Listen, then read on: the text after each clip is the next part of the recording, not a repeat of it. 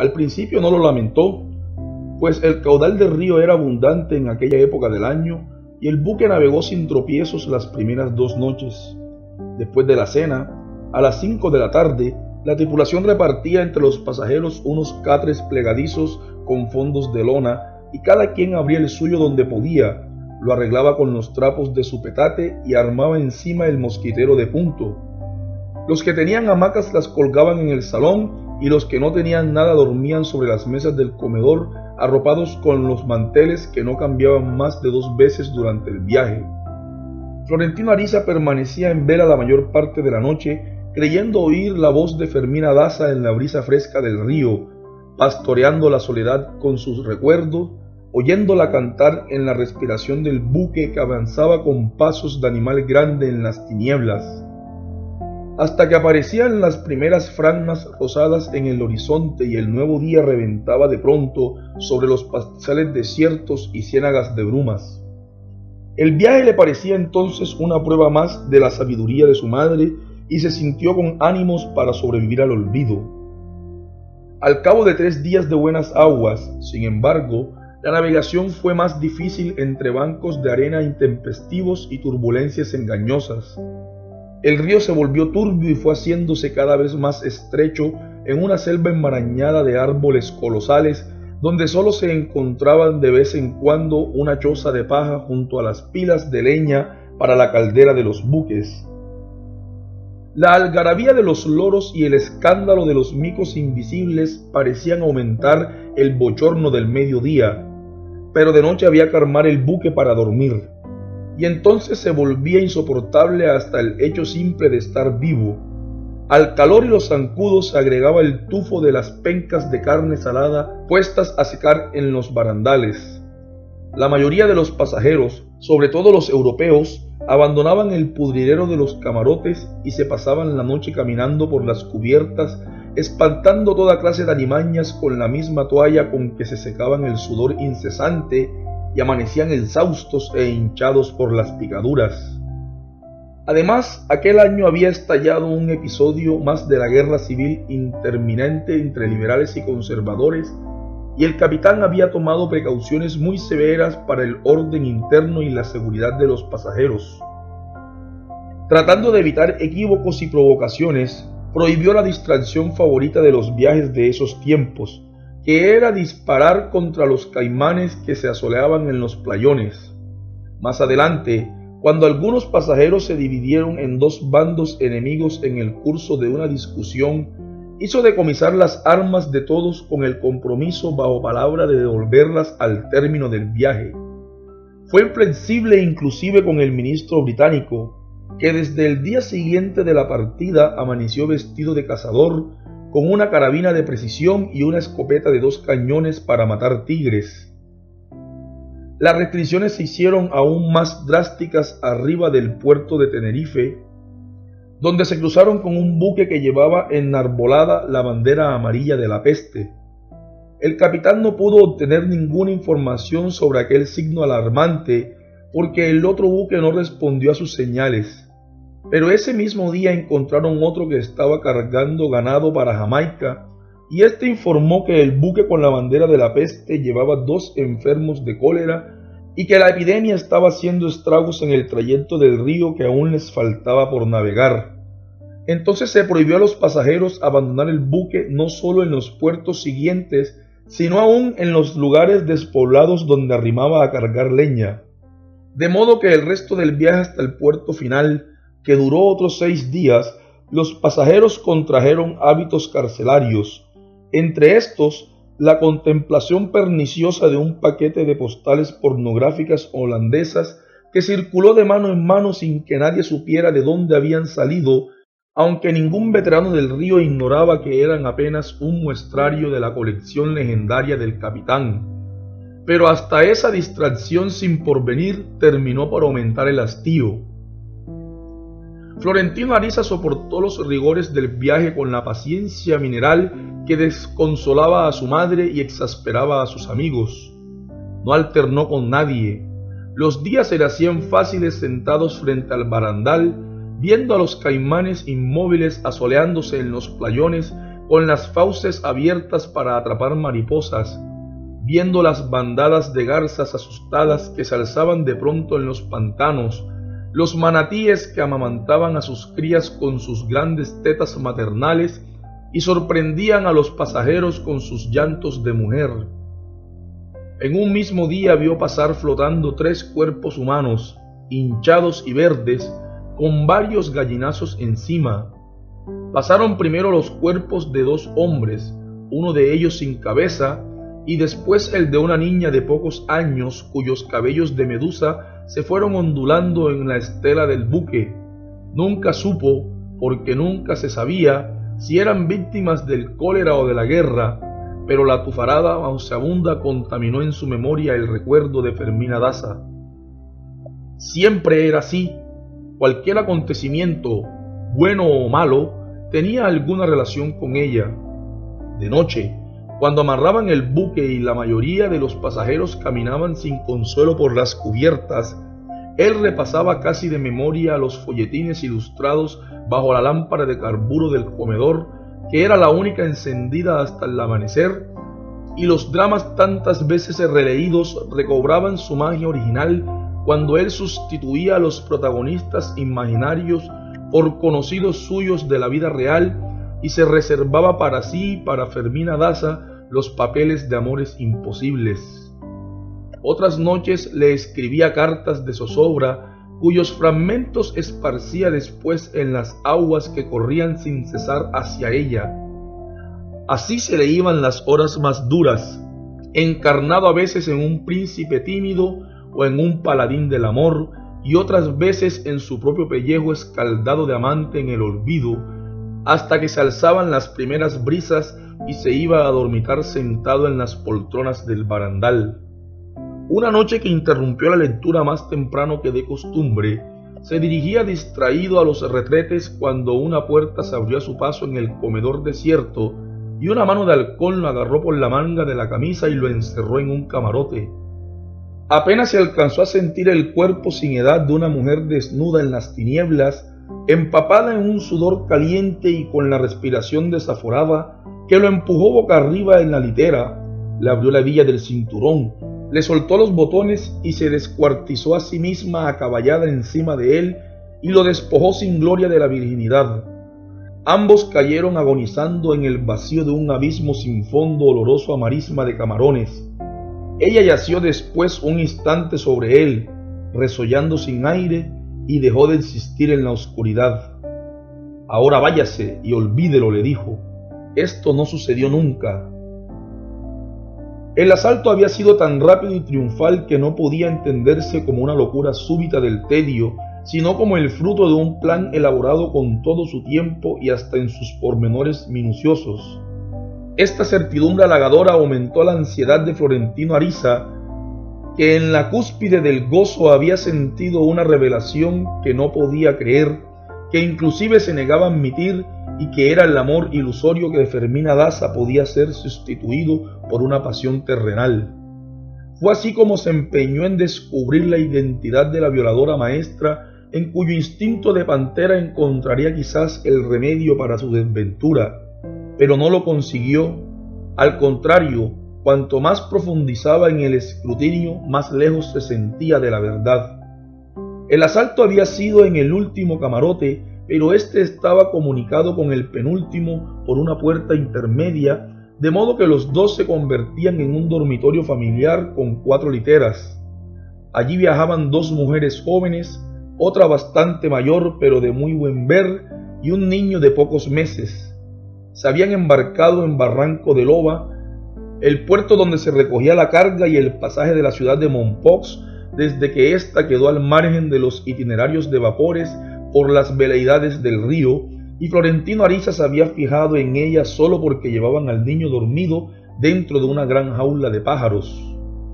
Viajaban vestidas como en los transatlánticos de moda, con polizones bajo las faldas de seda, con golas de encaje y sombreros de alas grandes adornadas con flores de crinolina, y las dos menores se cambiaban el atuendo completo varias veces al día de modo que parecían llevar consigo su propio ámbito primaveral, mientras los otros pasajeros se ahogaban de calor.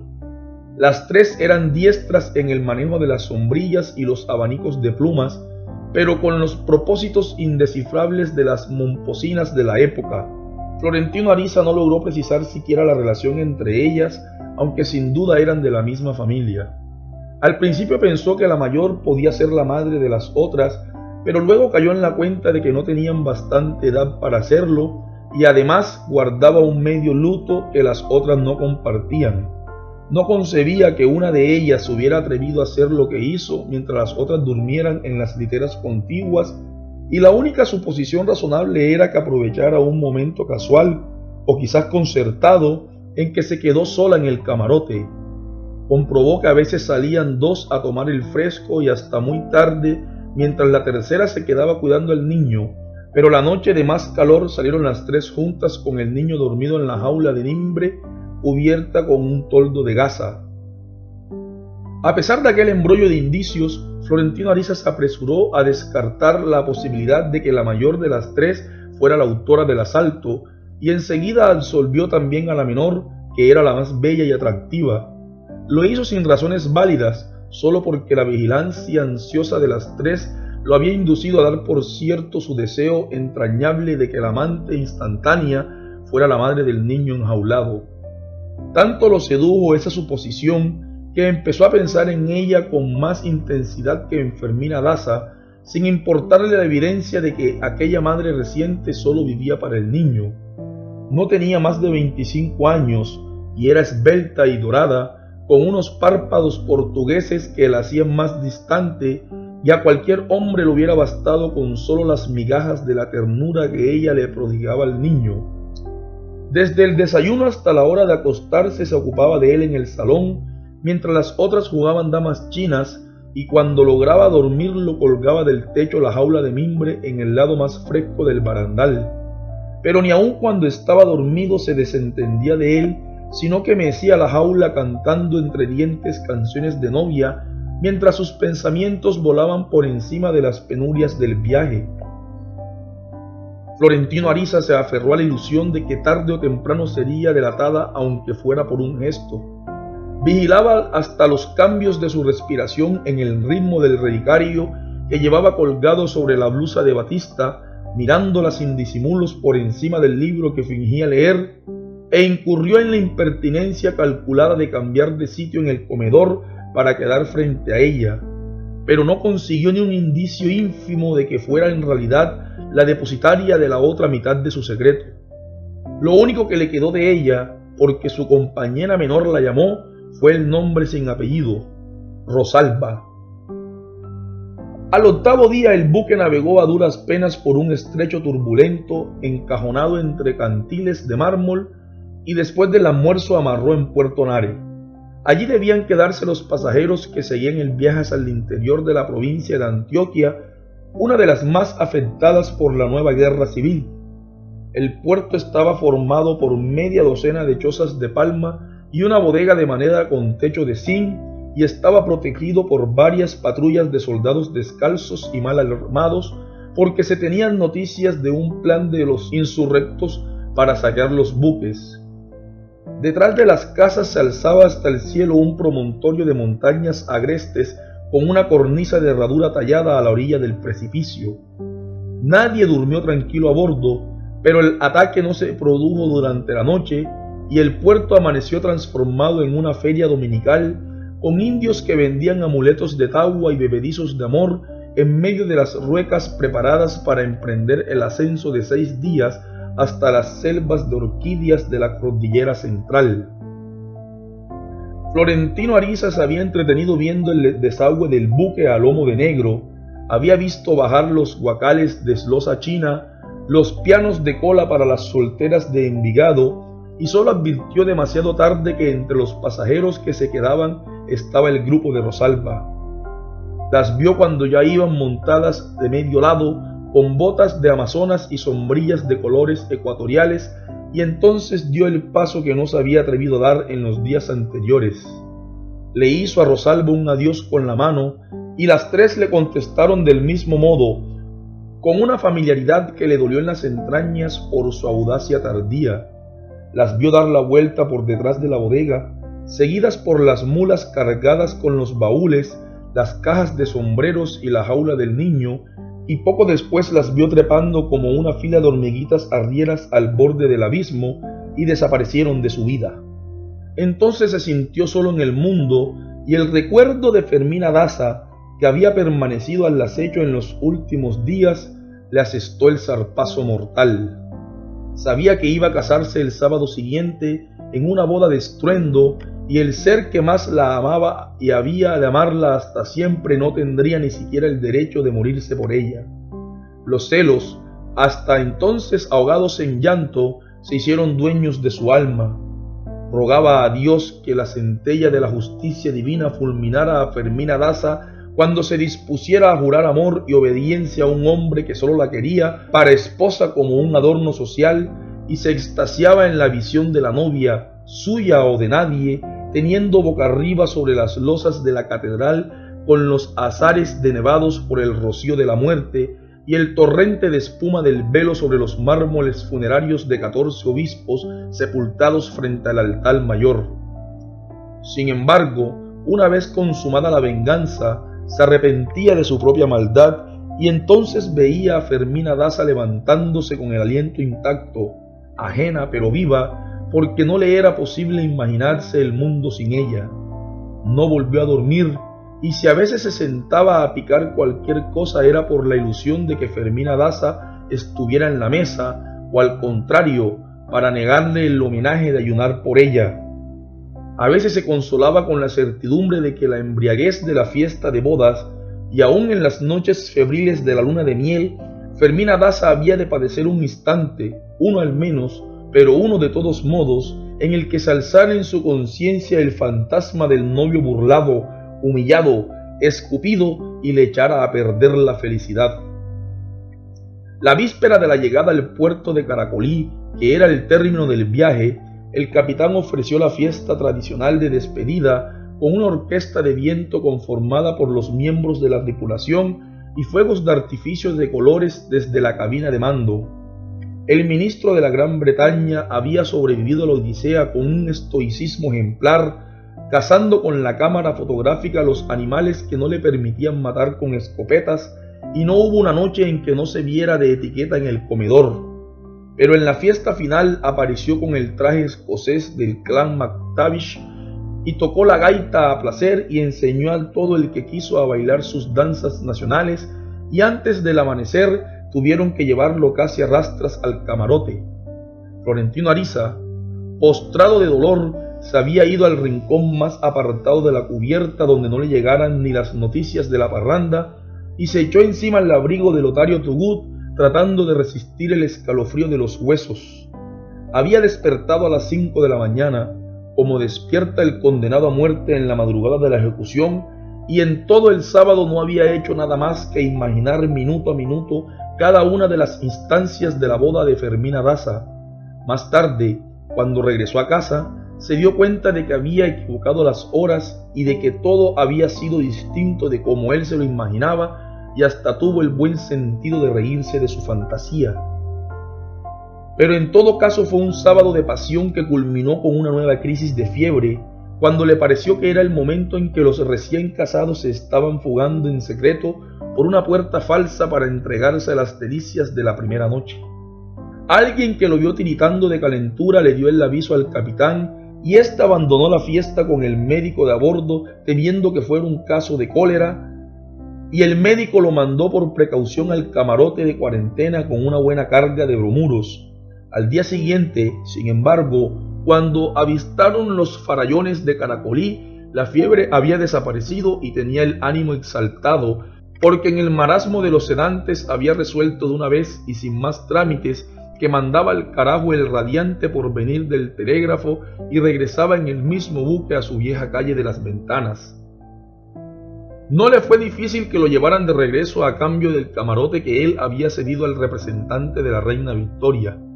El capitán trató de disuadirlo también con el argumento de que el telégrafo era la ciencia del futuro. Tanto era así, le dijo, que ya se estaba inventando un sistema para instalarlo en los buques, pero él resistió a todo argumento y el capitán terminó por llevarlo de regreso, no por la deuda del camarote, sino porque conocía sus vínculos reales con la compañía fluvial del Caribe.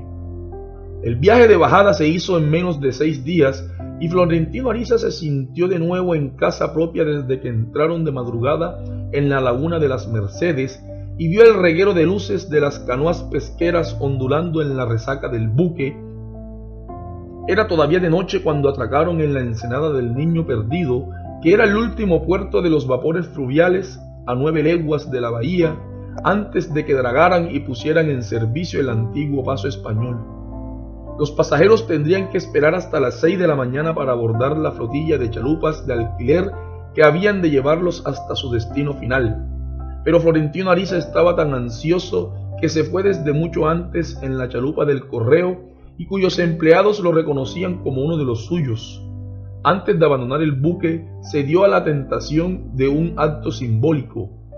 Tiró al agua el petate y lo siguió con la mirada por entre las antorchas de los pescadores invisibles hasta que salió de la laguna y desapareció en el océano. Estaba seguro de que no iba a necesitarlo en el resto de sus días, nunca más, porque nunca más había de abandonar la ciudad de Fermina Daza. La bahía era un remanso al amanecer. Por encima de la bruma flotante Florentino Ariza vio la cúpula de la catedral dorada por las primeras luces, vio los palomares en las azoteas y orientándose por ellos localizó el balcón del palacio del marqués de Casualduero, donde suponía que la mujer de su desventura dormitaba todavía apoyada sobre el hombro del esposo saciado. Esa suposición lo desgarró, pero no hizo nada por reprimirla, sino todo lo contrario, se complació en el dolor. El sol empezaba a calentar cuando la chalupa del correo se abrió paso por entre el laberinto de veleros anclados, donde los olores innumerables del mercado público, revueltos con la podredumbre del fondo, se confundían en una sola pestilencia. La boleta de Riohacha acababa de llegar y las cuadrillas de estribadores con el agua a la cintura recibían a los pasajeros en la borda y los llevaban cargados hasta la orilla. Florentino Ariza fue el primero en saltar a tierra desde la chalupa del correo y desde entonces no sintió más la fetidez de la bahía, sino el olor personal de Fermina Daza en el ámbito de la ciudad. Todo olía a ella. No volvió a la oficina del telégrafo.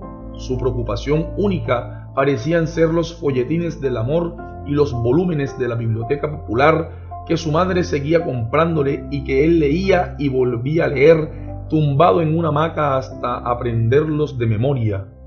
No preguntó siquiera dónde estaba el violín, reanudó los contactos con sus amigos más cercanos y a veces jugaban al billar o conversaban en los cafés al aire libre bajo los arcos de la plaza de la catedral, pero no volvió a los bailes de los sábados, no podía concebirlo sin ella.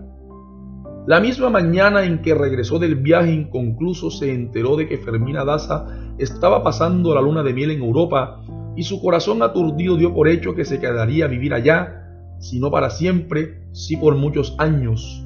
Esta certidumbre le infundió las primeras esperanzas de olvido. Pensaba en Rosalba, cuyo recuerdo se hacía más ardiente a medida que se apaciguaban los otros. Fue por esa época que se dejó crecer el bigote de punteras engomadas que no había de quitarse en el resto de su vida y le cambió el modo de ser y la idea de la sustitución del amor lo metió por caminos imprevistos. El olor de Fermina Laza se fue haciendo poco a poco menos frecuente e intenso y por último solo quedó en las gardenias blancas. Andaba al garete sin saber por dónde continuar la vida. Una noche de guerra en la que la célebre viuda de Nazaret se refugió aterrada en su casa porque la suya había sido destruida por un cañonazo durante el sitio del general rebelde Ricardo Gaitán Obeso. Fue Tránsito Ariza la que agarró la ocasión al vuelo y mandó a la viuda para el dormitorio del hijo, con el pretexto de que en el suyo no había lugar, pero en realidad con la esperanza de que otro amor lo curara del que no lo dejaba vivir. Florentino Ariza no había vuelto a hacer el amor desde que fue desvirginizado por Rosalba en el camarote del buque y le pareció natural en una noche de emergencia que la viuda durmiera en la cama y él en la hamaca, pero ya ella había decidido por él. Sentada en el borde de la cama donde Florentino Ariza estaba acostado sin saber qué hacer, empezó a hablarle de su dolor inconsolable por el marido muerto tres años antes y mientras tanto iba quitándose de encima y arrojando por los aires los crespones de la viudez hasta que no le quedó puesto ni el anillo de bodas. Se quitó la blusa de tafetán con bordados de mostacilla y la arrojó a través del cuarto en la poltrona del rincón, tiró el corpiño por encima del hombro hasta el otro lado de la cama, se quitó de un solo tirón la falda talar con el pollerín de volantes, la faja de raso del liguero y las fúnebres medias de seda y lo esparció todo por el piso hasta que el cuarto quedó tapizado con las últimas piltrafas de su duelo. Lo hizo con tanto alborozo y con unas pausas tan bien medidas que cada gesto suyo parecía celebrado por los cañonazos de las tropas del asalto que estremecían la ciudad hasta los cimientos. Florentino Ariza trató de ayudarla a soltar el broche del ajustador, pero ella se la anticipó con una maniobra diestra, pues en cinco años de devoción matrimonial había aprendido a bastarse de sí misma en todos los trámites del amor, incluso sus preámbulos, sin ayuda de nadie. Por último, se quitó los calzones de encaje haciéndolos resbalar por las piernas con un movimiento rápido de nadadora y se quedó en carne viva. Tenía 28 años y había parido tres veces, pero su desnudez conservaba intacto el vértigo de soltera. Florentino Ariza no había de entender nunca cómo unas ropas de penitente habían podido disimular los ímpetus de aquella potranca cerrera que lo desnudó sofocada por su propia fiebre como no podía hacerlo con el esposo para que no la creyera una corrompida y que trató de saciar en un solo asalto la abstinencia férrea del duelo con el aturdimiento y la inocencia de cinco años de fidelidad conyugal. Antes de esa noche y desde la hora de gracia en que su madre la parió, no había estado nunca ni siquiera en la misma cama con un hombre distinto del esposo muerto. No se permitió el mal gusto de un remordimiento, al contrario, Desvelada por las bolas de candela que pasaban zumbando sobre los tejados, siguió evocando hasta el amanecer las excelencias del marido sin reprocharle otra deslealtad que la de haberse muerto sin ella y redimida por la certidumbre de que nunca había sido tan suyo como lo era entonces dentro de un cajón clavado con doce clavos de tres pulgadas y a dos metros debajo de la tierra. Soy feliz, dijo, porque solo ahora sé con seguridad dónde está cuando no está en la casa. Aquella noche se quitó el luto de un solo golpe, sin pasar por el intermedio ocioso de las blusas de florecitas grises, y su vida se llenó de canciones de amor y trajes provocativos de guacamayas y mariposas pintadas, y empezó a repartir el cuerpo a todo el que quisiera pedírselo. Derrotadas las tropas del general Gaitán Obeso, al cabo de 63 días de sitio, ella reconstruyó la casa desfondada por el cañonazo y le hizo una hermosa terraza de mar sobre las escofieras donde en tiempos de borrasca se enseñaba la furia del oleaje. Ese fue su nido de amor, como ella lo llamaba sin ironía, donde solo recibió a quien fue de su gusto, cuando quiso y como quiso, y sin cobrar a nadie ni un cuartillo, porque consideraba que eran los hombres los que le hacían el favor. En casos muy contados aceptaba un regalo, siempre que no fuera de oro, y era de manejos tan hábiles que nadie hubiera podido mostrar una evidencia terminante de su conducta impropia. Solo en una ocasión estuvo al borde del escándalo público cuando corrió el rumor de que el arzobispo Dante de Luna no había muerto por accidente con un plato de hongos equivocados, sino que se los comió a conciencia porque ella lo amenazó con degollarse si él persistía en sus asedios sacrílegos. Nadie le preguntó si era cierto, ni nunca habló de eso, ni cambió nada en su vida. Era, según ella decía muerta de risa, la única mujer libre de la provincia. La viuda de Nazaret no faltó nunca a las citas ocasionales con Florentino Ariza, ni aun en sus tiempos más atareados, y siempre fue sin pretensiones de amar ni ser amada, aunque siempre con la esperanza de encontrar algo que fuera como el amor, pero sin los problemas del amor.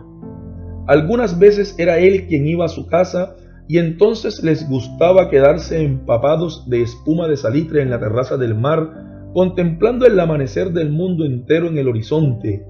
Él puso todo su empeño en enseñarle las trapisondas que había visto hacer a otros por los agujeros del hotel de paso, así como las fórmulas teóricas pregonadas por Lotario Tugut en sus noches de juerga. la incitó a dejarse ver mientras hacían el amor, a cambiar la posición convencional del misionero por la de la bicicleta de mar, o del pollo a la parrilla, o del ángel descuartizado, y estuvieron a punto de romperse la vida al reventarse los hicos cuando trataban de inventar algo distinto en una hamaca.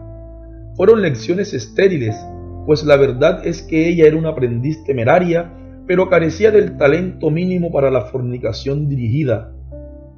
Nunca entendió los encantos de la serenidad en la cama, ni tuvo un instante de inspiración, y sus orgasmos eran inoportunos y epidérmicos, un polvo triste.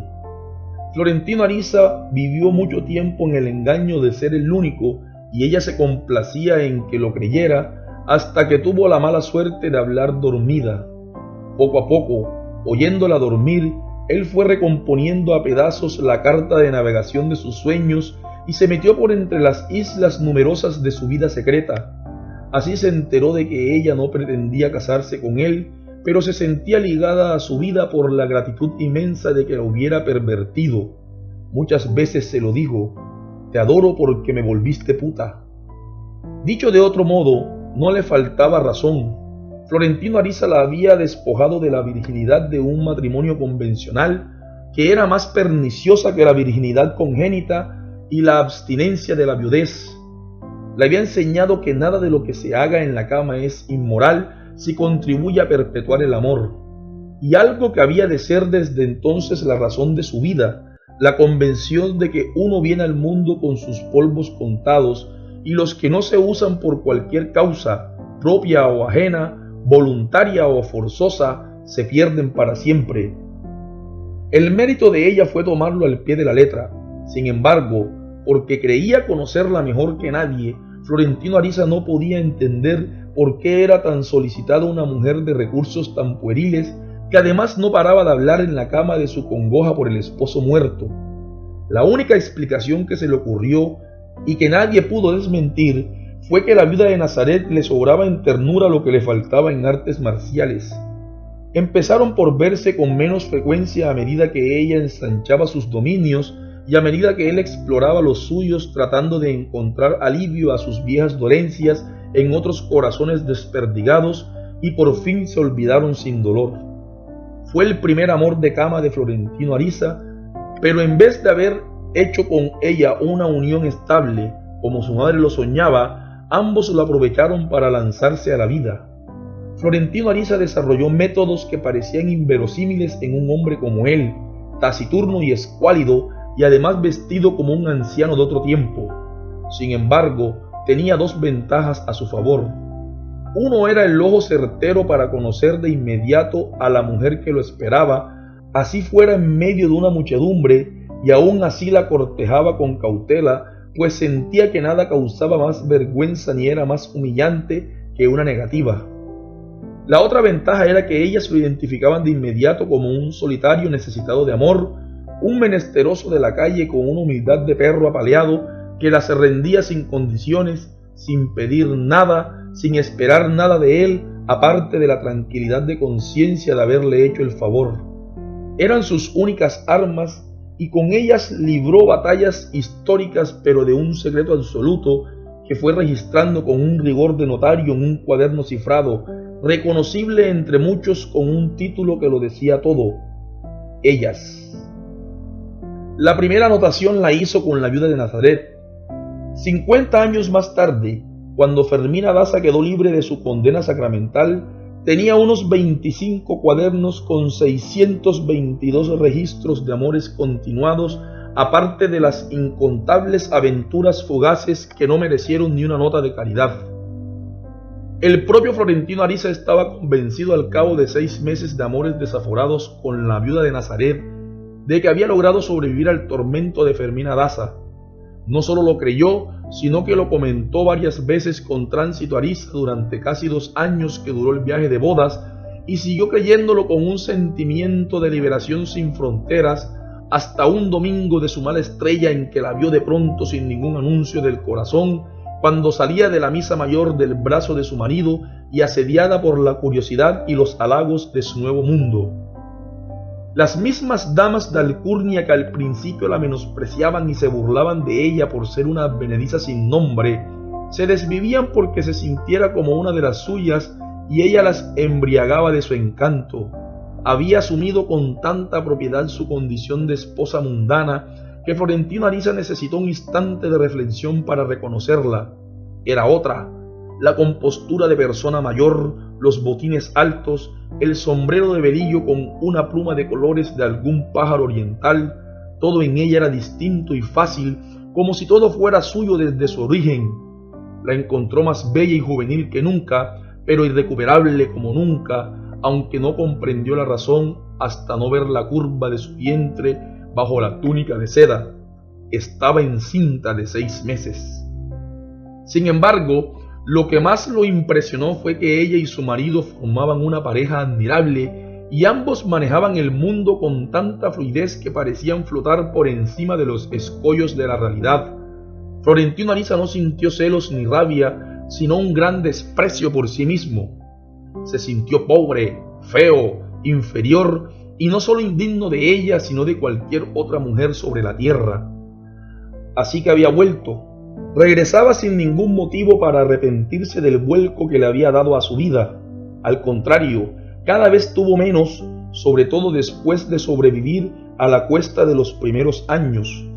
Más meritorio aún en el caso de ella, que había llegado a la noche de bodas todavía con las brumas de la inocencia.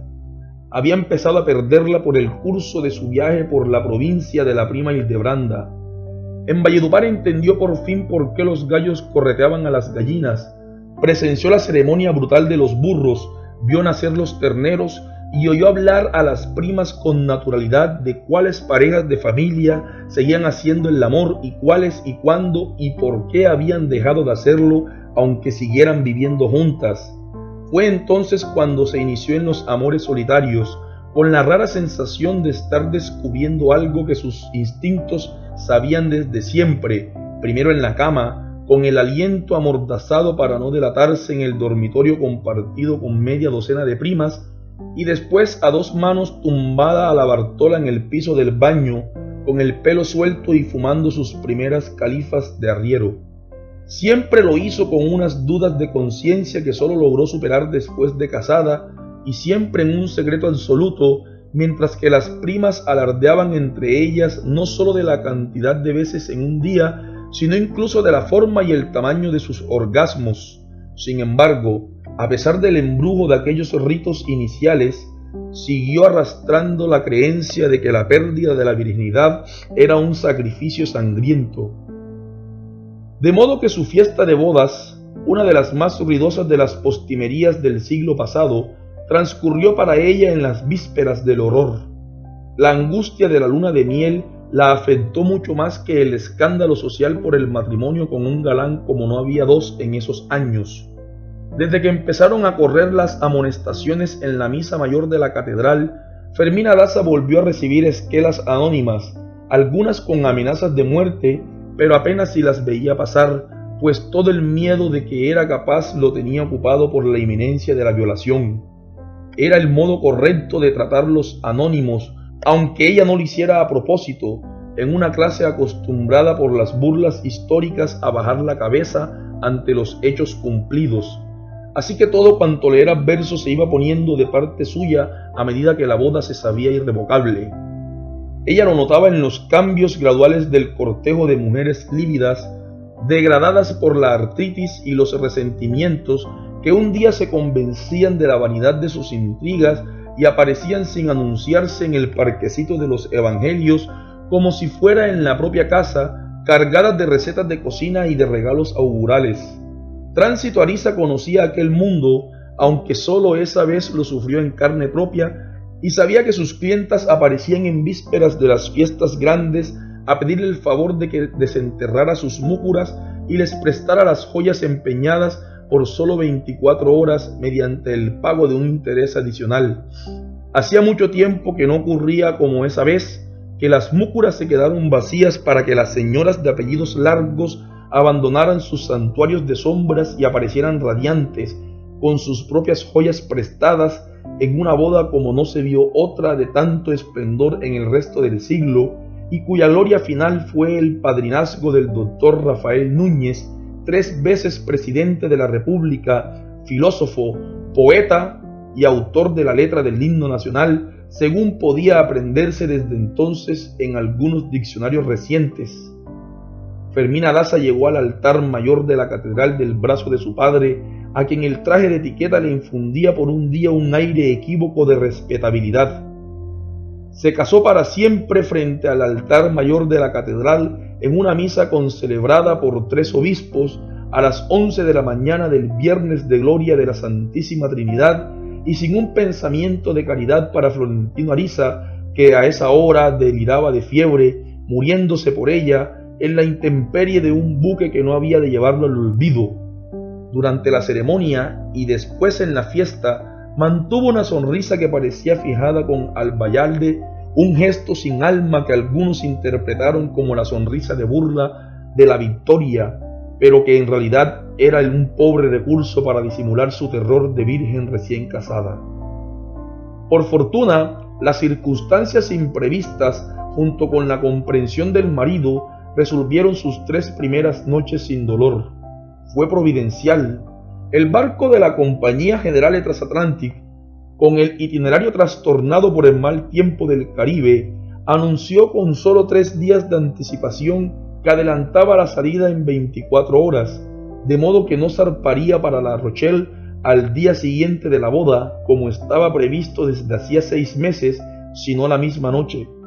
Nadie creyó que aquel cambio no fuera una más de las tantas sorpresas elegantes de la boda, pues la fiesta terminó después de la medianoche a bordo del transatlántico iluminado con una orquesta de Viena que estrenaba en aquel viaje los valses más recientes de Johann Strauss. De modo que los varios padrinos ensopados en champaña fueron arrastrados a tierra por sus esposas atribuladas cuando ya andaban preguntando a los camareros si no habría camarotes disponibles para seguir la parranda hasta París. Los últimos que desembarcaron vieron a Lorenzo Daza frente a las cantinas del puerto, sentado en el suelo en plena calle y con el traje de etiqueta en piltrafas. Lloraba a grito pelado, como lloran los árabes a sus muertos, sentado sobre un reguero de aguas podridas que bien pudo haber sido un charco de lágrimas. Ni en la primera noche de la mala mar, ni en las siguientes de navegación apacible, ni nunca en su muy larga vida matrimonial ocurrieron los actos de barbarie que temía Fermina Daza. La primera, a pesar del tamaño del barco y los lujos del camarote, fue una repetición horrible de la goleta de Riohacha y su marido fue un médico servicial que no durmió un instante para consolarla, que era lo único que un médico demasiado eminente sabía hacer contra el mareo. Pero la borrasca amainó al tercer día, después del puerto de La Guaira, y ya para entonces habían estado juntos tanto tiempo y habían hablado tanto que se sentían amigos antiguos. La cuarta noche, cuando ambos reanudaron sus hábitos ordinarios, el doctor Juvenal Urbino se sorprendió de que su joven esposa no rezara antes de dormir. Ella le fue sincera. La doblez de las monjas le había provocado una resistencia contra los ritos, pero su fe estaba intacta y había aprendido a mantenerla en silencio. Dijo, Prefiero entenderme directo con Dios. Él comprendió sus razones y desde entonces cada cual practicó la misma religión a su manera. Habían tenido un noviazgo breve, pero bastante informar para la época, pues el doctor Urbino la visitaba en su casa, sin vigilancia, todos los días al atardecer. Ella no hubiera permitido que él le tocara ni una yema de los dedos antes de la bendición episcopal, pero tampoco él lo habría intentado, fue en la primera noche de buena mar, ya en la cama pero todavía vestidos, cuando él inició sus primeras caricias y lo hizo con tanto cuidado que ella le pareció natural la sugerencia de que se pusiera la camisa de dormir. Fue a cambiarse en el baño, pero antes apagó las luces del camarote y cuando salió con el camisón embutió trapos en las rendijas de la puerta para volver a la cama en la oscuridad absoluta. Mientras lo hacía, dijo de buen humor, ¿Qué quieres, doctor? Es la primera vez que duermo con un desconocido. El doctor Juvenal Urbino la sintió deslizarse junto a él como un animalito azorado, tratando de quedar lo más lejos posible en una litera donde era difícil estar dos sin tocarse. Le cogió la mano, fría y crispada de terror, le entrelazó los dedos y casi con un susurro empezó a contarle sus recuerdos de otros viajes de mar. Ella estaba tensa otra vez porque al volver a la cama se dio cuenta de que él se había desnudado por completo mientras ella estaba en el baño y esto le revivió el terror del paso siguiente. Pero el paso siguiente demoró varias horas, pues el doctor Urbino siguió hablando muy despacio mientras se iba apoderando milímetro a milímetro de la confianza de su cuerpo. Le habló de París, del amor en París, de los enamorados de París que se besaban en la calle, en el ómnibus, en las terrazas floridas de los cafés abiertos al aliento del fuego y los acordeones lánguidos del verano y hacían el amor de pie en los muelles del Sena sin que nadie los molestara. Mientras hablaba en las sombras, le acarició la curva del cuello con la yema de los dedos, le acarició las pelusas de seda de los brazos, el vientre evasivo, y cuando sintió que la tensión había cedido, hizo el primer intento por levantar el camisón de dormir, pero ella se lo impidió con un impulso típico de su carácter. Dijo, yo lo sé hacer sola. Se lo quitó, en efecto, y luego se quedó tan inmóvil que el doctor Urbino hubiera creído que ya no estaba ahí de no haber sido por la resolana de su cuerpo en las tinieblas. Al cabo de un rato volvió a agarrarle la mano y entonces la sintió tibia y suelta, pero húmeda todavía de un rocío tierno. Permanecieron otro rato callados e inmóviles, él acechando la ocasión para dar el paso siguiente y ella esperándolo sin saber por dónde, mientras la oscuridad iba ensanchándose con su respiración cada vez más intensa. Él la soltó de pronto y dio un salto en el vacío. Se humedeció en la lengua la yema del cordial y le tocó apenas el pezón desprevenido y ella sintió una descarga de muerte como si le hubieran tocado un nervio vivo. Se alegró de estar a oscuras para que él no le viera el rubor abrasante que la estremeció hasta las raíces del cráneo. Calma, le dijo él, muy calmado, no se te olvide que las conozco. La sintió sonreír y su voz fue dulce y nueva en las tinieblas. Lo recuerdo muy bien, dijo, y todavía no se me pasa la rabia. Entonces él supo que habían doblado el cabo de la buena esperanza y le volvió a coger la mano grande y mullida y se la cubrió de besitos huérfanos. Primero el metacarpo áspero, los largos dedos clarividentes, las uñas diáfanas y luego el jeroglífico de su destino en la palma sudada.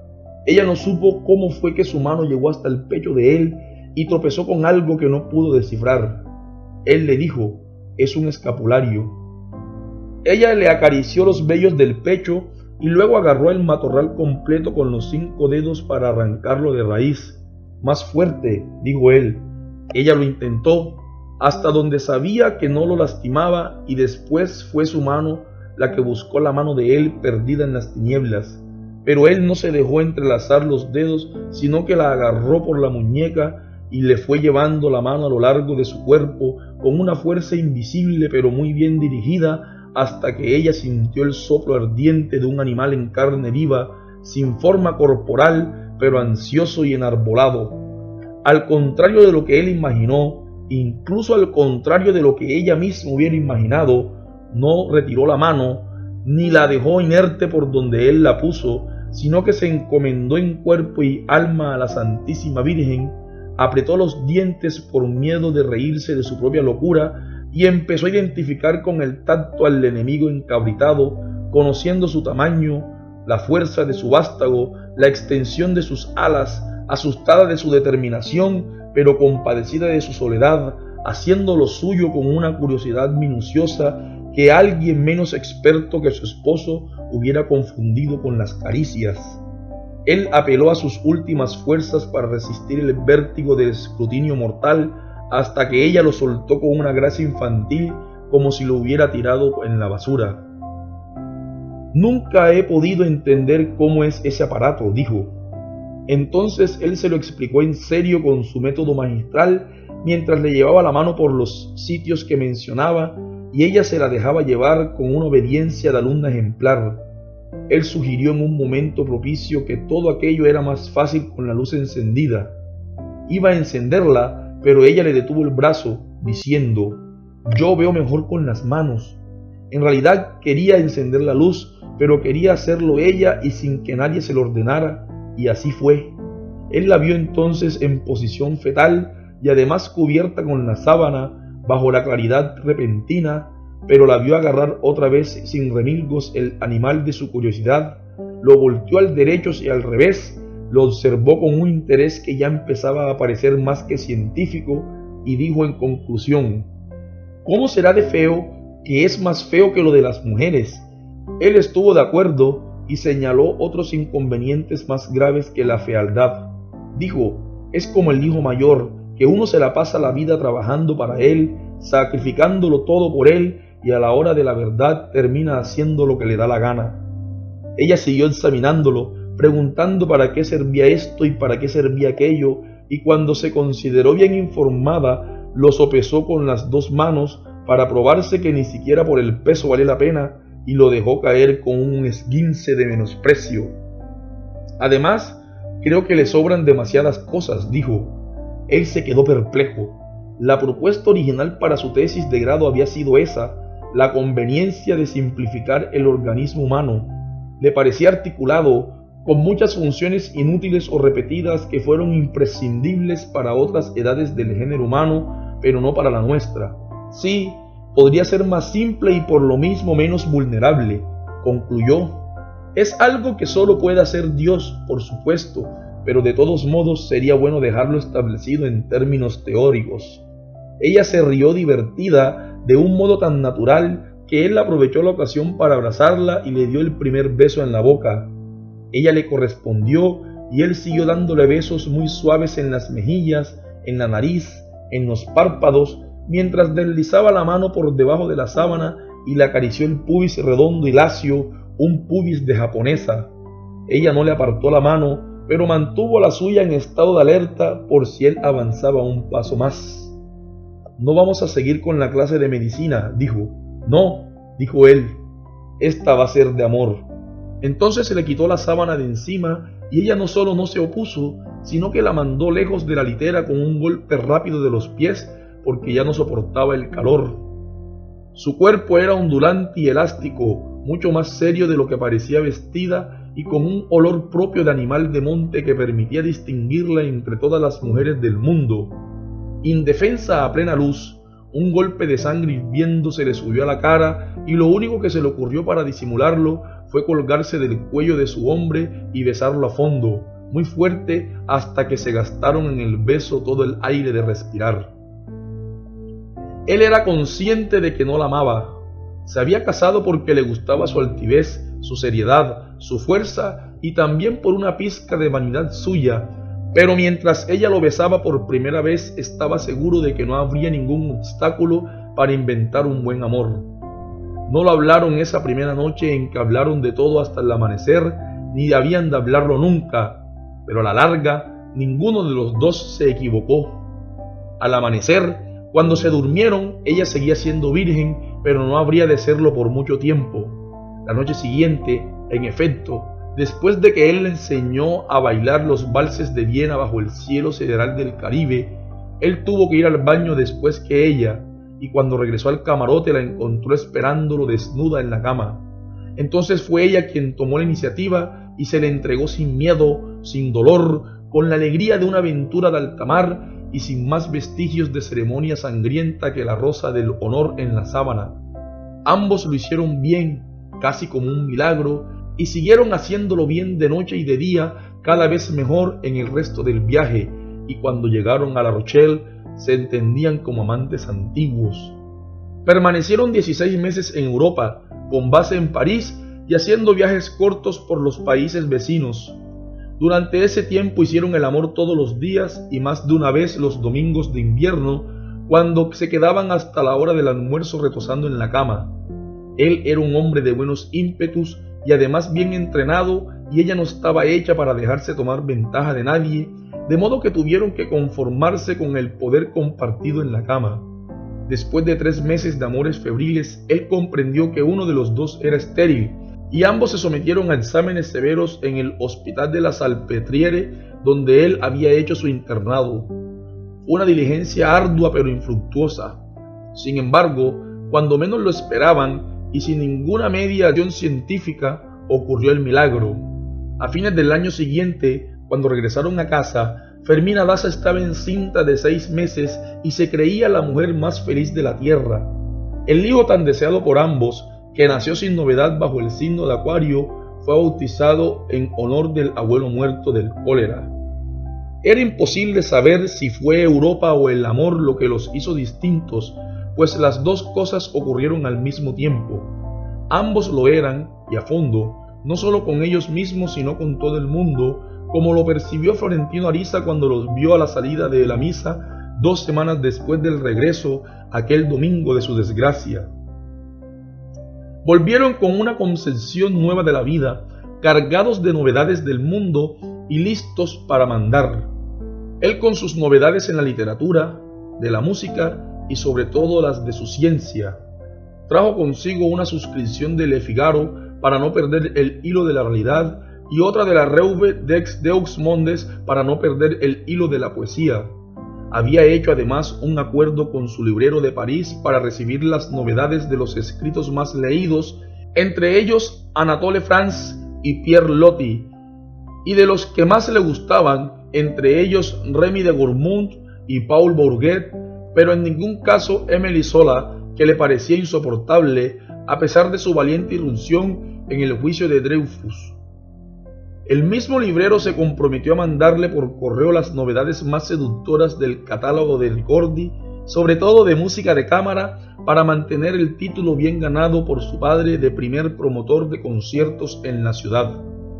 Fermina Daza, siempre contraria a los rigores de moda, trajo seis baúles con ropas de tiempos diversos, pues no la convencieron las grandes marcas. Había estado en las tullerías en pleno invierno para el lanzamiento de la colección de Worth, el ineludible tirano de la alta costura, y lo único que consiguió fue una bronquitis que la tumbó cinco días en la cama.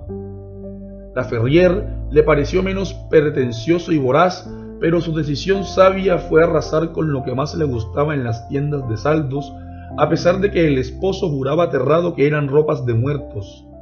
Asimismo, trajo cantidades de zapatos italianos sin marcas que prefirió a los renombrados y extravagantes de Ferry y trajo una sombrilla de Dupuy, roja como los fuegos del infierno, que dio mucho de qué escribir a nuestros asustadizos cronistas sociales.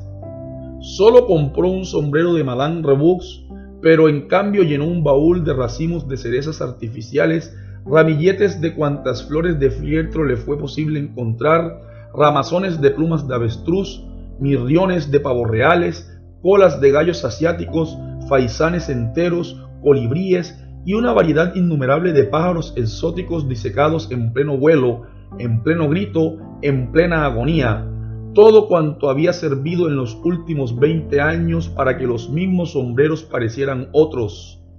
Trajo una colección de abanicos de diversos países del mundo y uno distinto y apropiado para cada ocasión trajo una esencia perturbadora escogida entre las muchas en la perfumería del bazar de Charité antes de que los vientos de primavera arrasaran con sus cenizas, pero la usó solo una vez porque se desconoció a sí misma con el perfume cambiado.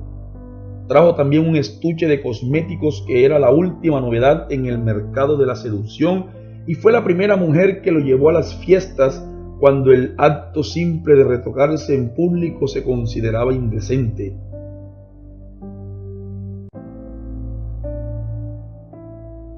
Llevaban, además, tres recuerdos imborrables. El estreno sin precedentes de los cuentos de Hoffmann en París, el incendio pavoroso de casi todas las góndolas de Venecia frente a la plaza de San Marcos, que ellos habían presenciado con el corazón dolorido desde la ventana de su hotel, y la visión fugaz de Oscar Wilde en la primera nevada de enero. Pero en medio de esos y tantos otros recuerdos, el doctor Juvenal Urbino conservaba uno que siempre lamentó no compartir con su esposa, pues venía de sus tiempos de estudiante soltero en París.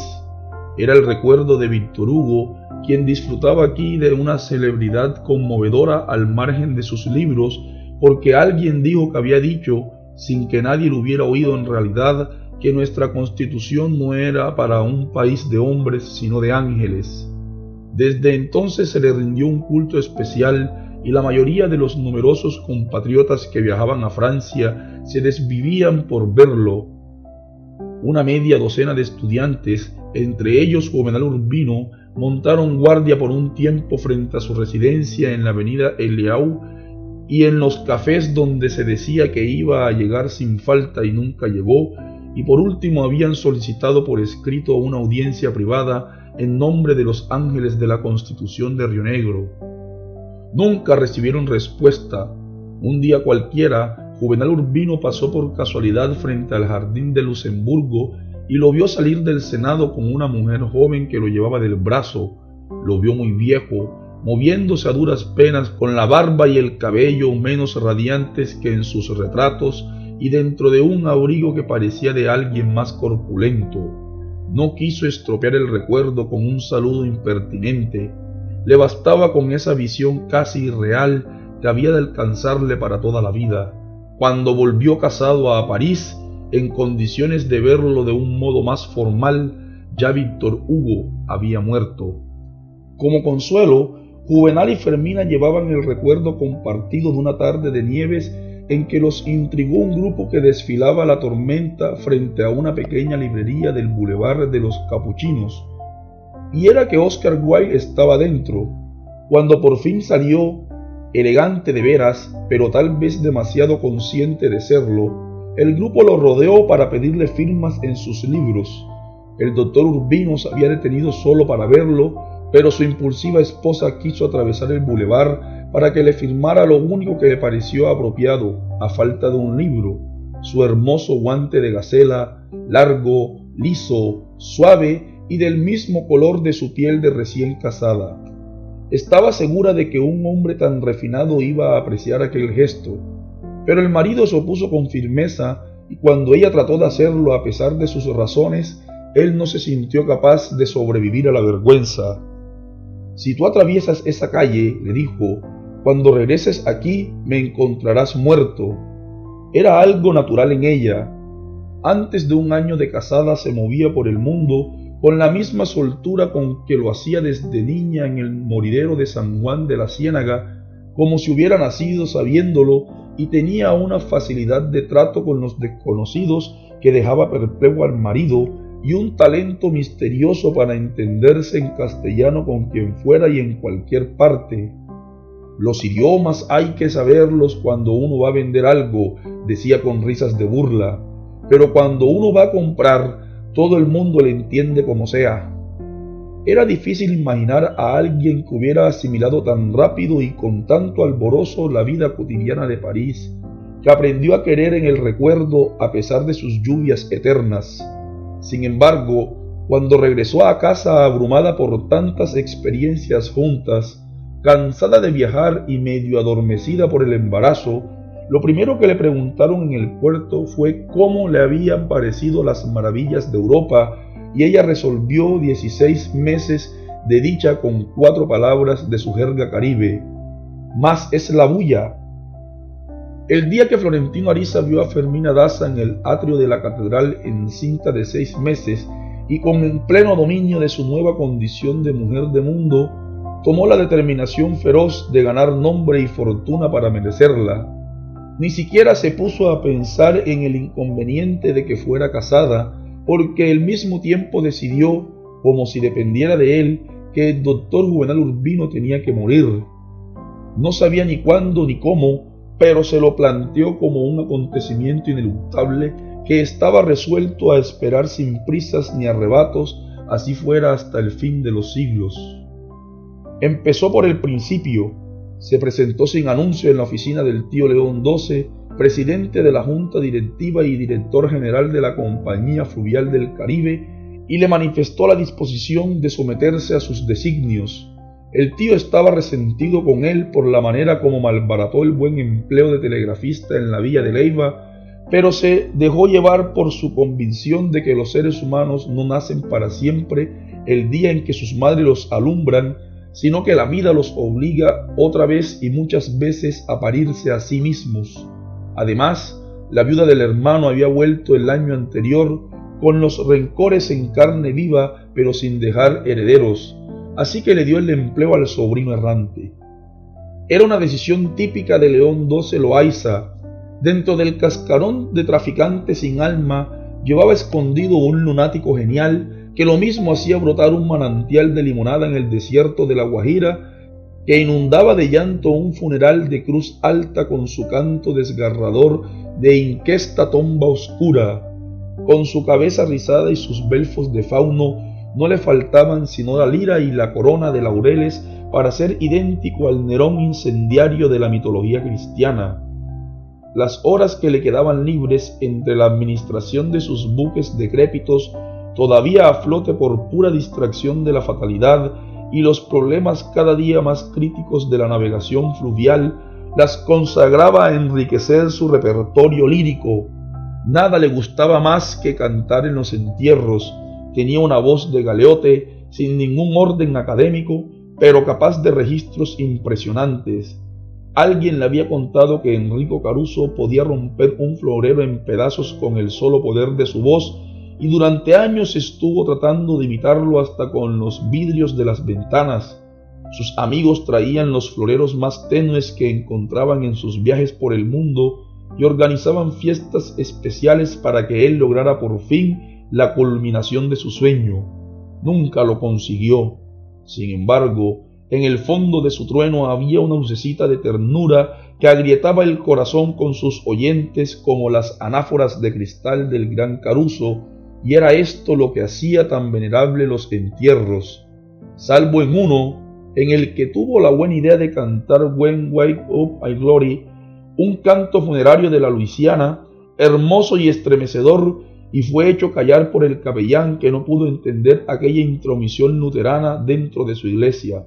Así, entre ancores de óperas y serenatas napolitanas, su talento creativo y su invencible espíritu de empresa lo convirtieron en el prócer de la navegación fluvial en su época de mayor esplendor.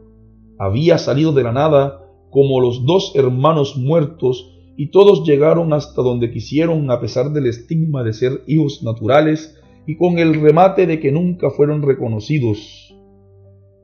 Eran la flor de lo que entonces se llamaba la aristocracia del mostrador, cuyo santuario era el Club del Comercio. Sin embargo, aun cuando dispuso de recursos para vivir como el emperador romano que parecía ser, el tío León XII vivía en la ciudad vieja por comodidad de trabajo, con su esposa y tres hijos, y de un modo tan austero y en una casa tan escueta que nunca se quitó de encima una injusta reputación de avaro.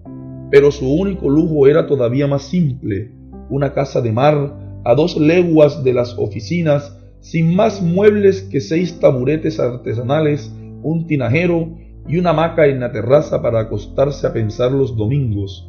Nadie lo definió mejor que él cuando alguien lo acusó de ser rico. Rico no, dijo, soy un pobre con plata, que no es lo mismo. Ese raro modo de ser que alguien elogió alguna vez en un discurso como una demencia lúcida, le permitió ver al instante lo que nadie veía ni antes ni después en Florentino Ariza. Desde el día en que éste se presentó a solicitar empleo en sus oficinas, con su aspecto lúgubre y sus 27 años inútiles, lo puso a prueba con la dureza de un régimen de cuartel capaz de doblegar al más bragado, pero no logró amedrentarlo, lo que nunca sospechó el tío León XII fue que ese temple del sobrino no le venía de la necesidad de subsistir ni de una cachaza de bruto heredada del padre, sino de una ambición de amor que ninguna contrariedad de este mundo ni del otro lograría quebrantar. Los peores años fueron los primeros, cuando lo nombraron escribiente de la Dirección General, que parecía un oficio inventado sobre medida para él. Lotario Tugud antiguo maestro de música del tío León XII, fue el que le aconsejó a éste que nombrara al sobrino en un empleo de escribir, porque era un consumidor incansable de la literatura al por mayor, aunque no tanto de la buena como de la peor. El tío León XII no le hizo caso a la precisión sobre la mala clase de las lecturas del sobrino, pues también de él decía el otario Tugud que había sido su peor alumno de canto y sin embargo hacía llorar hasta las lápidas de los cementerios. En todo caso, el alemán tuvo razón en lo que menos había pensado y era que Florentino Ariza escribía cualquier cosa con tanta pasión que hasta los documentos oficiales parecían de amor. Las manifestaciones del embarque le salían rimadas por mucho que se esforzara en evitarlo, y las cartas comerciales de rutina tenían un aliento lírico que les restaba autoridad.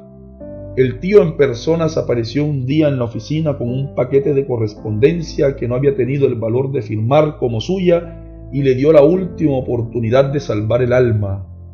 Si no eres capaz de escribir una carta comercial, te vas a recoger la basura del muelle, le dijo. Florentino Ariza aceptó el desafío, hizo un esfuerzo supremo por aprender la simpleza terrestre de la prosa mercantil, imitando modelos de archivos notariales con tanta aplicación como antes lo hacía con los poetas de moda. Era esa la época en que pasaba sus horas libres en el portal de los escribanos, ayudando a los enamorados implumes a escribir sus esquelas perfumadas para descargar el corazón de tantas palabras de amor que se quedaban sin usar en los informes de aduana. Pero al cabo de seis meses, por muchas vueltas que le daba, no había logrado torcerle el cuello a su cisne empedernido, así que cuando el tío León XII lo reprendió por segunda vez, él se dio por vencido, pero con una cierta altanería. Lo único que me interesa es el amor, dijo. Lo malo, le dijo el tío, es que sin navegación fluvial no hay amor. Cumplió la amenaza de mandarlo a recoger la basura en el muelle, pero le dio su palabra de que lo subiría paso a paso por la escalera del buen servicio hasta que encontrara su lugar. Así fue, ninguna clase de trabajo logró derrotarlo, por duro o humillante que fuera, ni lo desmoralizó la miseria del sueldo, ni perdió un instante su impavidez esencial ante las insolencias de sus superiores, pero tampoco fue inocente. Todo el que se atravesó en su camino sufrió las consecuencias de una determinación arrasadora, capaz de cualquier cosa detrás de una apariencia desvalida, tal como el tío León XII lo había previsto y deseado para que no se le quedara sin conocer ningún secreto de la empresa, Pasó por todos los cargos en 30 años de consagración y tenacidad a toda prueba. Los desempeñó todos con una capacidad admirable, estudiando cada hilo de aquella urdimbre misteriosa que tanto tenía que ver con los oficios de la poesía, pero sin lograr la medalla de guerra más anhelada por él, que era escribir una carta comercial aceptable, una sola, sin proponérselo, sin saberlo siquiera, demostró con su vida la razón de su padre, quien repitió hasta el último aliento que no había nadie con más sentido práctico, ni picapedreros más empecinados, ni gerentes más lúcidos y peligrosos que los poetas.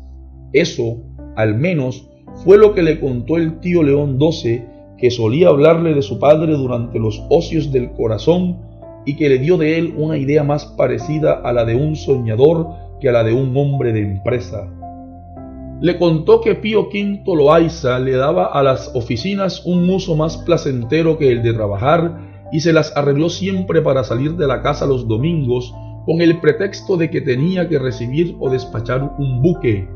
Más aún, había hecho instalar en el patio de las bodegas una caldera inservible con una sirena de vapor que alguien hacía sonar con claves de navegación por si su esposa estaba pendiente.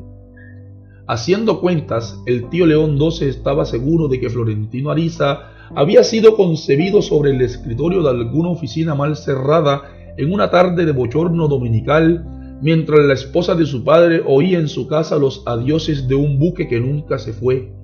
Cuando ella lo descubrió ya era tarde para cobrarle la infamia, porque el marido había muerto. Le sobrevivió muchos años, destruida por la amargura de no tener un hijo, y pidiéndole a Dios en sus oraciones la maldición eterna para el bastardo. La imagen del padre conturbaba a Florentino Ariza.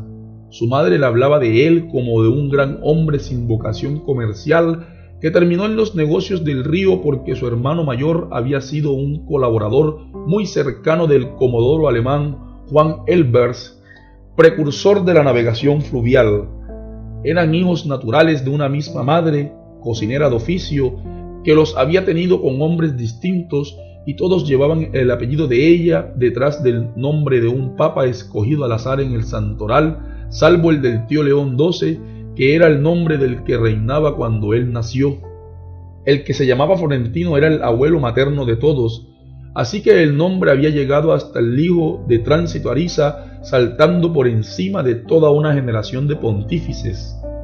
Florentino conservó siempre un cuaderno en el que su padre escribía versos de amor, algunos inspirados por Tránsito Ariza, y los folios estaban adornados con dibujos de corazones heridos. Dos cosas lo sorprendieron. Una era la personalidad de la caligrafía del padre, idéntica a la suya, a pesar de que él la había escogido por ser la que más le gustaba entre muchas de un manual. La otra fue encontrarse con una sentencia que él creía suya y que su padre había escrito en un cuaderno mucho antes de que él naciera. Lo único que me duele de morir es que no sea por amor. Había visto también los dos únicos retratos de su padre, uno tomado en Santa Fe, muy joven, a la edad que tenía él cuando lo vio por primera vez, con un abrigo que era como estar metido dentro de un oso y recostado en un pedestal de cuya estatua solo quedaban las polainas destroncadas. El pequeño que estaba a su lado era el tío León XII, con una gorrita de capitán de buque. En la otra fotografía estaba su padre con un grupo de guerreros en quién sabe cuál de tantas guerras y tenía la escopeta más larga y unos bigotes cuyo olor a pólvora trascendía de la imagen. Era liberal y masón, lo mismo que los hermanos, y sin embargo quería que el hijo ingresara en el seminario. Florentino Ariza no sentía el parecido que les atribuían, pero según el decir del tío León XII, también a Pío V le reprochaban el lirismo de sus documentos. En todo caso, ni en los retratos se parecía a él, ni concordaba con sus recuerdos, ni con la imagen que pintaba su madre, transfigurada por el amor, ni con la que despintaba el tío León XII con su graciosa crueldad. Sin embargo, Florentino Ariza descubrió ese parecido muchos años después, mientras se peinaba frente al espejo, y sólo entonces había comprendido que un hombre sabe cuándo empieza a envejecer porque empieza a parecerse a su padre. No lo recordaba en la calle de las ventanas, Creía saber que en un tiempo durmió allí, muy al principio de sus amores con Tránsito Ariza, pero que no volvió a visitarla después de su nacimiento. La partida de bautismo fue durante muchos años nuestro único instrumento válido de identificación y la de Florentino Ariza, asentado en la parroquia de Santo Toribio, solo decía que era hijo natural de otra hija natural soltera que se llamaba Tránsito Ariza. No aparecía en ella el nombre del padre que sin embargo atendió en secreto a las necesidades del hijo hasta el último día.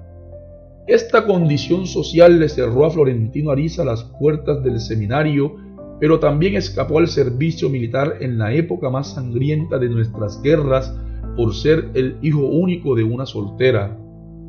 Todos los viernes después de la escuela se sentaba frente a las oficinas de la Compañía Fluvial del Caribe repasando un libro de láminas de animales tantas veces repasada que se caía a pedazos.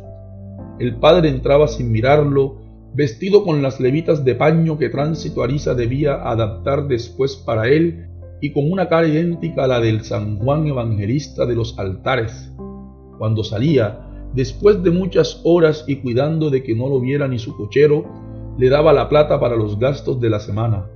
No hablaban, no solo porque el padre no lo intentaba, sino porque él tenía terror. Un día, después de esperar mucho más que de costumbre, el padre le dio las monedas diciéndole, tome y no vuelva más. Fue la última vez que lo vio, pero con el tiempo había de saber que el tío León XII, que era como diez años menor, siguió llevándole la plata a Tránsito Ariza y fue quien se ocupó de ella cuando Pío V murió de un cólico mal atendido sin dejar nada escrito y sin tiempo para tomar ninguna providencia en favor del hijo único, un hijo de la calle. El drama de Florentino Ariza mientras fue calígrafo de la Compañía Fluvial del Caribe era que no podía eludir su lirismo porque no dejaba de pensar en Fermina Daza y nunca aprendió a escribir sin pensar en ella. Después, cuando lo pasaron a otros cargos, le sobraba tanto amor por dentro que no sabía qué hacer con él y se lo regalaba a los enamorados implumes escribiendo para ellos cartas de amor gratuitas en el portal de los escribanos. Para allá se iba después del trabajo, se quitaba la levita con sus ademanes parsimoniosos y la colgaba en el espaldar de la silla, se ponía las medias mangas para no ensuciarlas de la camisa, se desabotonaba el chaleco para pensar mejor.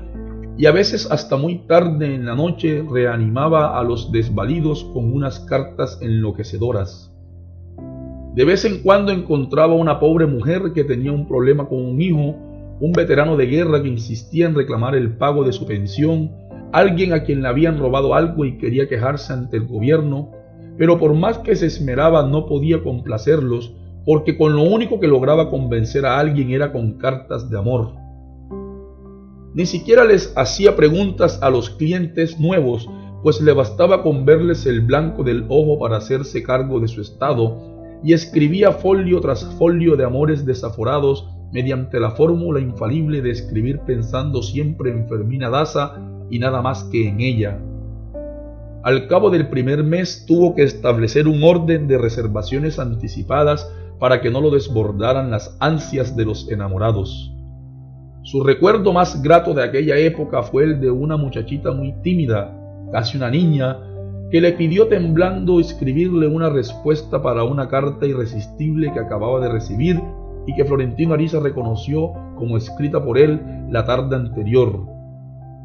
La contestó con un estilo distinto, acorde con la emoción y la edad de la niña y con una letra que también parecía de ella, pues sabía fingir una escritura para cada ocasión según el carácter de cada quien.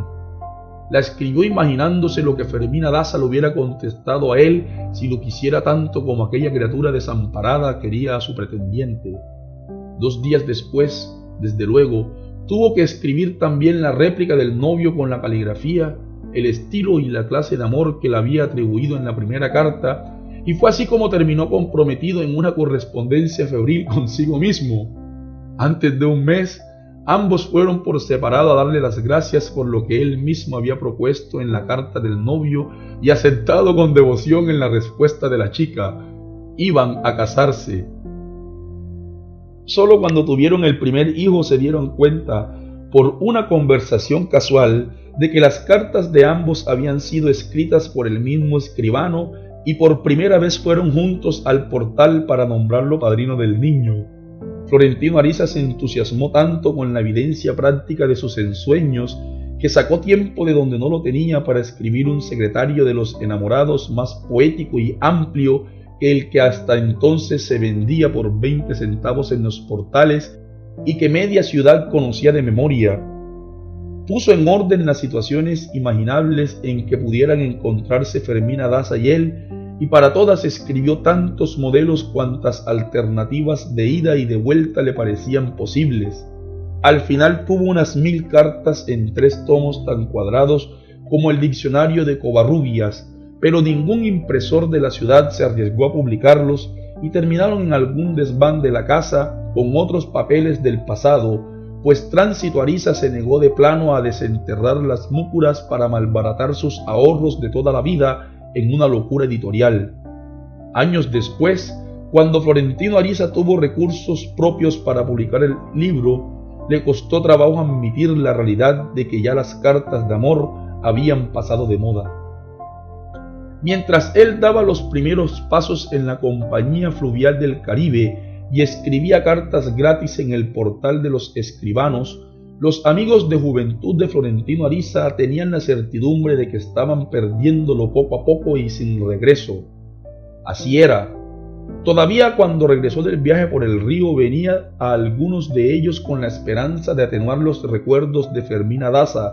Jugaba al billar con ellos, fue a sus últimos bailes, se prestaba al azar de ser rifado entre las muchachas, se prestaba a todo lo que le parecía bueno para volver a ser el que fue.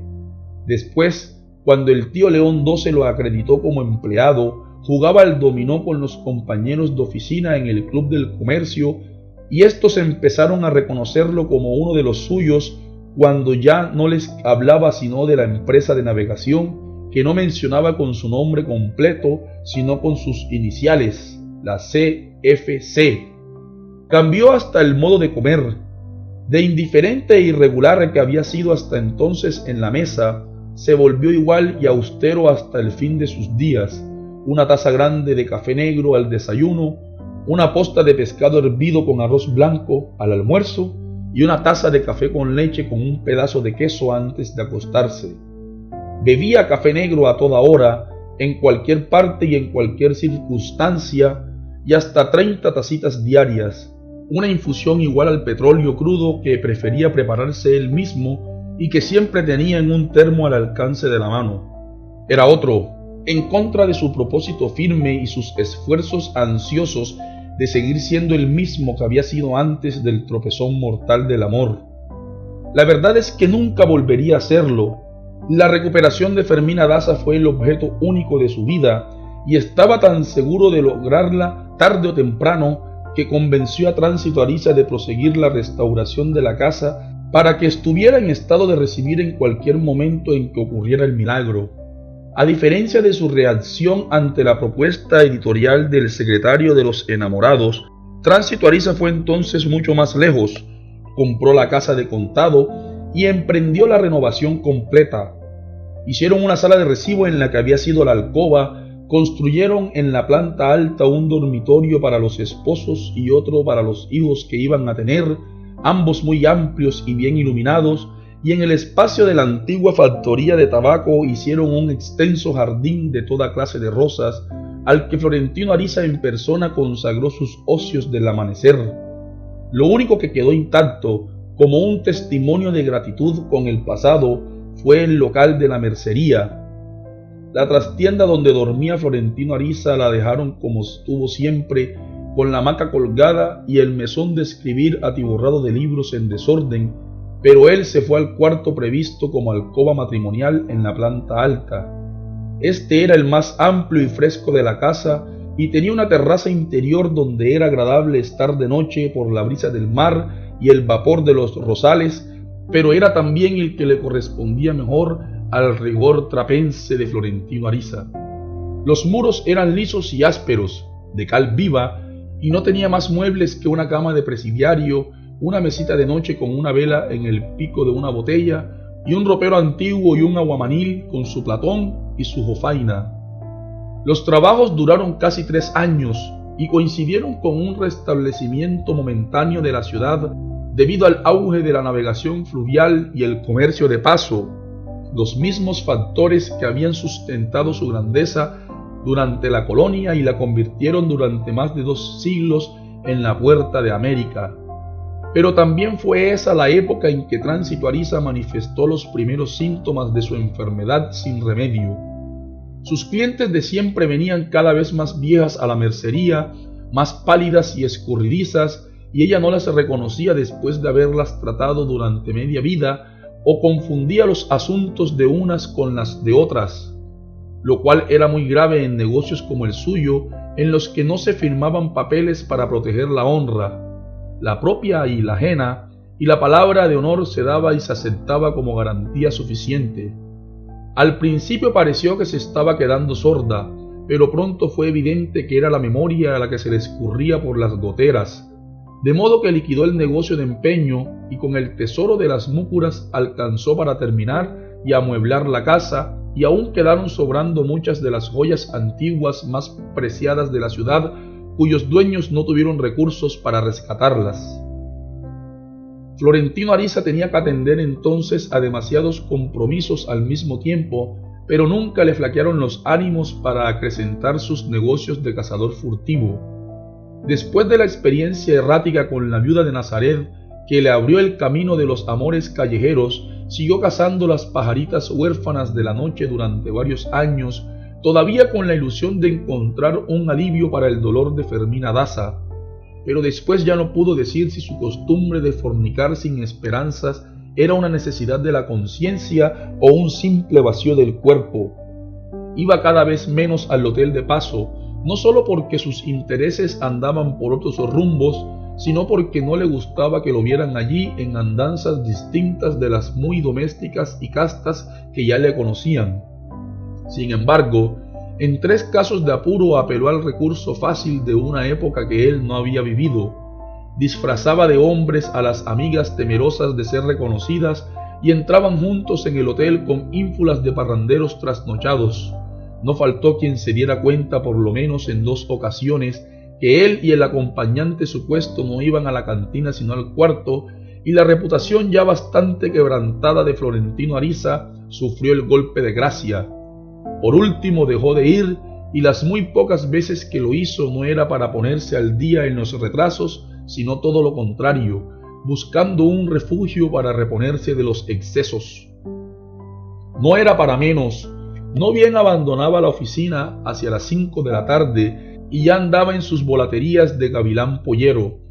Al principio se conformaba con lo que le deparaba la noche, levantaba sirvientas en los parques, negras en el mercado, cachacas en las playas, gringas en los barcos de Nueva Orleans, las llevaba a las escolleras donde media ciudad hacía lo mismo desde la puesta del sol, las llevaba donde podía y a veces hasta donde no podía, pues no fueron pocas las ocasiones que tuvo que meterse deprisa en un zaguán oscuro y hacer lo que pudiera de cualquier modo detrás del portón, la torre del faro fue siempre un refugio afortunado que él evocaba con nostalgia cuando ya tenía todo resuelto en los albores de la vejez, porque era un sitio bueno para ser feliz, sobre todo de noche, y pensaba que algo de sus amores de aquella época les llegaba a los navegantes en cada vuelta de los destellos. De modo que siguió yendo allí más que a cualquier otra parte, mientras su amigo el farero lo recibió encantado con una cara de bobo que era la mejor prenda de discreción para las pajaritas asustadas. Había una casa abajo, junto al estruendo de las olas desbaratándose contra los cantiles, donde el amor era más intenso porque tenía algo de naufragio. Pero Florentino Ariza prefería la torre de la luz después de la primera noche, porque se divisaba la ciudad entera y el reguero de luces de los pescadores del mar y aún de las ciénagas distantes. De esa época venían sus teorías más bien simplistas sobre la relación entre el físico de las mujeres y sus aptitudes para el amor. Desconfiaba del tipo sensual, las que parecían capaces de comerse crudo a un caimán de aguja y que solían ser las más pasivas en la cama. Su tipo era el contrario, esas ranitas escuálidas por las que nadie se tomaba el trabajo de volverse a mirar en la calle, que parecían quedar en nada cuando se quitaban la ropa que daban lástima por el crujido de los huesos al primer impacto y sin embargo podían dejar listo para el cajón de la basura al más hablador de los machucantes. Había tomado notas de esas observaciones prematuras con la intención de escribir un suplemento práctico del secretario de los enamorados, pero el proyecto sufrió la misma suerte del anterior después de que Ausencia Santander lo volteó al derecho y al revés con su sabiduría de perro viejo, lo paró de cabeza, lo subió y lo bajó, lo volvió a parir como nuevo, le hizo trizas sus virtuosismos teóricos y le enseñó lo único que tenía que aprender para el amor, que a la vida no le enseña nadie. Ausencia Santander había tenido un matrimonio convencional durante 20 años, del cual quedaron tres hijos que a su vez se habían casado y tenido hijos, de modo que ella se apreciaba de ser la abuela con mejor cama de la ciudad. Nunca quedó claro si fue ella quien abandonó al esposo o si fue éste el que la abandonó a ella o si ambos se habían abandonado al mismo tiempo cuando él se fue a vivir con su amante de siempre y ella se sintió libre para recibir a pleno día por la puerta principal a Rosendo de la Rosa, capitán del buque fluvial al que había recibido de noche muchas veces por la puerta trasera. Fue él mismo sin pensarlo dos veces quien llevó a Florentino Ariza.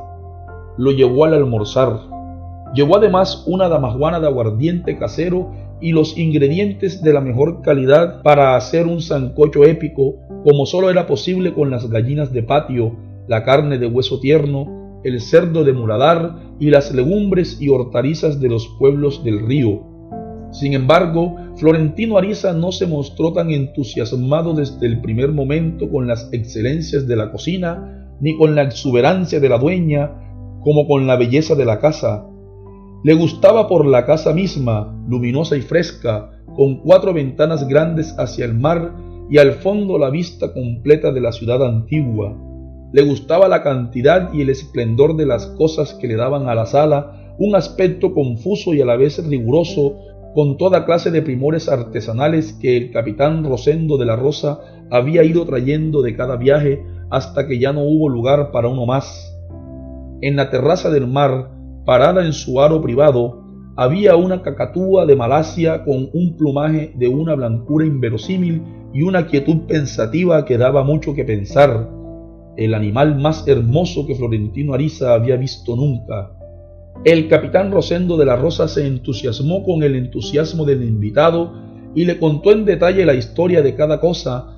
Mientras lo hacía, bebía aguardiente a sorbos cortos pero sin tregua.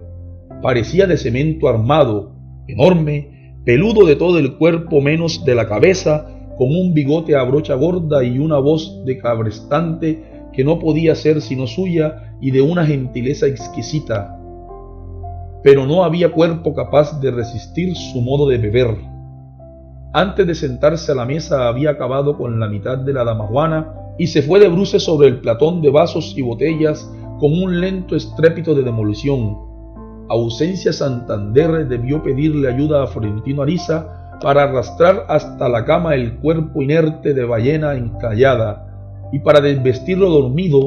Después, en un fogonazo de inspiración que los dos le agradecieron a la conjunción de sus astros, se desvistieron ambos en el cuarto de al lado sin ponerse de acuerdo, sin sugerirlo siquiera, sin proponérselo, y siguieron desvistiéndose siempre que podían durante más de siete años cuando el capitán estaba de viaje.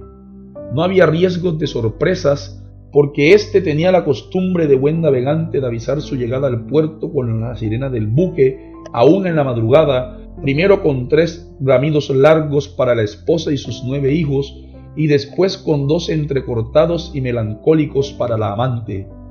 Ausencia Santander tenía casi 50 años y se le notaban, pero también tenía un instinto tan personal para el amor que no había teorías artesanales ni científicas capaces de entorpecerlo.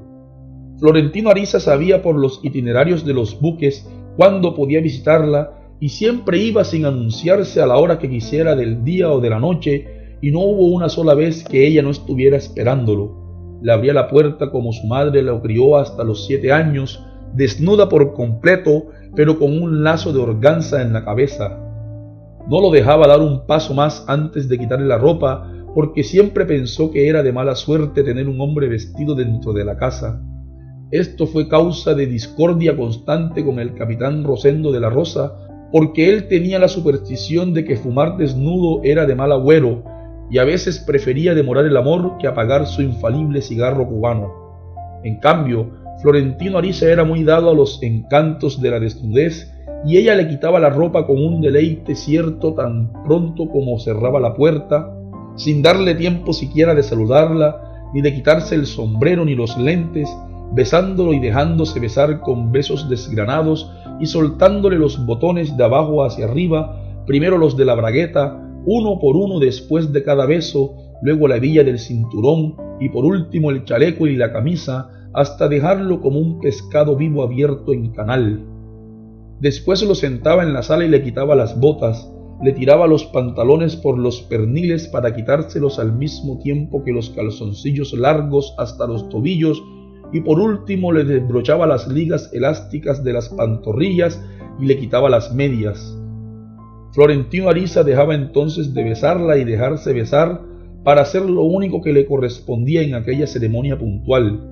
Soltaba el reloj de leontina del ojal del chaleco y se quitaba los lentes y metía ambas cosas en las botas para estar seguro de no olvidarlas. Siempre tomó esa precaución, siempre sin falta, cuando se desnudaba en casa ajena. No bien acababa de hacerlo cuando ella lo asaltaba sin darle tiempo de nada, ya fuera en el mismo sofá donde acababa de desnudarlo y solo de vez en cuando en la cama. Se le metía debajo y se apoderaba de todo él para toda ella, encerrada dentro de sí misma, tanteando con ojos cerrados en su absoluta oscuridad interior, avanzando por aquí, retrocediendo, corrigiendo su rumbo invisible, intentando otra vía más intensa, otra forma de andar sin naufragar en la marisma de murciélago que fluía de su vientre, preguntándose y contestándose a sí misma con un zumbido de moscardón en su jerga nativa dónde estaba ese algo en las tinieblas que sólo ella conocía y ansiaba sólo para ella, hasta que sucumbía sin esperar a nadie, se desbarrancaba sola en su abismo con una explosión jubilosa de victoria total que hacía temblar el mundo. Florentino Ariza se quedaba exhausto, incompleto, flotando en el charco de sudores de ambos, pero con la impresión de no ser más que un instrumento de gozo. Decía, me tratas como si fuera uno más. Ella soltaba una brisa de hembra libre y decía, al contrario, como si fueras uno menos, pues él quedaba con la impresión de que todo se lo llevaba a ella con una voracidad mezquina y se le revolvía el orgullo y salía de la casa con la determinación de no volver. Pero de pronto despertaba sin causa, con la lucidez tremenda de la soledad en medio de la noche y el recuerdo del amor ensimismado de ausencia Santander se le revelaba como lo que era, una trampa de la felicidad que él aborrecía y anhelaba al mismo tiempo, pero de la cual era imposible escapar. Un domingo cualquiera, dos años después de conocerse, lo primero que ella hizo cuando él llegó, en vez de desvestirlo, fue quitarle los lentes para besarlo mejor y de ese modo supo Florentino Ariza que ella había comenzado a quererlo. A pesar de que se sintió tan bien desde el primer día en aquella casa que ya amaba como suya, no había permanecido nunca más de dos horas cada vez, ni nunca se quedó a dormir y solo una vez a comer porque ella le había hecho una invitación formal. No iba en realidad sino a lo que iba, llevando siempre el regalo único de una rosa solitaria y desaparecía hasta la siguiente ocasión imprevisible, pero el domingo en que ella le quitó los lentes para besarlo, en parte por eso y en parte porque se quedaron dormidos después de un amor reposado, pasaron la tarde desnudos en la enorme cama del capitán. Al despertar de la siesta, Florentino Ariza conservaba todavía el recuerdo de los chillidos de la cacatúa, cuyos cobres estridentes iban en sentido contrario al de su belleza. Pero el silencio era diáfano en el calor de las cuatro y por la ventana del dormitorio se veía el perfil de la ciudad antigua, con el sol de la tarde en las espaldas, sus cúpulas doradas, su mar en llamas hasta Jamaica. Ausencia Santander extendió la mano aventurera buscando a tientas el animal yaciente, pero Florentino Ariza se la apartó. Dijo, ahora no, siento una cosa rara, como si estuvieran viéndonos. Ella volvió a alborotar la cacatúa con su risa feliz. Dijo, ese pretexto no se lo traga ni la mujer de Jonás, tampoco ella, desde luego, pero lo admitió como bueno y ambos se amaron durante un largo rato en silencio sin repetir el amor. A las cinco, todavía con el sol alto, ella saltó de la cama, desnuda hasta la eternidad y con el lazo de organza en la cabeza, y fue a buscar algo de beber en la cocina, pero no alcanzó a dar un paso fuera del dormitorio cuando lanzó un grito de espanto. No podía creerlo, los únicos objetos que quedaban en la casa eran las lámparas colgadas, lo demás, los muebles firmados, las alfombras indias, las estatuas y los gobelinos, las chucherías innumerables de pedrerías y metales preciosos, todo cuanto había hecho de su casa una de las más gratis y mejor guarnecidas de la ciudad, todo hasta la cacatúa sagrada, todo se había evaporado. Se los llevaron por la terraza del mar sin perturbar el amor. Solo quedaban los salones desiertos con las cuatro ventanas abiertas y un letrero a brocha gorda en la pared del fondo. Esto les pasa por andar tirando. El capitán Rosendo de la Rosa no pudo nunca entender por qué ausencia Santander no denunció el despojo, ni intentó contacto alguno con los traficantes de cosas robadas, ni permitió que se le volviera a hablar de su desgracia. Florentino Ariza siguió visitándola en la casa saqueada, cuyo mobiliario se redujo a tres taburetes de cuero que los ladrones olvidaron en la cocina y el dormitorio donde ellos estaban, pero la visitó con menos frecuencia que antes, no por la desolación de la casa, como ella suponía y se lo dijo, sino por la novedad del tranvía de mulas a principios del nuevo siglo, que fue para él un nido pródigo y original de pajaritas sueltas. Lo tomaba cuatro veces al día, dos para ir a la oficina y dos para regresar a casa, y a veces mientras leía de veras y la mayoría de las veces fingiendo leer, lograba hacer al menos los primeros contactos para una cita posterior. Más tarde, cuando el tío León XII puso a su disposición un coche tirado por dos mulitas pardas de gualdrapas doradas, iguales a las del presidente Rafael Núñez, había de añorar los tiempos del tranvía como los más fructíferos de sus andanzas de halconero. Tenía razón. No había peor enemigo de los amores secretos que un coche esperando en la puerta. Tanto que casi siempre lo dejaba escondido en su casa y se iba a pie a sus rondas de altanería para que no quedaran ni los surcos de las ruedas en el polvo. Por eso evocaba con tanta nostalgia el viejo tranvía con sus mulas macilentas, plagadas de peladuras, dentro del cual bastaba una mirada de sesgo para saber dónde estaba el amor. Sin embargo, en medio de tantos recuerdos enternecedores, no lograba sortear el de una pajarita desamparada cuyo nombre no conoció y con la que apenas alcanzó a vivir media noche frenética, pero que había bastado para amargarle por el resto de la vida los desórdenes inocentes del carnaval. Le había llamado la atención en el tranvía por la impavidez con que viajaba en medio del escándalo de la parranda pública. No debía tener más de 20 años y no parecía con ánimos de carnaval a no ser que estuviera disfrazada de inválida Tenía el cabello muy claro, largo y liso, suelto al natural sobre los hombros y una túnica de lienzo ordinario sin ningún adorno. Era ajena por completo al revoltijo de músicas de las calles, los puñados de polvos de arroz, los chorros de anilla que les tiraban a los pasajeros al paso del tranvía, cuyas mulas iban blancas de almidón y con sombreros de flores durante aquellos tres días de locura. Aprovechándose de la confusión, Florentino Ariza la invitó a tomar un helado porque no pensó que diera para más. Ella lo miró sin sorpresa. Dijo, acepto con mucho gusto, pero le advierto que estoy loca. Él se rió de la ocurrencia y la llevó a ver el desfile de carrozas desde el balcón de la heladería. Luego se puso un capuchón alquilado y ambos se metieron en la ronda de bailes de la plaza de la aduana y gozaron juntos como novios acabados de nacer, pues la indiferencia de ella se fue al extremo contrario con el fragor de la noche. Bailaba como una profesional y era imaginativa y audaz para la parranda y de un encanto arrasador. No sabes la vaina en que te has metido conmigo, gritaba muerta de risa en la fiebre del carnaval. Soy una loca de manicomio. Para Florentino Ariza, aquella era una noche de regreso de los desmanes cándidos de la adolescencia, cuando aún no lo había desgraciado el amor. Pero sabía, más por escarmiento que por experiencia, que una felicidad tan fácil no podía durar mucho tiempo. Así que antes de que la noche empezara a decaer, como ocurría siempre después de la repartición de los premios a los mejores disfraces, le propuso a la muchacha que se fueran a contemplar el amanecer desde el faro.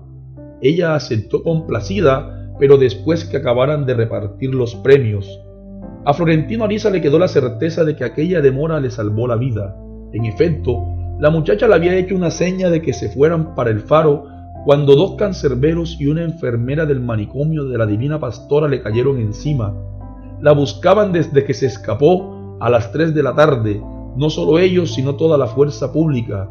Había decapitado a un guardián y herido mal a otros dos con un machete que le arrebató al jardinero porque quería salir a bailar en el carnaval pero a nadie se le había ocurrido que estuviera bailando en la calle, sino escondida en alguna de las tantas casas que habían registrado hasta en las cisternas. No fue fácil llevársela, se defendió con unas tijeras de podar que tenía ocultas en el corpiño y se necesitaron seis hombres para ponerle la camisa de fuerza, mientras la muchedumbre atascada en la plaza de la aduana aplaudía y rechiflaba de júbilo, creyendo que la captura sangrienta era una de las tantas farsas del carnaval. Florentino Ariza quedó desgarrado y desde el miércoles de ceniza pasaba por la calle de la Divina Pastora con una caja de chocolates ingleses para ella. Se quedaba viendo las reclusas que le gritaban toda clase de improperios y piropos por las ventanas, las alborotaba con la caja de chocolates por si acaso tenía la suerte de que también se asomara ella por entre las barras de hierro, pero nunca la vio. Meses después, al bajarse del tranvía de mulas, una niñita que iba con su padre le pidió una bolita de chocolate de la caja que él llevaba en la mano. El padre la regañó y pidió excusas a Florentino Ariza, pero él le dio la caja completa a la niña, pensando que aquel gesto lo redimía de toda amargura, y calmó al papá con una palmadita en el hombro. Eran para un amor que se lo llevó el carajo, le dijo.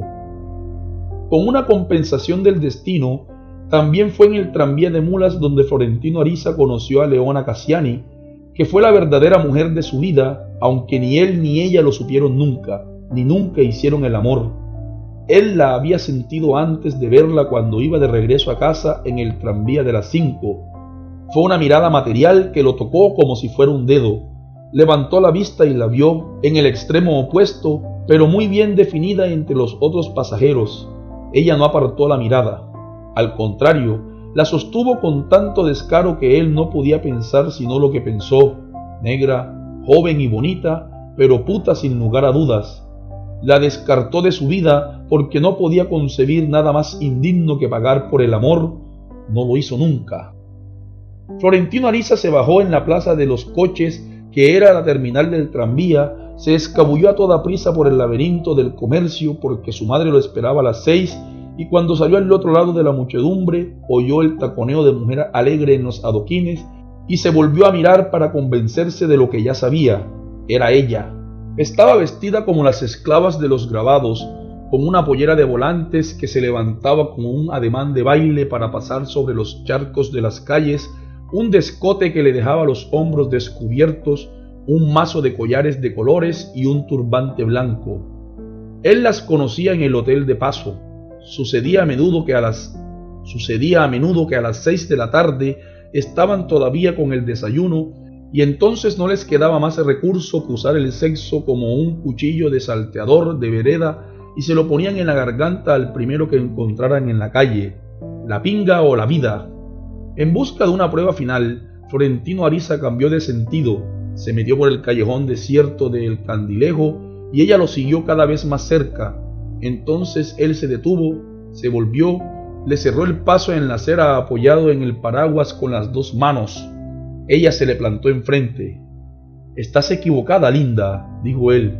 Yo no lo doy. Claro que sí, dijo ella. Se te ve en la cara. Florentino Ariza se acordó de una frase que lo oyó de niño al médico de la familia, su padrino, a propósito de su estreñimiento crónico. El mundo está dividido entre los que cagan bien y los que cagan mal. Sobre ese dogma, el médico había elaborado toda una teoría del carácter que consideraba más certera que la astrología, pero con las lecciones de los años, Florentino Ariza planteó de otro modo. El mundo está dividido entre los que tiran y los que no tiran. Desconfiaba de estos últimos cuando se salían del carril, era para ellos algo tan insólito que alardeaban del amor como si acabaran de inventarlo. Los que lo hacían a menudo, en cambio, vivían solo para eso. Se sentían tan bien que se portaban como sepulcros sellados porque sabían que de la discreción dependía su vida. No hablaban jamás de sus proezas, no se confiaban a nadie, se hacían los distraídos hasta el punto de que ganaban fama de impotentes, de frígidos y sobre todo de maricas tímidos, como era el caso de Florentino Ariza pero se complacían con el equívoco porque también el equívoco los protegía. Eran una logia hermética cuyos socios se reconocían entre sí en el mundo entero sin necesidad de un idioma común. De ahí que Florentino Ariza no se sorprendiera de la respuesta de la muchacha. Era una de los suyos y por tanto sabía que él sabía que ella sabía. Fue el error de su vida, tal como su conciencia iba a recordárselo a cada hora de cada día hasta el último día. Lo que ella quería suplicarle no era amor, y menos amor pagado, sino un empleo de lo que fuera, como fuera y con el sueldo que fuera, en la compañía fluvial del Caribe. Florentino Ariza se sintió tan avergonzado de su propia conducta que la llevó con el jefe de personal y éste le dio un puesto de ínfima categoría en la sección general que ella desempeñó con seriedad, modestia y consagración durante tres años. Las oficinas de la CFC estaban desde su fundación frente al muelle fluvial, sin nada en común con el puerto de los transatlánticos en el lado opuesto de la bahía, ni con el atracadero del mercado de la Bahía de las Ánimas. Era un edificio de madera con techo de zinc de dos aguas, un solo balcón largo con pilares en la fachada y varias ventanas con mallas de alambre en los cuatro costados. Desde las cuales se veían completos los buques en el muelle como cuadros colgados en la pared. Cuando lo construyeron los precursores alemanes, pintaron de rojo el zinc de los techos y de blanco brillante los tabiques de madera, de modo que el mismo edificio tenía algo de buque fluvial. Después lo pintaron todo de azul y por los tiempos en que Florentino Ariza entró a trabajar en la empresa era un galpón polvoriento sin color definido y en los techos oxidados había parches de láminas nuevas sobre las láminas originales. Detrás del edificio, en un patio de caliche cercado con alambre de gallinero, había dos bodegas grandes de construcción más reciente y al fondo había un caño cerrado, sucio y maloliente, donde se pudrían los desechos de medio siglo de navegación fluvial, escombros de buques históricos, desde los primitivos de una sola chimenea, inaugurados por Simón Bolívar, hasta algunos tan recientes que ya tenían ventiladores eléctricos en sus camarotes. La mayoría de ellos habían sido desmantelados para utilizar los materiales en otros buques, pero muchos estaban en tan buen estado que parecía posible darles una mano de pintura y echarlos a navegar sin espantar las iguanas ni molestar las frondas de grandes flores amarillas que los hacían más nostálgicos. En la planta alta del edificio estaba la sección administrativa, en oficinas pequeñas pero cómodas y bien dotadas, como los camarotes de los buques, pues no habían sido hechas por arquitectos civiles, sino por ingenieros navales. Al final del corredor, como un empleado más, despachaba el tío León XII en una oficina igual a todas, con la única diferencia de que él encontraba por las mañanas en su escritorio un florero de vidrio con cualquier clase de flores de buen olor.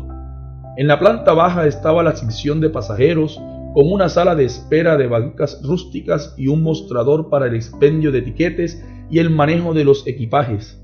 Al final de todo estaba la confusa sección general, cuyo solo nombre daba una idea de la vaguedad de sus atributos y donde iban a morir de mala muerte los problemas que se quedaban sin resolver en el resto de la empresa. Allí estaba Leona Cassiani, perdida detrás de una mesita escolar entre un montón de bultos de maíz arrumados y papeles sin solución, el día en que el tío León XII en persona fue a ver qué diablo se le ocurría para que la ascensión general sirviera de algo. Al cabo de tres horas de preguntas, de suposiciones teóricas y de averiguaciones concretas con todos los empleados en sala plena, volvió a su oficina atormentado por la certidumbre de no haber encontrado ninguna solución para tantos problemas, sino todo lo contrario, nuevos y variados problemas para ninguna solución. Al día siguiente, cuando Florentino Ariza entró en su oficina, encontró un memorando de Leona Cassiani con la súplica de que lo estudiara y se lo mostrara luego a su tío si le parecía pertinente. Era la única que no había dicho una palabra durante la inspección de la tarde anterior. Se había mantenido a conciencia en su digna condición de empleada de caridad, pero en el memorando hacía notar que no lo había hecho por negligencia, sino por respeto de las jerarquías de la sección. Era de una sencillez alarmante. El tío León XII se había propuesto una reorganización a fondo, pero Leona Cassiani pensaba en sentido contrario, por la lógica simple de que la sección general no existía en realidad, era el basurero de los problemas engorrosos pero insignificantes que las otras secciones se quitaban de encima. La solución, en consecuencia, era eliminar la sección general y devolver los problemas para que fueran resueltos en sus secciones de origen, el tío León no tenía la menor idea de quién era Leona Cassiani, ni recordaba haber visto a alguien que pudiera hacerlo en la reunión de la tarde anterior, pero cuando leyó el memorando, la llamó a su oficina y conversó con ella a puerta cerrada durante dos horas. Hablaron un poco de todo, de acuerdo con el método que él usaba para conocer a la gente. El memorando era de simple sentido común y la solución, en efecto, dio el resultado apetecido, pero al tío León XII no le importaba eso, le importaba ella.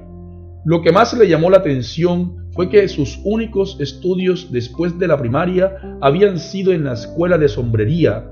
Además, estaba aprendiendo inglés en su casa con un método rápido sin maestro y desde hacía tres meses tomaba clases nocturnas de mecanografía, un oficio novedoso de gran porvenir, como antes se decía del telégrafo y se había dicho antes de las máquinas de vapor. Cuando salió de la entrevista ya el tío León XII había empezado a llamarla como la llamaría siempre, Tocaya Leona. Había decidido eliminar de una plumada la sección conflictiva y repartir los problemas para que fueran resueltos por los mismos que los creaban, de acuerdo con la sugerencia de Leona Cassiani, y había inventado para ella un puesto sin nombre y sin funciones específicas que en la práctica era el de asistente personal suya. Esa tarde, después del entierro sin honores de la sección general, el tío León XII le preguntó a Florentino Ariza de dónde había sacado a Leona Cassiani y él le contestó la verdad. Pues vuelva al tranvía y tráeme todas las que encuentres como esa, le dijo el tío. Con dos o tres más así sacamos a flote tu galeón. Florentino Ariza lo entendió como una broma típica del tío León, pero al día siguiente se encontró sin el coche que le había asignado seis meses antes y que ahora le quitaban para que siguiera buscando talentos ocultos en los tranvías. A Leona Cassiani, por su parte, se le acabaron muy pronto los escrúpulos iniciales y se sacó de adentro todo lo que tuvo guardado con tanta astucia los primeros tres años. En tres más había abarcado el control de todo y en los cuatro siguientes llegó a las puertas de la Secretaría General, pero se negó a entrar porque estaba a solo un escalón por debajo de Florentino Ariza. Hasta que entonces había estado a órdenes suyas y quería seguir estándolo, aunque la realidad era distinta. El mismo Florentino Ariza no se daba cuenta de que era él quien estaba bajo las órdenes de ella. Así era, él no había hecho más que cumplir lo que ella sugería en la dirección general para ayudarlo a subir contra las trampas de sus enemigos ocultos. Leona Cassiani tenía un talento diabólico para manejar los secretos y siempre sabía estar donde debía en el momento justo. Era dinámica, silenciosa, de una dulzura sabia, pero cuando era indispensable, con el dolor de su alma, le soltaba las riendas a un carácter de hierro macizo.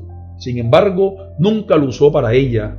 Su único objetivo fue barrer la escalera a cualquier precio, con sangre si no había otro modo, para que Florentino Ariza subiera hasta donde él se lo había propuesto sin calcular muy bien su propia fuerza. Ella lo hubiera hecho de todos modos, desde luego, por una indomable vocación de poder pero la verdad fue que lo hizo a conciencia por pura gratitud. Era tal su determinación que el mismo Florentino Ariza se perdió en sus manejos y en un momento sin fortuna trató de cerrarle el paso a ella creyendo que trataba de cerrárselo a él. Leona Cassiani lo puso en su puesto. No se equivoque, le dijo.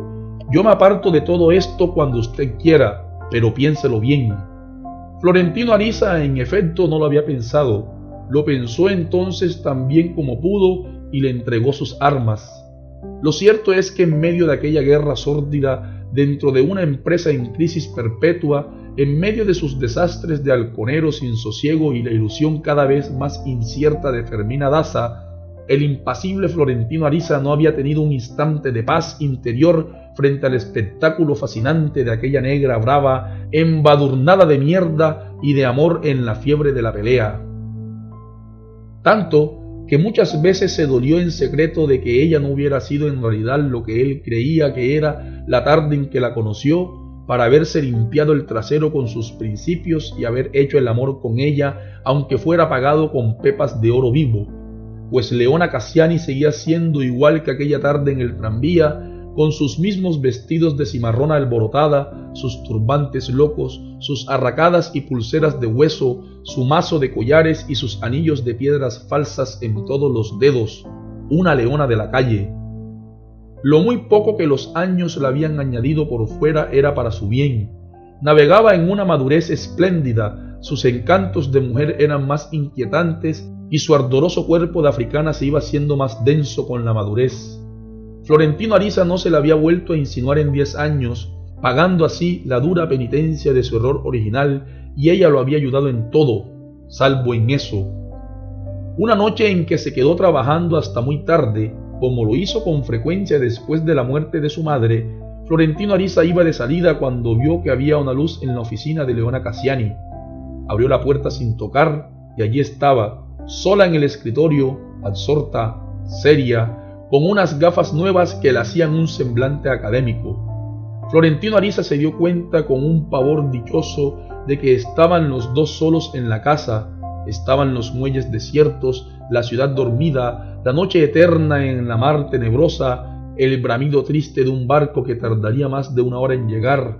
Florentino Ariza se apoyó en el paraguas con las dos manos, tal como lo había hecho en el callejón de El Candilejo para cerrarle el paso, solo que ahora lo hizo para que no se le notara la desarticulación de las rodillas.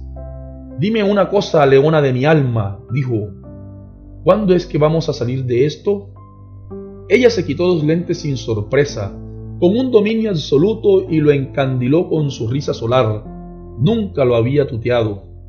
Ay, Florentino Ariza, le dijo, llevo diez años sentada aquí esperando a que me lo preguntes. Ya era tarde. La ocasión iba con ella en el tranvía de mulas. Había estado siempre con ella en la misma silla en que estaba sentada, pero ahora se había ido para siempre. La verdad era que después de tantas perrerías soterradas que había hecho por él, después de tanta sordidez soportada para él, ella se le había adelantado en la vida y estaba mucho más allá de los 20 años de edad que él le llevaba de ventaja. Había envejecido para él, lo quería tanto, que en vez de engañarlo prefirió seguir amándolo aunque tuviera que hacérselo saber de un modo brutal. No, le dijo, me sentiría como acostándome con el hijo que nunca tuve. Florentino Ariza se quedó con la espina de que no hubiera sido suya la última réplica Pensaba que cuando una mujer dice no, se queda esperando que le insistan antes de tomar la decisión final. Pero con ella era distinto. No podía jugar con el riesgo de equivocarse por segunda vez. Se retiró de buen talante y hasta con una cierta gracia que no le era fácil. Desde esa noche, cualquier sombra que pudo haber entre ellos se disipó sin amarguras y Florentino Ariza entendió por fin que se puede ser amigo de una mujer sin acostarse con ella. Leona Cassiani fue el único ser humano a quien Florentino Ariza estuvo tentado de revelarle el secreto de Fermina Daza. Las pocas personas que lo sabían empezaban a olvidarlo por motivos de fuerza mayor. Tres de ellas se lo habían llevado a la tumba sin ninguna duda.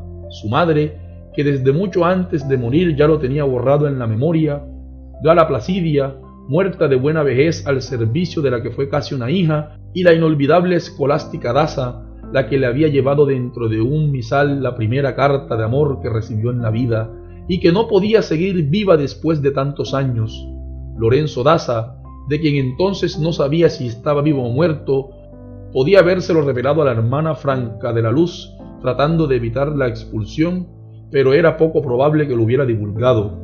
Quedaban por contar once telegrafistas de la provincia lejana de Hildebranda Sánchez que manejaban telegramas con sus nombres completos y direcciones exactas, y luego Branda Sánchez y su corte de primas indómitas. Lo que ignoraba Florentino Ariza era que el doctor Juvenal Urbino debía de ser incluido en la cuenta. Hildebranda Sánchez se le había revelado el secreto en alguna de sus tantas visitas de los primeros años, pero lo hizo de un modo tan casual y en un momento tan inoportuno que al doctor Urbino no le entró por un oído y le salió por el otro, como ella pensó, sino que no le entró por ninguno. Hildebranda, en efecto, había mencionado a Florentino Ariza como uno de los poetas escondidos que según ella tenían posibilidades de ganar los Juegos Florales. Al doctor Urbino le costó trabajo recordar quién era y ella le dijo sin que fuera indispensable pero sin un ápice de malicia, que fue el único novio que Fermina Daza había tenido antes de casarse. Se lo dijo convencida de que había sido algo tan inocente y efímero que más bien resultaba conmovedor. El doctor Urbino le replicó sin mirarla. No sabía que este tipo fuera poeta. Y lo borró de la memoria al instante, entre otras cosas porque su profesión lo tenía acostumbrado a un manejo ético del olvido. Florentino Ariza observó que los depositarios del secreto, a excepción de su madre, pertenecían al mundo de Fermina Daza.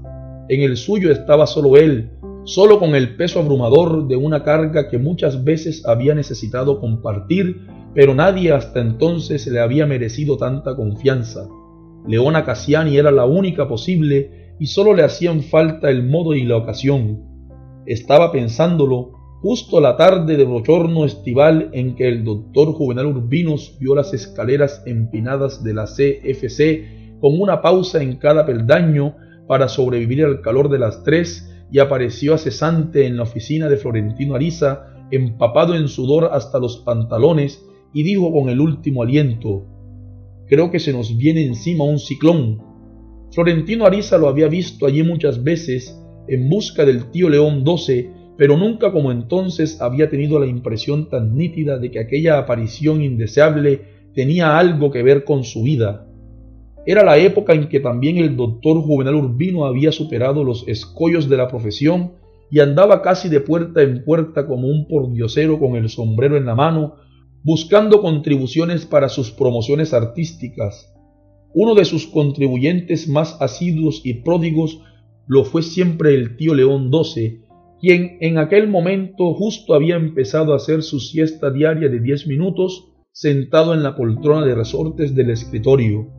Florentino Ariza le pidió al doctor Juvenal Urbino el favor de esperar en su oficina, que era contigua a la del tío León XII y en cierto modo le servía de antesala.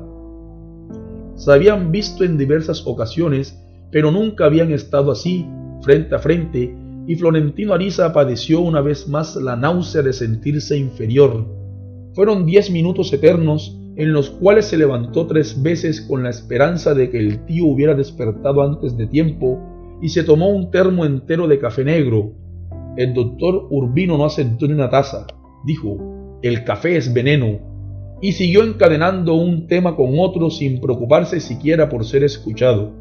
Florentino Ariza no podía soportar su distinción natural, la fluidez y precisión de sus palabras, su hálito recóndito de alcanfor, su encanto personal, la manera tan fácil y elegante como lograba que hasta las frases más frívolas solo porque él las decía parecieran esenciales. De pronto, el médico cambió de tema de un modo abrupto. ¿Le gusta la música? Lo tomó por sorpresa. En realidad, Florentino Ariza asistía a cuanto concierto o representación de ópera se daban en la ciudad, pero no se sentía capaz de sostener una conversación crítica o bien informada. Tenía la sangre dulce para la música de moda, sobre todo los valses sentimentales, cuya afinidad con los que él mismo hacía de adolescente o con sus versos secretos no era posible negar. Le bastaba con oírlos una vez de pasada para que luego no hubiera poder de Dios que le sacara de la cabeza el hilo de la melodía durante noches enteras. Pero esa no sería una respuesta seria para una pregunta tan seria de un especialista. Me gusta Gardel, dijo. El doctor Urbino lo entendió. Ya veo, dijo, está de moda y se escabulló por el recuerdo de sus nuevos y numerosos proyectos que había de realizar como siempre sin subsidio oficial. Le hizo notar la inferioridad descorazonada de los espectáculos que era posible traer ahora y los espléndidos del siglo anterior.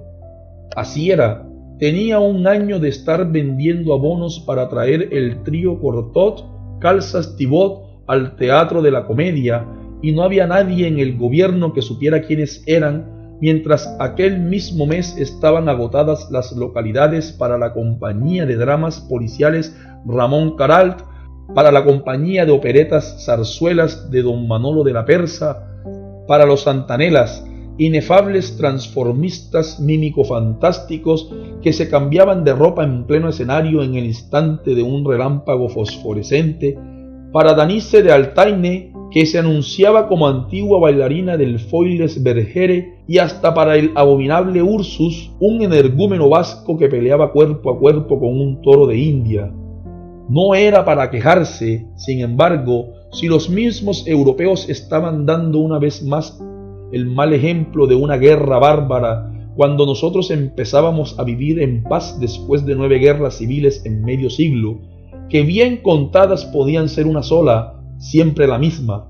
Lo que más le llamó la atención a Florentino Ariza de aquel discurso cautivador fue la posibilidad de revivir los juegos florales, la más resonante y perdurable de las iniciativas que el doctor Juvenal Urbino había concebido en el pasado. Tuvo que morderse la lengua para no contarle que él había sido un participante asiduo de aquel concurso anual que llegó a interesar a poetas de grandes nombres, no solo en el resto del país, sino también en otros del Caribe.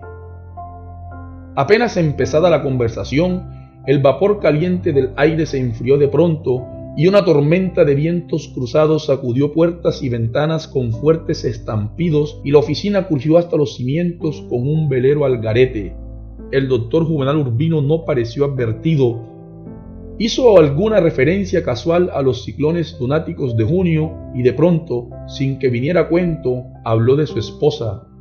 No solo la tenía como su colaboradora más entusiasta, sino como el alma misma de sus iniciativas. Dijo, yo no sería nadie sin ella. Florentino Ariza lo escuchó impasible, aprobándolo todo con un movimiento leve de la cabeza, sin atreverse a decir nada por miedo de que lo traicionara la voz.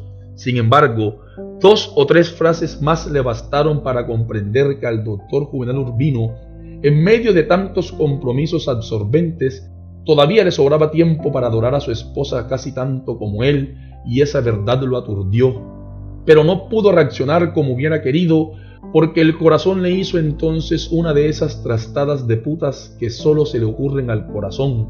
Le reveló que él y aquel hombre que había tenido siempre como el enemigo personal eran víctimas de un mismo destino y compartían el azar de una pasión común, dos animales de yunta uncidos al mismo yugo. Por primera vez en los 27 años interminables que llevaba esperando, Florentino Ariza no pudo resistir la puntada de dolor de que aquel hombre admirable tuviera que morirse para que él fuera feliz. El ciclón pasó de largo, pero sus galemas desbarataron en 15 minutos los barrios de las ciénagas y causaron destrozos en media ciudad. El doctor Juvenal Urbino, satisfecho una vez más con la generosidad del tío León XII, no esperó a que escampara por completo y se llevó por distracción el paraguas personal que Florentino Ariza le prestó para llegar hasta el coche, pero a este no le importó.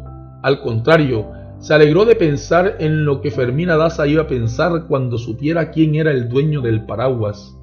Estaba todavía turbado por la conmoción de la entrevista cuando Leona Cassiani pasó por su oficina y le pareció una ocasión única para revelarle el secreto sin más vueltas como reventar un nudo de golondrinos que no lo dejaba vivir, ahora o nunca. Empezó por preguntarle qué pensaba del doctor Juvenal Urbino. Ella le contestó casi sin pensarlo, es un hombre que hace muchas cosas, demasiadas quizás, pero creo que nadie sabe lo que piensa. Luego reflexionó, despedazando el borrador del lápiz con los dientes afilados y grandes, de negra grande, y al final se encogió de hombros para liquidar un asunto que la tenía sin cuidado. A lo mejor es por eso que hace tantas cosas, dijo, para no tener que pensar. Florentino Ariza intentó retenerla. Lo que me duele es que tiene que morir, dijo. Todo el mundo tiene que morirse, dijo ella. Sí, dijo él, pero este más que todo el mundo. Ella no entendió nada, volvió a encogerse de hombros sin hablar y se fue. Entonces supo Florentino Ariza que en alguna noche incierta del futuro, en una cama feliz con Fermina Daza, iba a contarle que no había revelado el secreto de su amor ni siquiera a la única persona que se había ganado el derecho de saberlo. No, no había de revelarlo jamás, ni a la misma Leona Cassiani, no porque no quisiera abrir para ella el cofre donde lo había tenido también guardado a lo largo de media vida, sino porque sólo entonces se dio cuenta de que había perdido la llave. No era eso, sin embargo, lo más estremecedor de aquella tarde. Le quedaba la nostalgia de sus tiempos jóvenes, el recuerdo vívido de los juegos florales cuyo estruendo resonaba cada 15 de abril en el ámbito de las Antillas. Él fue siempre uno de sus protagonistas, pero siempre, como en casi todo, un protagonista secreto. Había participado varias veces desde el concurso inaugural, 24 años antes, y nunca obtuvo ni la última mención, pero no le importaba, pues no lo hacía por la ambición del premio, sino porque el certamen tenía para él una atracción adicional. Fermina Daza fue la encargada de abrir los sobres lacrados y proclamar los nombres de los ganadores en la primera sesión, y desde entonces quedó establecido que siguiera haciéndolo en los años siguientes. Escondido en la penumbra de las lunetas, con la camelia viva latiéndole en el ojal de la solapa por la fuerza del anhelo, Florentino Ariza vio a Fermina Daza abriendo los tres sobres lacrados en el escenario antiguo del Teatro Nacional la noche del primer concurso. Se preguntó qué iba a suceder en el corazón de ella cuando descubriera que él era el ganador de la orquídea de oro. Estaba seguro de que reconocería la letra y que en aquel instante había de recordar las tardes de bordados bajo los almendros del parquecito, el olor de las garnedias mustias en las cartas, el valse confidencial de la diosa coronada de las madrugadas de viento. No sucedió. Peor aún, la orquídea de oro, el galardón más codiciado de la poesía nacional, le fue adjudicada a un inmigrante chino. El escándalo público que provocó aquella decisión insólita puso en duda la seriedad del certamen, pero el fallo fue justo y la unanimidad del jurado tenía una justificación en la excelencia del soneto. Nadie creyó que el autor fuera el chino premiado. Había llegado a fines del siglo anterior huyendo del flagelo de fiebre amarilla que asoló a Panamá durante la construcción del ferrocarril de los dos océanos y junto con muchos otros que aquí se quedaron hasta morir, viviendo en chino, proliferando en chino y tan parecidos los unos a los otros que nadie podía distinguirlos. Al principio no eran más de diez, algunos de ellos con sus mujeres y sus niños y sus perros de comer, pero en pocos años desbordaron cuatro callejones de los arrabales del puerto con nuevos chinos intempestivos que entraban en el país sin dejar rastro de sus registros de aduana. Algunos de los jóvenes se convirtieron en patriarcas venerables con tanta premura que nadie se explicaba cómo habían tenido tiempo de envejecer. La intuición popular los dividió en dos clases, los chinos malos y los chinos buenos. Los malos eran de los de las fondas lúgubres del puerto, donde lo mismo se comía como un rey o se moría de repente en la mesa frente a un plato de rata con girasoles, y de las cuales se sospechaba que no eran sino mamparas de la trata de blancas y el tráfico de todo. Los buenos eran los chinos de las lavanderías, herederos de la ciencia sagrada, que devolvían las camisas más limpias que si fueran nuevas, con los cuellos y los puños como hostias recién aplanchadas. Fue uno de estos chinos buenos el que derrotó en los Juegos Florales a 72 rivales bien apertrechados. Nadie entendió el nombre cuando Fermina Daza lo leyó ofuscada, no solo porque era un nombre insólito, sino porque de todos modos nadie sabía a ciencia cierta cómo se llamaban los chinos, pero no hubo que pensarlo mucho porque aquel chino premiado surgió del fondo de la platea con esa sonrisa celestial que tienen los chinos cuando llegan temprano a su casa. Había ido tan seguro de la victoria que llevaba puesta para recibir el premio la camisola de seda amarilla de los ritos de primavera. Recibió la orquídea de oro de 18 quilates y la besó de dicha en medio de las burlas atronadoras de los incrédulos. No se inmutó, Esperó en el centro del escenario, imperturbable como el apóstol de una divina providencia menos dramática que la nuestra, y en el primer silencio leyó el poema premiado. Nadie lo entendió, pero cuando pasó la nueva andanada de rechiflas, Fermina Daza volvió a leerlo impasible, con su afónica voz insinuante, y el asombro se impuso desde el primer verso. Era un soneto de la más pura estirpe parnasiana, perfecto, atravesado por una brisa de inspiración que delataba la complicidad de una mano maestra. La única explicación posible era que algún poeta de los grandes hubiera concebido aquella broma para burlarse de los juegos florales y que el chino se había prestado a ella con la determinación de guardar el secreto hasta la muerte. El diario del comercio, nuestro periódico tradicional, trató de remendar la honra civil con un ensayo erudito y más bien indigesto sobre la antigüedad de la influencia cultural de los chinos en el Caribe y su derecho merecido a participar en los Juegos Florales. El que escribió el ensayo no dudaba de que el autor del soneto fuera en realidad el que decía serlo y lo justificaba sin rodeos desde el título. Todos los chinos son poetas. Los promotores de la conjura, si la hubo, se pudrieron en sus sepulcros con el secreto. Por su parte, el chino premiado se murió sin confesión a una edad oriental y fue enterrado con la orquídea de oro dentro del ataúd, pero con la amargura de no haber logrado en la vida lo único que anhelaba, que era su crédito de poeta. Con motivo de la muerte se evocó en la prensa el incidente olvidado de los Juegos Florales, se reprodujo el soneto con una viñeta modernista de doncellas turgentes con cornocopias de oro y los dioses custodios de la poesía se valieron de la ocasión para poner las cosas en su puesto. El soneto le pareció tan malo a la nueva generación que ya nadie puso en duda que en realidad fuera escrito por el chino muerto. Florentino Ariza tuvo siempre aquel escándalo asociado al recuerdo de una desconocida opulenta que estaba sentada a su lado. Se había fijado en ella al principio del acto, pero después la había olvidado por el susto de la espera. Le llamó la atención por su blancura de nácar, su fragancia de gorda feliz, su inmensa pechuga de soprano coronada por una magnolia artificial. Tenía un vestido de terciopelo negro muy ceñido, tan negro como los ojos ansiosos y cálidos, y tenía el cabello más negro aún, estirado en la nuca con una peineta de gitana. Tenía aretes colgantes, un collar del mismo estilo y anillos iguales en varios dedos, todos de estoperoles brillantes y un lunar pintado con lápiz en la mejilla derecha.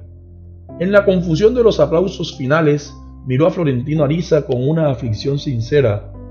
Créame que lo siento en el alma, le dijo. Florentino Ariza se impresionó no por las condolencias que en realidad merecía, sino por el asombro de que alguien conociera su secreto. Ella se lo aclaró. Me di cuenta por la manera como le temblaba la flor de la solapa mientras abrían los sobres. Le mostró la magnolia de peluche que tenía en la mano y le abrió el corazón. Y por eso me quité la mía, dijo. Estaba a punto de llorar por la derrota, pero Florentino Ariza le cambió el ánimo con un instinto de cazador nocturno. Vámonos a alguna parte a llorar juntos, le dijo. La acompañó a su casa. Ya en la puerta, y en vista de que era casi medianoche y no había nadie en la calle, la convenció de que lo invitara a un brandy mientras veían los álbumes de recortes y fotografías de más de 10 años de acontecimientos públicos que ella decía tener.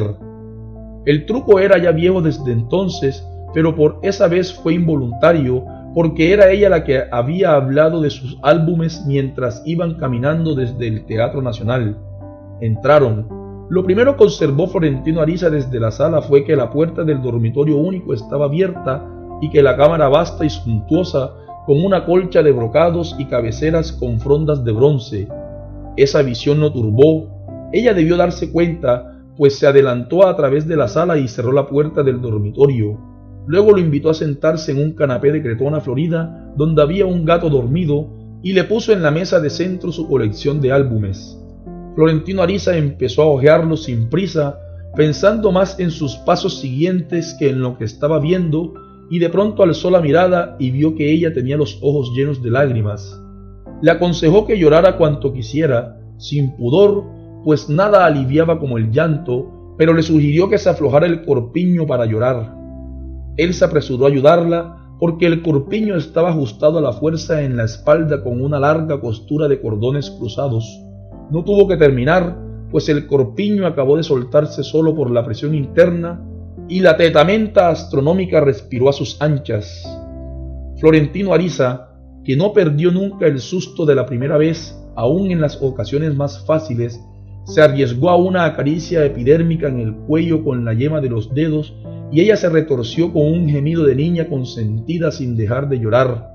Entonces la besó en el mismo sitio, muy suave, como lo había hecho con los dedos, y no pudo hacerlo por segunda vez porque ella se volvió hacia él con todo su cuerpo monumental, ávido y caliente, y ambos rodaron abrazados por el suelo. El gato despertó en el sofá con un chillido y les saltó encima.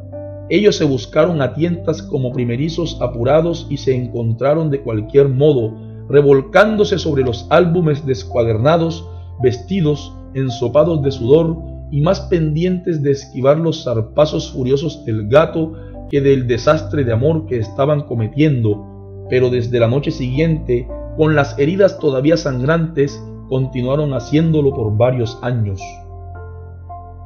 Cuando se dio cuenta de que había empezado a amarla, ella estaba ya en la plenitud de los 40 y él iba a cumplir 30.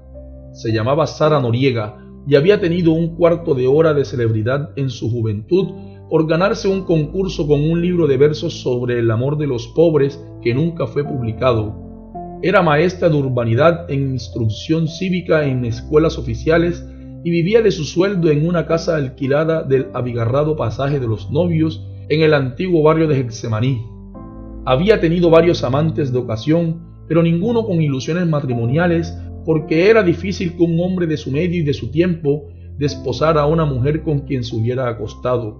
Tampoco ella volvió a alimentar esa ilusión después que su primer novio formal, al que amó con la pasión casi demente de que era capaz a los 18 años, escapó a su compromiso una semana antes de la fecha prevista para la boda y la dejó perdida en un limbo de novia burlada o de soltera usada, como se decía entonces. Sin embargo, aquella primera experiencia, aunque cruel y efímera, no le dejó ninguna amargura, sino la convicción deslumbrante de que con el matrimonio o sin él, sin Dios o sin ley, no valía la pena vivir si no era para tener un hombre en la cama. Lo que más le gustaba de ella a Florentino Ariza era que mientras hacía el amor tenía que succionar un chupón de niño para alcanzar la gloria plena.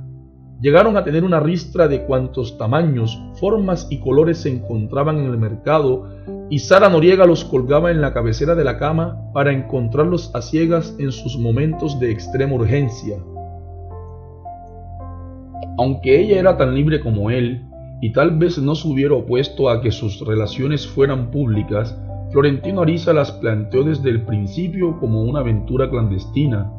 Se deslizaba por la puerta de servicio casi siempre muy tarde en la noche y escapaba en puntillas poco antes del amanecer. Tanto él como ella sabían que en una casa repartida y populosa como aquella, a fin de cuentas los vecinos debían estar más enterados de lo que fingían. Pero aunque fuera una simple fórmula, Florentino Ariza era así, no lo iba a hacer con todas por el resto de su vida. Nunca cometió un error, ni con ella ni con ninguna otra, nunca incurrió en la infidencia. No exageraba, Solo en una ocasión dejó un rastro comprometedor o una evidencia escrita y habrían podido costarle la vida. En realidad se comportó siempre como si fuera el esposo eterno de Fermina Daza, un esposo infiel pero tenaz, que luchaba sin tregua por liberarse de su servidumbre, pero sin causarle el disgusto de una traición. Semejante hermetismo no podía prosperar sin equívocos, la propia Tránsito Ariza se murió convencida de que el hijo concebido por amor y criado para el amor estaba inmunizado contra toda forma de amor por su primera adversidad juvenil. Sin embargo, muchas personas menos benévolas que estuvieron muy cerca de él, que conocían su carácter misterioso y su afición por los atuendos místicos y las ilusiones raras, compartían la sospecha de que no era inmune al amor, sino a la mujer. Florentino Ariza lo sabía y nunca hizo nada por desmentirlo. Tampoco le preocupó a Sara Noriega. Al igual que las otras mujeres incontables que él amó, y aun las que lo complacían y se complacían con él sin amarlo, lo aceptó como lo que era en realidad, un hombre de paso. Terminó por aparecer en su casa a cualquier hora, sobre todo en las mañanas de los domingos, que eran las más apacibles, ella abandonaba lo que estuviera haciendo, fuera lo que fuera, y se consagraba de cuerpo entero a tratar de hacerlo feliz en una enorme cama historiada que siempre estuvo dispuesta para él y en la que nunca permitió que se incurriera en formalismos litúrgicos. Florentino Ariza no entendía cómo una soltera sin pasado podía ser tan sabia en asuntos de hombres ni cómo podía manejar su dulce cuerpo de marsopa con tanta ligereza y tanta ternura como si se moviera por debajo del agua. Ella se defendía diciendo que el amor, antes que nada, era un talento natural. Decía, o se nace sabiendo o no se sabe nunca. Florentino Ariza se retorcía de celos regresivos pensando que tal vez ella fuera más paseada de lo que fingía, pero tenía que tragárselos enteros porque también él le decía, como les dijo a todas, que ella había sido su única amante, entre otras muchas cosas que le gustaban menos, tuvo que resignarse a tener en la cama al gato enfurecido, al que Sara Noriega le embotaba las garras para que no los despedazara a zarpazos mientras hacían el amor. Sin embargo, casi tanto como retosar en la cama hasta el agotamiento, a ella le gustaba consagrar las fatigas del amor al culto de la poesía. No solo tenía una memoria asombrosa para los versos sentimentales de su tiempo, cuyas novedades se vendían en folletos callejeros de a dos centavos, sino que clavaba con alfileres en las paredes los poemas que más le gustaban para leerlos de viva voz a cualquier hora. Había hecho una versión en endecasílabos pares de los textos de urbanidad e instrucción cívica como los que se usaban para la ortografía, pero no pudo conseguir la aprobación oficial. Era tal su arrebato declamatorio que a veces seguía recitando a gritos mientras hacía el amor, y Florentino Ariza tenía que ponerle el chupón en la boca a viva fuerza, como se hacía con los niños para que dejaran de llorar. En la plenitud de sus relaciones, Florentino Ariza se había preguntado cuál de los dos estados sería el amor, el de la cama turbulenta o el de las tardes apacibles de los domingos, y Sara Noriega lo tranquilizó con el argumento sencillo de que todo lo que hicieran desnudos era amor.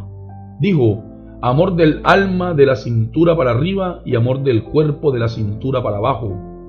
Esta definición le pareció buena a Sara Noriega para un poema sobre el amor dividido que escribieron a cuatro manos y que ella presentó en los quintos Juegos Florales convencida de que nadie había participado hasta entonces con un poema tan original, pero volvió a perder. Estaba furibunda mientras Florentino Ariza la acompañaba a su casa, por algo que no sabía explicar. Tenía la convicción de que la maniobra había sido urdida contra ella por Fermina Daza para no permear su poema. Florentino Ariza no le prestó atención.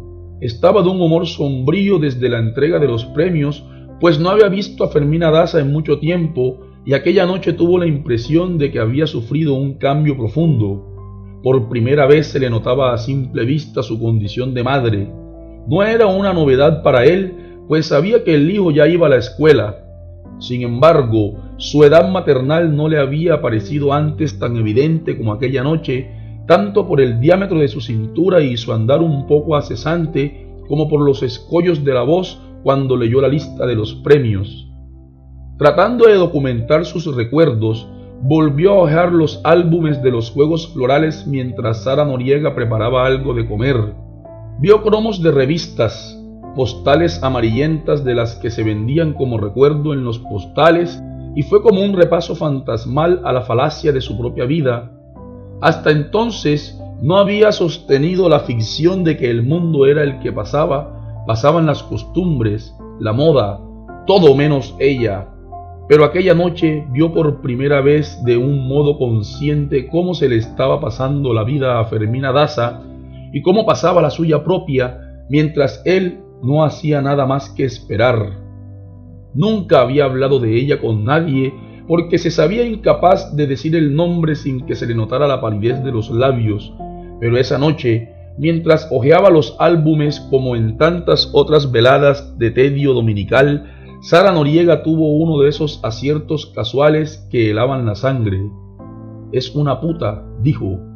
Lo digo al pasar viendo un grabado de Fermina Daza disfrazada de pantera negra en un baile de máscaras y no tuvo que mencionar a nadie para que Florentino Ariza supiera de quién hablaba. Temiendo una revelación que lo perturbara de por vida, este apresuró una defensa cautelosa. Advirtió que solo conocía de lejos a Fermina Daza, que nunca habían pasado de los saludos formales y no tenía ninguna noticia de su intimidad, pero daba por cierto que era una mujer admirable, surgida de la nada y enaltecida por sus méritos propios. Por obra y gracia de su matrimonio de interés con un hombre que no quiere, lo interrumpió Sara Noriega. Es la manera más baja de ser puta. Con menos crudeza, pero con igual rigidez moral, su madre le había dicho lo mismo a Florentino Ariza tratando de consolarlo de sus desventuras. Turbado hasta los tuétanos, no encontró una réplica oportuna para la inclemencia de Sara Noriega y trató de fugarse del tema, pero Sara Noriega no se lo permitió hasta que no acabó de desahogarse contra Fermina Daza por un golpe de intuición que no hubiera podido explicar, estaba convencida de que había sido ella la autora de la conspiración para escamotearle el premio. No había ninguna razón para creerlo, no se conocían, no se habían visto nunca, y Fermina Daza no tenía nada que ver con las decisiones del concurso, si bien estaba al corriente de sus secretos. Sara Noriega dijo de un modo terminante, las mujeres somos adivinas, y le puso término a la discusión. Desde ese momento Florentino Ariza la vio con otros ojos. También para ella pasaban los años. Su naturaleza feraz se marchitaba sin gloria. Su amor se demoraba en sollozos y sus párpados empezaban a mostrar la sombra de las viejas amarguras. Era una flor de ayer. Además, en la furia de la derrota había descuidado la cuenta de sus brandis. No estaba en su noche. Mientras comían el arroz de coco recalentado, trató de establecer cuál había sido la contribución de cada uno en el poema derrotado para saber cuántos pétalos de la orquídea de oro les había correspondido a cada quien. No era la primera vez que se entretenían en torneos bizantinos, pero él aprovechó la ocasión para respirar por la herida recién abierta, y se enredaron en una disputa mezquina que les revolvió a ambos los rencores de casi cinco años de amor dividido. Cuando faltaban diez minutos para las doce, Sara Noriega se subió en una silla para darle cuerda al reloj de péndulo y lo había puesto de memoria en la hora, tal vez queriendo decir sin decirlo que era hora de irse. Florentino Ariza sintió entonces la urgencia de cortar de raíz aquella relación sin amor y buscó la ocasión de ser él quien tomara la iniciativa, como lo haría siempre. Rogando a Dios que Sara Noriega le permitiera quedarse en su cama para decirle que no, que todo había terminado entre ellos, le pidió que se sentara a su lado cuando acabó de darle cuerda al reloj, pero ella prefirió mantenerse a distancia en la poltrona de las visitas. Florentino Ariza le tendió entonces el índice empapado de brandy para que ella lo chupara, como le gustaba hacerlo en los preámbulos del amor de otra época. Ella lo esquivó. Ahora no, dijo, estoy esperando a alguien. Desde que fue rechazado por Fermina Daza, Florentino Ariza había aprendido a reservarse siempre la última decisión. En circunstancias menos amargas hubiera persistido en los asedios a Sara Noriega, seguro de terminar la noche revolcándose con ella en la cama, pues estaba convencido de que una mujer que se acuesta con un hombre una vez seguirá acostándose con él cada vez que él lo quiera, siempre que sepa enternecerla cada vez. Lo había soportado todo por esa convicción, había pasado por encima de todo aún en los negocios más sucios del amor, con tal de no concederle a ninguna mujer nacida de mujer la oportunidad de tomar la decisión final. Pero aquella noche se sintió tan humillado que se tomó el brandy de un golpe, haciendo todo lo que pudo para que se le notara el rencor y se fue sin despedirse. Nunca más volvieron a verse. La relación con Sara Noriega fue una de las más largas y estables de Florentino Ariza, aunque no fue la única que él mantuvo en aquellos cinco años. Cuando comprendió que se sentía bien con ella, sobre todo en la cama, pero que nunca lograría sustituir con ella a Fermina Daza, se recrudecieron sus noches de cazador solitario y se las arreglaba para repartir su tiempo y sus fuerzas hasta donde la alcanzaran. Sin embargo, Sara Noriega logró el milagro de aliviarlo por un tiempo. Al menos pudo vivir sin ver a Fermina Daza, a diferencia de antes, cuando interrumpía a cualquier hora lo que estuviera haciendo para buscarla por los rumbos inciertos de sus presagios, en las calles menos pensadas, en sitios irreales donde era imposible que estuviera, vagando sin sentido con unas ansias del pecho que no le daban tregua mientras no la veía siquiera un instante. La ruptura con Sara Noriega, por el contrario, le alborotó de nuevo las añoranzas dormidas y se sintió otra vez como en las tardes del parquecito y las lecturas interminables, pero esta vez agravadas por la urgencia de que el doctor Juvenal Urbino tenía que morir. Sabía desde hacía tiempo que estaba predestinado a hacer feliz a una viuda y a que ella lo hiciera feliz y eso no le preocupaba. Al contrario, estaba preparado de tanto conocerlas en sus incursiones de cazador solitario, Florentino Ariza terminaría por saber que el mundo estaba lleno de viudas felices, las había visto enloquecer de dolor ante el cadáver del esposo, suplicando que las enterraran vivas dentro del mismo ataúd para no afrontar sin él los azares del porvenir, pero a medida que se iban reconciliando con la realidad de su nuevo estado, se las veía surgir de las cenizas con una vitalidad reverdecida. Empezaban viviendo como parásitas de sombras en los caserones desiertos, se volvían confidentes de sus sirvientas, amantes de sus almohadas, sin nada que hacer después de tantos años de cautiverio estéril. Malgastaban las horas sobrantes cosiendo en la ropa del muerto los botones que nunca había tenido tiempo de reponer, planchaban y volvían a planchar sus camisas de puños y cuellos de parafina para que siempre estuvieran perfectas Seguían poniendo su jabón en el baño, la funda con sus iniciales en la cama, el plato y los cubiertos en su lugar de la mesa por si acaso volvían de la muerte sin avisar, como solían hacerlo en vida. Pero en aquellas misas de soledad iban tomando conciencia de que otra vez eran dueñas de su albedrío, después de haber renunciado no solo a su nombre de familia, sino a su propia identidad, y todo eso a cambio de una seguridad que no fue más que una más de sus tantas ilusiones de novias. Solo ellas sabían cuánto pesaba el hombre que amaban con locura y que quizás las amaba, pero al que habían tenido que seguir criando hasta el último suspiro, dándole de mamar, cambiándole los pañales embarrados, distrayéndolo con engañifas de madre para aliviar el terror de salir por las mañanas a verle la cara a la realidad. Sin embargo, cuando lo veían salir de la casa instigado por ellas mismas a tragarse el mundo, entonces eran ellas las que se quedaban con el terror de que el hombre no volviera nunca. Eso era la vida. El amor, si lo había, era una cosa aparte, otra vida. En el ocio reparador de la soledad, en cambio, las viudas descubrían que la forma honrada de vivir era a merced del cuerpo, comiendo solo por hambre, amando sin mentir, durmiendo sin tener que fingirse dormidas para escapar a la indecencia del amor oficial, dueñas por fin del derecho de una cama entera para ellas solas en las que nadie les disputaba la mitad de su sábana, la mitad de su aire de respirar, la mitad de su noche, hasta que el cuerpo se saciaba de soñar con sus sueños propios y despertaba sola. En sus amaneceres de cazador furtivo, Florentino Ariza las encontraba a la salida de la misa de cinco, amortajadas de negro y con el cuervo del destino en el hombro. Desde que lo vislumbraban en la claridad del alba, atravesaban la calle y caminaban de cerca con pasos menudos y entrecortados, pasos de pajarito, pues el solo pasar cerca de un hombre podía mancillarles la honra. Sin embargo, él estaba convencido de que una viuda desconsolada, más que cualquier otra mujer, podía llevar adentro la semilla de la felicidad. Tantas viudas de su vida, desde la viuda de Nazaret, habían hecho posible que él vislumbrara cómo eran las casadas felices después de la muerte de sus maridos. Lo que hasta entonces había sido para él una mera ilusión, se convirtió gracias a ellas en una posibilidad que se podía coger con las manos.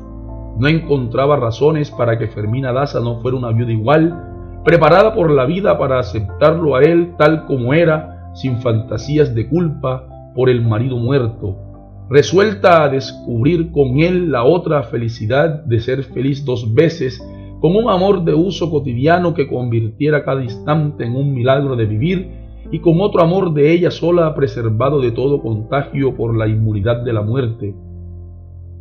Tal vez no habría sido tan entusiasta si hubiera sospechado siquiera qué lejos estaba Fermina Daza de aquellos cálculos ilusorios, cuando apenas empezaba a vislumbrar el horizonte de un mundo en el que todo estaba previsto, menos la adversidad.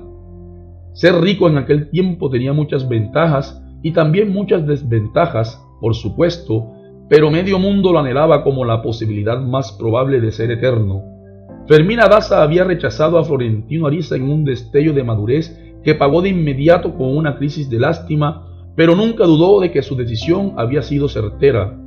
En su momento no pudo explicarse qué causas ocultas de la razón le habían dado aquella clarividencia, pero muchos años más tarde, ya en las vísperas de la vejez, las descubrió de pronto y sin saber cómo en una conversación casual sobre Florentino Ariza. Todos los contertulios conocían su condición de delfín de la Compañía Fluvial del Caribe en su época culminante. Todos estaban seguros de haberlo visto muchas veces, inclusive de haber estado en tratos con él, pero ninguno lograba identificarlo en la memoria. Fue entonces cuando Fermina Daza tuvo la revelación de los motivos inconscientes que le impidieron amarlo. Dijo, es como si no fuera una persona, sino una sombra.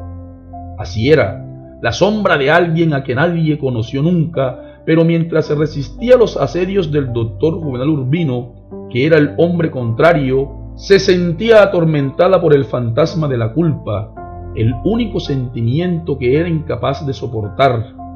Cuando lo sentía venir se apoderaba de ella una especie de pánico que sólo lograba controlar cuando encontraba a alguien que le aliviara la conciencia.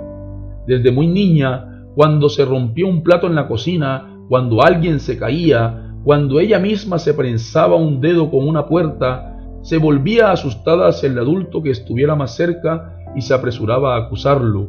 Fue culpa tuya, aunque en realidad no le importaba quién fuera el culpable ni convencerse de su propia inocencia, le bastaba con dejarla establecida.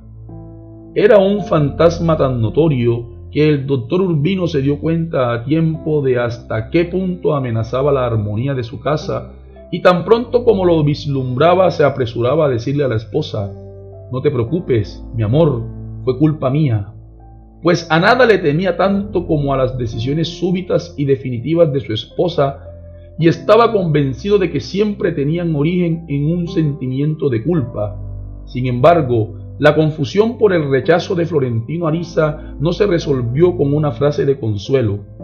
Fermina Daza siguió abriendo el balcón por las mañanas durante varios meses y siempre echaba de menos el fantasma solitario que la acechaba en el parquecito desierto, veía el árbol que fue suyo, el banco menos visible donde se sentaba a leer pensando en ella, a sufrir por ella, y tenía que volver a cerrar la ventana suspirando, pobre hombre. Sufrió incluso el desencanto de que él no fuera tan pertinaz como ella lo había supuesto, cuando ya era demasiado tarde para remendar el pasado y no dejó de sentir alguna vez la ansiedad tardía de una carta que nunca llegó. Pero cuando tuvo que enfrentar la decisión de casarse con Juvenal Urbino, sucumbió en una crisis mayor al darse cuenta de que no tenía razones válidas para preferirlo después de haber rechazado sin razones válidas a Florentino Ariza. En realidad, lo quería tan poco como al otro, pero además lo conocía mucho menos y sus cartas no tenían la fiebre de las cartas del otro, ni le había dado tantas pruebas conmovedoras de su determinación.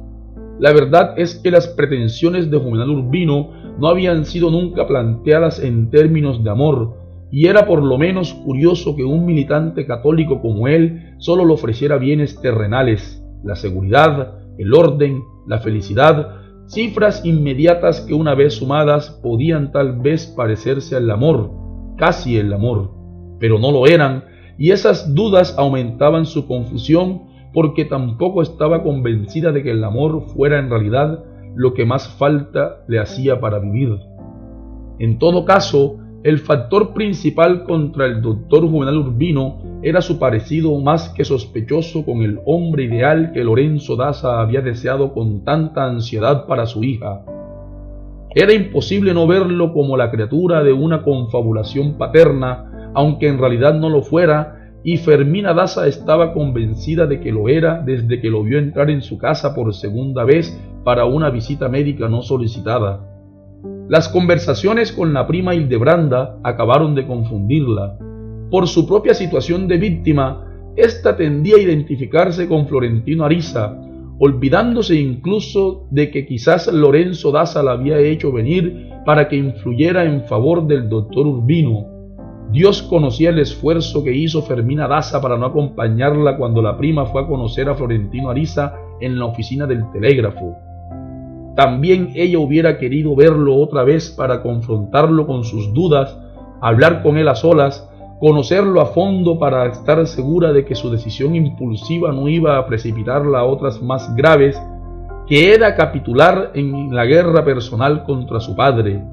Pero lo hizo en el minuto crucial de su vida, sin tomar en cuenta para nada la belleza viril del pretendiente, ni su riqueza legendaria, ni su gloria temprana, ni ninguno de sus tantos méritos reales, sino aturdida por el miedo de la autoridad que se le iba y la inminencia de los 21 años, que era su límite confidencial para rendirse al destino. Le bastó ese minuto único para asumir la decisión como estaba previsto en las leyes de Dios y de los hombres, hasta la muerte. Entonces se disiparon todas las dudas y pudo hacer sin remordimientos lo que la razón le indicó como lo más decente. Pasó una esponja sin lágrimas por encima del recuerdo de Florentino Ariza, lo borró por completo y en el espacio que él ocupaba en su memoria dejó que floreciera una pradera de amapolas. Lo único que se permitió fue un suspiro más hondo que de costumbre, el último pobre hombre. Las dudas más temibles, sin embargo, empezaron tan pronto como regresó del viaje de bodas. No bien acabaron de abrir los baúles, desempacar los muebles y desocupar las once cajas que trajo para tomar posesión de ama y señora del antiguo palacio del marqués de Casalduero, y ya se había dado cuenta con un vaído mortal que estaba prisionera en la casa equivocada, y peor aún, con el hombre que no era. Necesitó seis años para salir, los peores de su vida, desesperada por la amargura de Doña Blanca, su segra, y el retraso mental de las cuñadas que si no habían ido a pudrirse vivas en una celda de clausura era porque ya la llevaban dentro. El doctor Urbino, resignado a rendir los tributos de la estirpe, se hizo sordo a sus súplicas, confiando en que la sabiduría de Dios y la infinita capacidad de adaptación de la esposa habían de poner las cosas en su puesto. Le dolía el deterioro de su madre, cuya alegría de vivir infundía en otro tiempo el deseo de estar vivos hasta los más incrédulos. Era cierto, aquella mujer hermosa, inteligente, de una sensibilidad humana nada común en su medio, había sido durante casi cuarenta años el alma y el cuerpo de su paraíso social. La viudez la había amargado hasta el punto de no creerse que fuera la misma y la había vuelto fofa y agria y enemiga del mundo. La única explicación posible de su degradación era el rencor de que el esposo se hubiera sacrificado a conciencia por una montonera de negros, como ella decía, cuando el único sacrificio justo hubiera sido el de sobrevivir para ella. En todo caso, el matrimonio feliz de Fermina Daza había durado lo que el viaje de bodas y el único que podía ayudarla a impedir el naufragio final estaba paralizado de terror ante la potestad de la madre. Era él, y no las cuñadas imbéciles y la suegra medio loca, a quien Fermina Daza atribuía la culpa de la trampa de muerte en que estaba atrapada. Demasiado tarde sospechaba que detrás de su autoridad profesional y su fascinación mundana, el hombre con quien se había casado era débil sin redención, un pobre diablo envalentonado por el peso social de sus apellidos se refugió en el hijo recién nacido. Ella lo había sentido salir de su cuerpo con el alivio de liberarse de algo que no era suyo y había sufrido el espanto de sí misma al comprobar que no sentía el menor afecto por aquel ternero de vientre que la padrona le mostró en carne viva, sucio de sebo y de sangre y con la tripa umbilical enrollada en el cuello. Pero en la soledad del palacio aprendió a conocerlo, se conocieron y descubrió como un gran alborozo que los hijos no se quieren por ser hijos, sino por la amistad de una crianza. Terminó por no soportar nada ni a nadie distinto de él en la casa de su desventura. La deprimía la soledad, el jardín de cementerio, la desidia del tiempo en los enormes aposentos sin ventanas.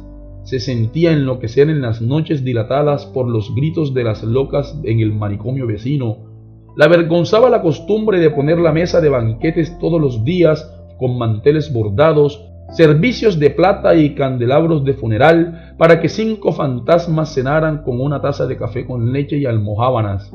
Detestaba el rosario al atardecer, los remilgos en la mesa, las críticas constantes a su manera de coger los cubiertos, de caminar con esos trancos místicos de mujer de la calle, de vestirse como en el circo, y hasta su método ranchero de tratar al esposo y de darle de mamar al niño sin cubrirse el seno con la mantilla.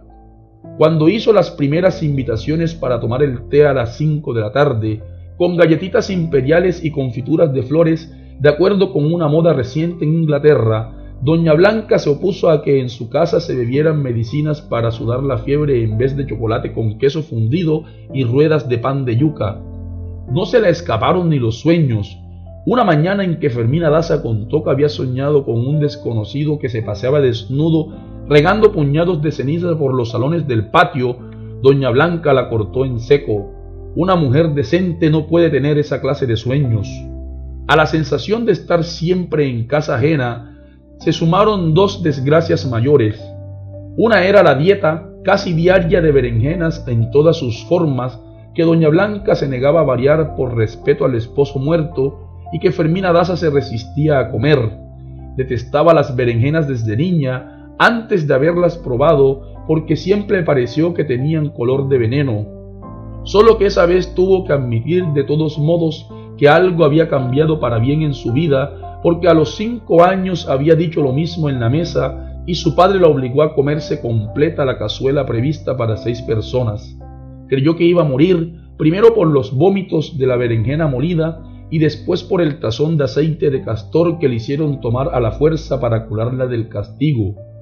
Las dos cosas se le quedaron revueltas en la memoria como un solo purgante, tanto por el sabor como por el terror del veneno, y en los almuerzos abominables del palacio del marqués de Casalduero tenía que apartar la vista para no devolver las atenciones por la náusea glacial del aceite de castor. La otra desgracia fue el arpa. Un día, muy consciente de lo que quería decir, doña Blanca había dicho, no creo en mujeres decentes que no sepan tocar el piano. Fue una orden que hasta su hijo trató de discutir, pues los mejores años de su infancia habían transcurrido en las galeras de las clases de piano aunque ya de adulto lo hubiera agradecido. No podía concebir a su esposa sometida a la misma condena a los 25 años y con un carácter como el suyo, pero lo único que obtuvo de su madre fue que cambiara el piano por el arpa con el argumento pueril de que era el instrumento de los ángeles. Así fue como trajeron de Viena el arpa magnífica que parecía de oro y que sonaba como si lo fuera, y que fue una de las reliquias más preciadas del museo de la ciudad hasta que lo consumieron las llamas con todo lo que tenía dentro. Fermina Daza se sometió a esta condena de lujo tratando de impedir el naufragio con un sacrificio final. Empezó como un maestro de maestros que trajeron a propósito de la ciudad de Mompox y que murió de repente a los 15 días y siguió por varios años con el músico mayor del seminario cuyo aliento de sepulturero distorsionaba los arpegios. Ella misma estaba sorprendida de su obediencia, pues aunque no la admitía en su fuero interno, ni en los pleitos sordos que tenía con su marido en las horas que antes desangraban el amor, se había enredado más pronto de lo que ella creía en la maraña de convenciones y prejuicios de su nuevo mundo. Al principio tenía una frase ritual para afirmar su libertad de criterio. A la mierda, abanico, que es tiempo de brisa. Pero después celosa de sus privilegios bien ganados, temerosa de la vergüenza y el escarnio, se mostraba dispuesta a soportar hasta la humillación con la esperanza de que Dios se apiadara por fin de Doña Blanca, quien no se cansaba de suplicarle en sus oraciones que la mandara a la muerte.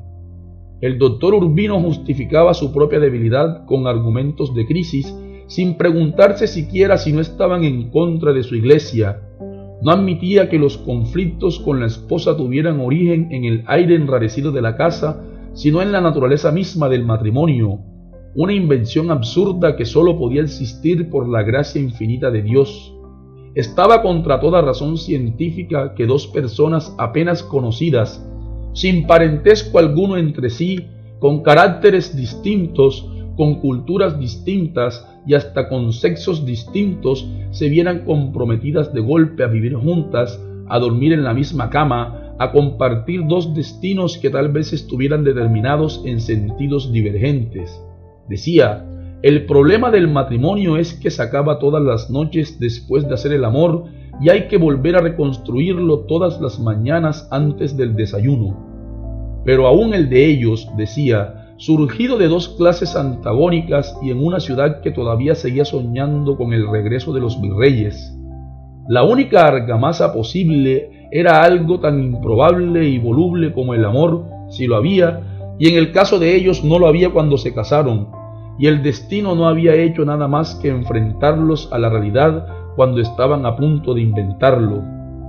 Ese era el estado de sus vidas en la época del arpa, habían quedado atrás las casualidades deliciosas de que ella entrara mientras él se bañaba, y a pesar de los pleitos, de las berenjenas venenosas, y a pesar de las hermanas dementes y de la madre que las parió, él tenía todavía bastante amor para pedirle que lo jabonara. Ella empezaba a hacerlo con las migajas de amor que todavía le sobraban de Europa, y ambos se iban dejando traicionar por los recuerdos, ablandándose sin quererlo, queriéndose sin decirlo, y terminaban muriéndose de amor por el suelo, embadurnados de espumas fragantes, mientras oían a las criadas hablando de ellos en el lavadero. Si no tienen más hijos es porque no tiran. De vez en cuando, al regreso de una fiesta loca, la nostalgia agazapada detrás de la puerta los tumbaba de un zarpazo y entonces ocurría una explosión maravillosa en la que todo era otra vez como antes, y por cinco minutos volvían a ser los amantes desbraguetados de la luna de miel. Pero aparte de esas ocasiones raras, uno de los dos estaba siempre más cansado que el otro a la hora de acostarse. Ella se demoraba en el baño enrollando sus cigarrillos de papel perfumado, fumaba sola, reincidiendo en sus amores de consolación como cuando era virgen y libre en su casa, dueña única de su cuerpo. Siempre le dolía la cabeza o hacía demasiado calor, siempre o se hacía la dormida o tenía la regla otra vez, la regla, siempre la regla. Tanto que el doctor Urbino se había atrevido a decir en clase, solo por el alivio de un desahogo sin confesión, que después de 10 años de casadas las mujeres tenían la regla hasta tres veces por semana. Desgracias sobre desgracias, Fermina Daza tuvo que afrontar en el peor de sus años lo que había de ocurrir tarde o temprano sin remedio, la verdad de los negocios fabulosos y nunca conocidos de su padre. El gobernador provincial que citó a Juvenal Urbino en su despacho para ponerlo al corriente de los desmanes del suegro, lo resumió en una frase. No hay ley divina ni humana que este tipo no se haya llevado por delante. Algunas de sus trapisondas más graves las había hecho a la sombra del poder del yerno, y había sido difícil no pensar que éste y su esposa no estuvieran al corriente. Sabiendo que la única reputación para proteger era la suya, por ser la única que quedaba en pie, el doctor Juvenal Urbino interpuso todo el peso de su poder y logró cubrir el escándalo con su palabra de honor. Así que Lorenzo Daza salió del país en el primer barco para no regresar jamás. Volvió a su tierra de origen como si fuera uno de esos viajecitos que se hacen de vez en cuando para engañar a la nostalgia, y en el fondo de esa apariencia había algo de verdad. Desde hacía un tiempo subía a los barcos de su patria solo por tomarse un vaso de agua de las cisternas abastecidas en los manantiales de su pueblo natal. Se fue sin dar el brazo a torcer, protestando inocencia y todavía tratando de convencer al yerno de que había sido víctima de una confabulación política. Se fue llorando por la niña, como llamaba a Fermina Daza desde que se casó, llorando por el nieto, por la tierra en la que se hizo rico y libre y donde logró la proeza de convertir a la hija en una dama exquisita a base de negocios turbios. Se fue envejecido y enfermo, pero todavía vivió mucho más de lo que ninguna de las víctimas hubiera deseado. Fermina Daza no pudo reprimir un suspiro de alivio cuando le llegó la noticia de la muerte y no le guardó luto para evitar preguntas, pero durante varios meses lloraba con una rabia sorda sin saber por qué cuando se encerraba a fumar en el baño y era que lloraba por él. Lo más absurdo de la situación de ambos era que nunca parecieron tan felices en público como en aquellos años de infortunio, pues en realidad fueron los años de sus victorias mayores sobre la hostilidad soterrada de un medio que no se resignaba a admitirlos como eran, distintos y novedosos, y por tanto transgresores del orden tradicional. Sin embargo, esa había sido la parte fácil para Fermina Daza. La vida mundana, que tantas incertidumbres le causaban antes de conocerla, no era más que un sistema de pactos atávicos, de ceremonias banales, de palabras previstas, con el cual se entretenían en sociedad unos a otros para no asesinarse. El signo dominante de ese paraíso de la frivolidad provinciana era el miedo a lo desconocido, ella lo había definido de un modo más simple. El problema de la vida pública es aprender a dominar el terror. El problema de la vida conyugal es aprender a dominar el tedio. Ella lo había descubierto de pronto con la nitidez de una revelación desde que entró arrastrando la interminable cola de novia en el vasto salón del club social, enrarecido por los vapores revueltos de tantas flores, el brillo de los valses el tumulto de hombres sudorosos y mujeres trémulas que la miraban sin saber todavía cómo iban a conjugar aquella amenaza deslumbrante que les mandaba el mundo exterior. Acababa de cumplir los 21 años y apenas se había salido de su casa para el colegio, pero le bastó con una mirada circular para comprender que sus adversarios no estaban sobrecogidos de odio, sino paralizados por el miedo. En vez de asustarlos más, como lo estaba ella, les hizo la caridad de ayudarlos a conocerla. Nadie fue distinto de como ella quiso que fuera, tal como lo ocurría con las ciudades, que no le parecían mejores ni peores, sino como ella las hizo en su corazón. A París, a pesar de su lluvia perpetua, de sus tenderos sórdidos y la grosería homérica de sus cocheros, había de recordarla siempre como la ciudad más hermosa del mundo, no porque en realidad lo fuera o no lo fuera, sino porque se quedó vinculada a la nostalgia de sus años más felices. El doctor Urbino, por su parte, se impuso con armas iguales a las que usaban contra él, solo que manejadas con más inteligencia y con una solemnidad calculada. Nada ocurría sin ellos, los paseos cívicos, los juegos florales, los acontecimientos artísticos, las tómbolas de caridad, los actos patrióticos, el primer viaje en globo. En todo estaban ellos y casi siempre en el origen y al frente de todo. Nadie podía imaginarse en sus años de desgracias que pudiera haber alguien más feliz que ellos eh, ni un matrimonio tan armónico como el suyo. La casa abandonada por el padre le dio a Fermina Daza un refugio propio contra la asfixia del palacio familiar. Tan pronto como escapaba a la vista pública, se iba a escondidas al Parque de los Evangelios y allí recibía a las amigas nuevas y algunas antiguas del colegio o de las clases de pintura, un sustituto inocente de la infidelidad. Vivía horas apacibles de madre soltera con lo mucho que aún le quedaba de sus recuerdos de niña. Volvió a comprar los cuervos perfumados, recogió gatos de la calle y los puso a cuidado de Gala Placidia, ya vieja y un poco impedida por el reumatismo, pero todavía con ánimos de resucitar la casa. Volvió a abrir el costurero donde Florentino Ariza la vio por primera vez, donde el doctor Juvenal Urbino le hizo sacar la lengua para tratar de conocerle el corazón y lo convirtió en un santuario del pasado. Una tarde invernal fue a cerrar el balcón antes de que se desempedrara la tormenta y vio a Florentino Ariza en su escaño bajo los almendros del parquecito con el traje de su padre reducido para él y el libro abierto en el regazo, pero no lo vio como entonces lo había visto por casualidad varias veces, sino a la edad con que se le quedó en la memoria. Tuvo el temor de que aquella visión fuera un aviso de la muerte y le dolió. Se atrevió a decirse que tal vez hubiera sido feliz con él, sola con él en aquella casa que ella había restaurado para él con tanto amor como él había restaurado la suya para ella, y la simple suposición la asustó porque le permitió darse cuenta de los extremos de la desdicha a que había llegado.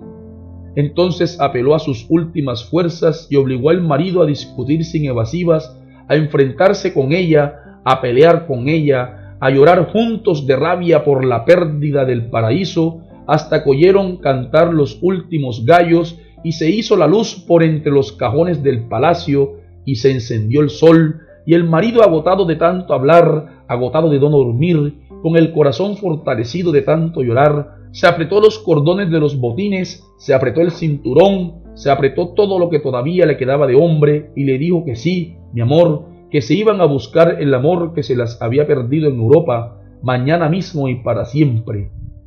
Fue una decisión tan cierta que acordó con el Banco del Tesoro, su administrador universal, la liquidación inmediata de la vasta fortuna familiar desperdigada desde sus orígenes en toda clase de negocios, inversiones y papeles sagrados y lentos, y de la cual sólo sabía él a ciencia cierta que no era tan desmedida como decía la leyenda, apenas lo justo para tener que pensar en ella. Lo que fuera, convertido en oro sellado, debía ser girado poco a poco a sus bancos del exterior hasta que no les quedara a él y a su esposa en esta patria inclemente ni un palmo de tierra donde caerse muertos. Pues Florentino Ariza existía, en efecto, al contrario de lo que ella se había propuesto creer. Estaba en el muelle del transatlántico de Francia cuando ella llegó con el marido y el hijo en el landó de los caballos de oro y los vio bajar como tantas veces los había visto en los actos públicos, perfectos. Iban con el hijo, educado de un modo que ya permitía saber cómo sería de adulto, tal como fue. Juvenal Urbino saludó a Florentino Ariza con un sombrero alegre. Nos vamos a la conquista de Flandes.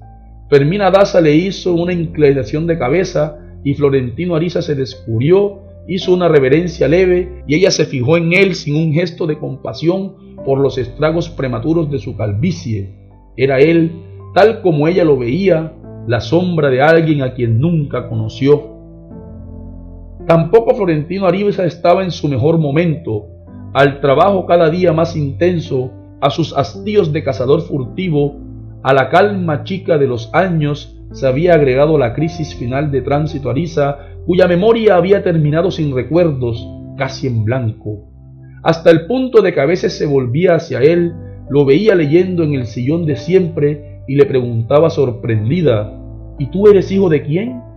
Él le contestaba siempre la verdad, pero ella volvía a interrumpirlo enseguida. Y dime una cosa, hijo, le preguntaba, ¿yo quién soy?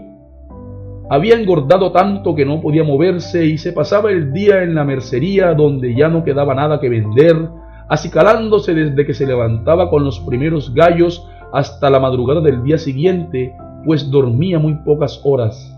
Se ponía guirnaldas de flores en la cabeza, se pintaba los labios, se empolvaba la cara y los brazos y al final le preguntaba a quien estuviera con ella cómo había quedado. Los vecinos sabían que esperaba siempre la misma respuesta. Eres la cucarachita Martínez. Esta identidad, usurpada al personaje de un cuento para niños, era la única que la dejaba conforme. Seguía meciéndose, abanicándose con el ramillete de grandes plumas rosadas hasta que volvía a empezar de nuevo. La corona de flores de papel, el asmiscle de los párpados, el carmín de los labios, la costora del bayalde en la cara. Y otra vez le preguntaba a quien estuviera cerca, ¿cómo quedé?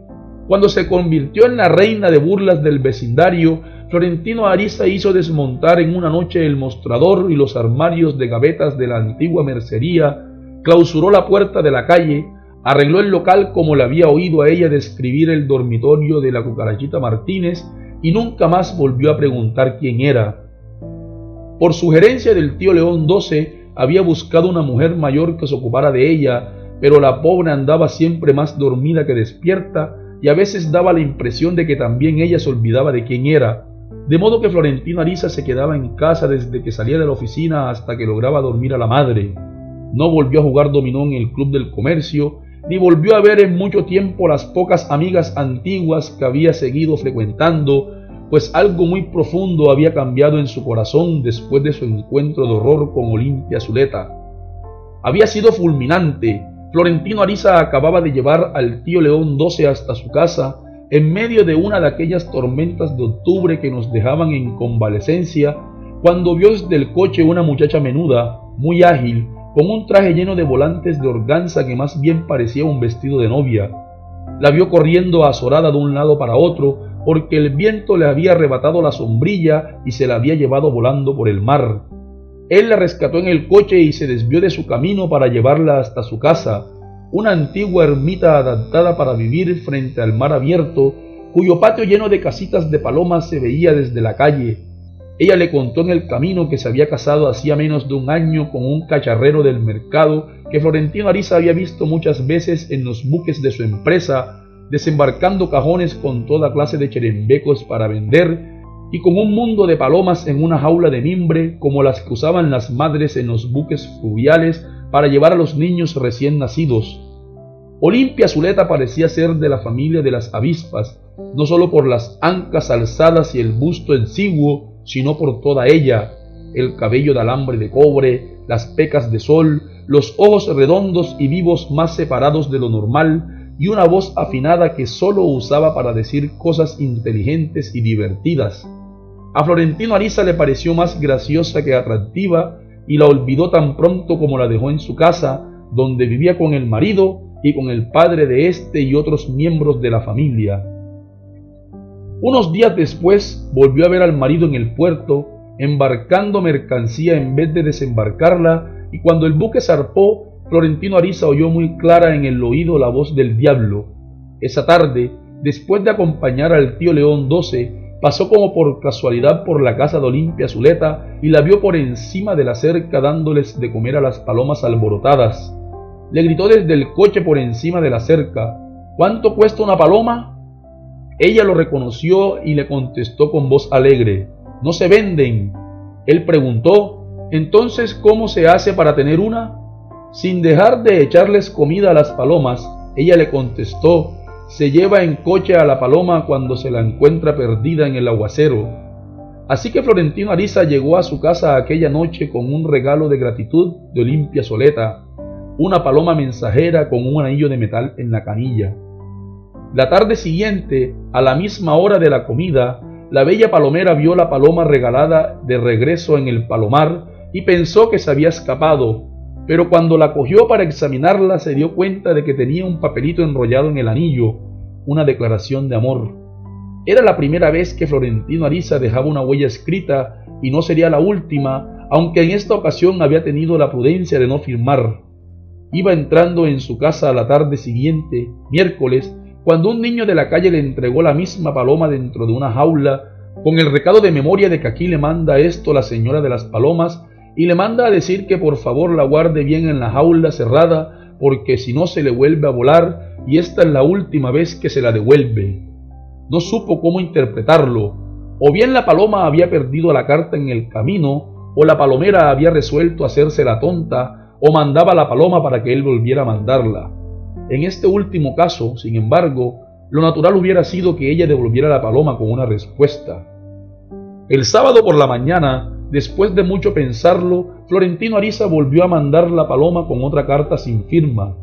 Esta vez no tuvo que esperar el día siguiente.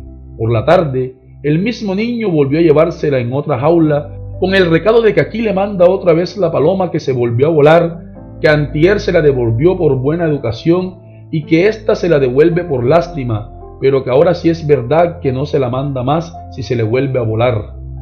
Tránsito Ariza se entretuvo hasta muy tarde con la paloma, la sacó de la jaula, la arrulló en los brazos, trató de dormirla con canciones de niños y de pronto se dio cuenta que tenía en el anillo de la pata un papelito con una sola línea. No acepto anónimos. Florentino Ariza lo leyó con el corazón enloquecido, como si fuera la culminación de su primera aventura, y apenas si pudo dormir esa noche dando saltos de impaciencia. Al día siguiente, muy temprano, antes de irse a la oficina, soltó otra vez la paloma con un papel de amor firmado con su nombre muy claro y le puso además en el anillo la rosa más fresca, más encendida y fragante de su jardín. No fue tan fácil. Al cabo de tres meses de asedios, la bella palomera seguía contestando lo mismo.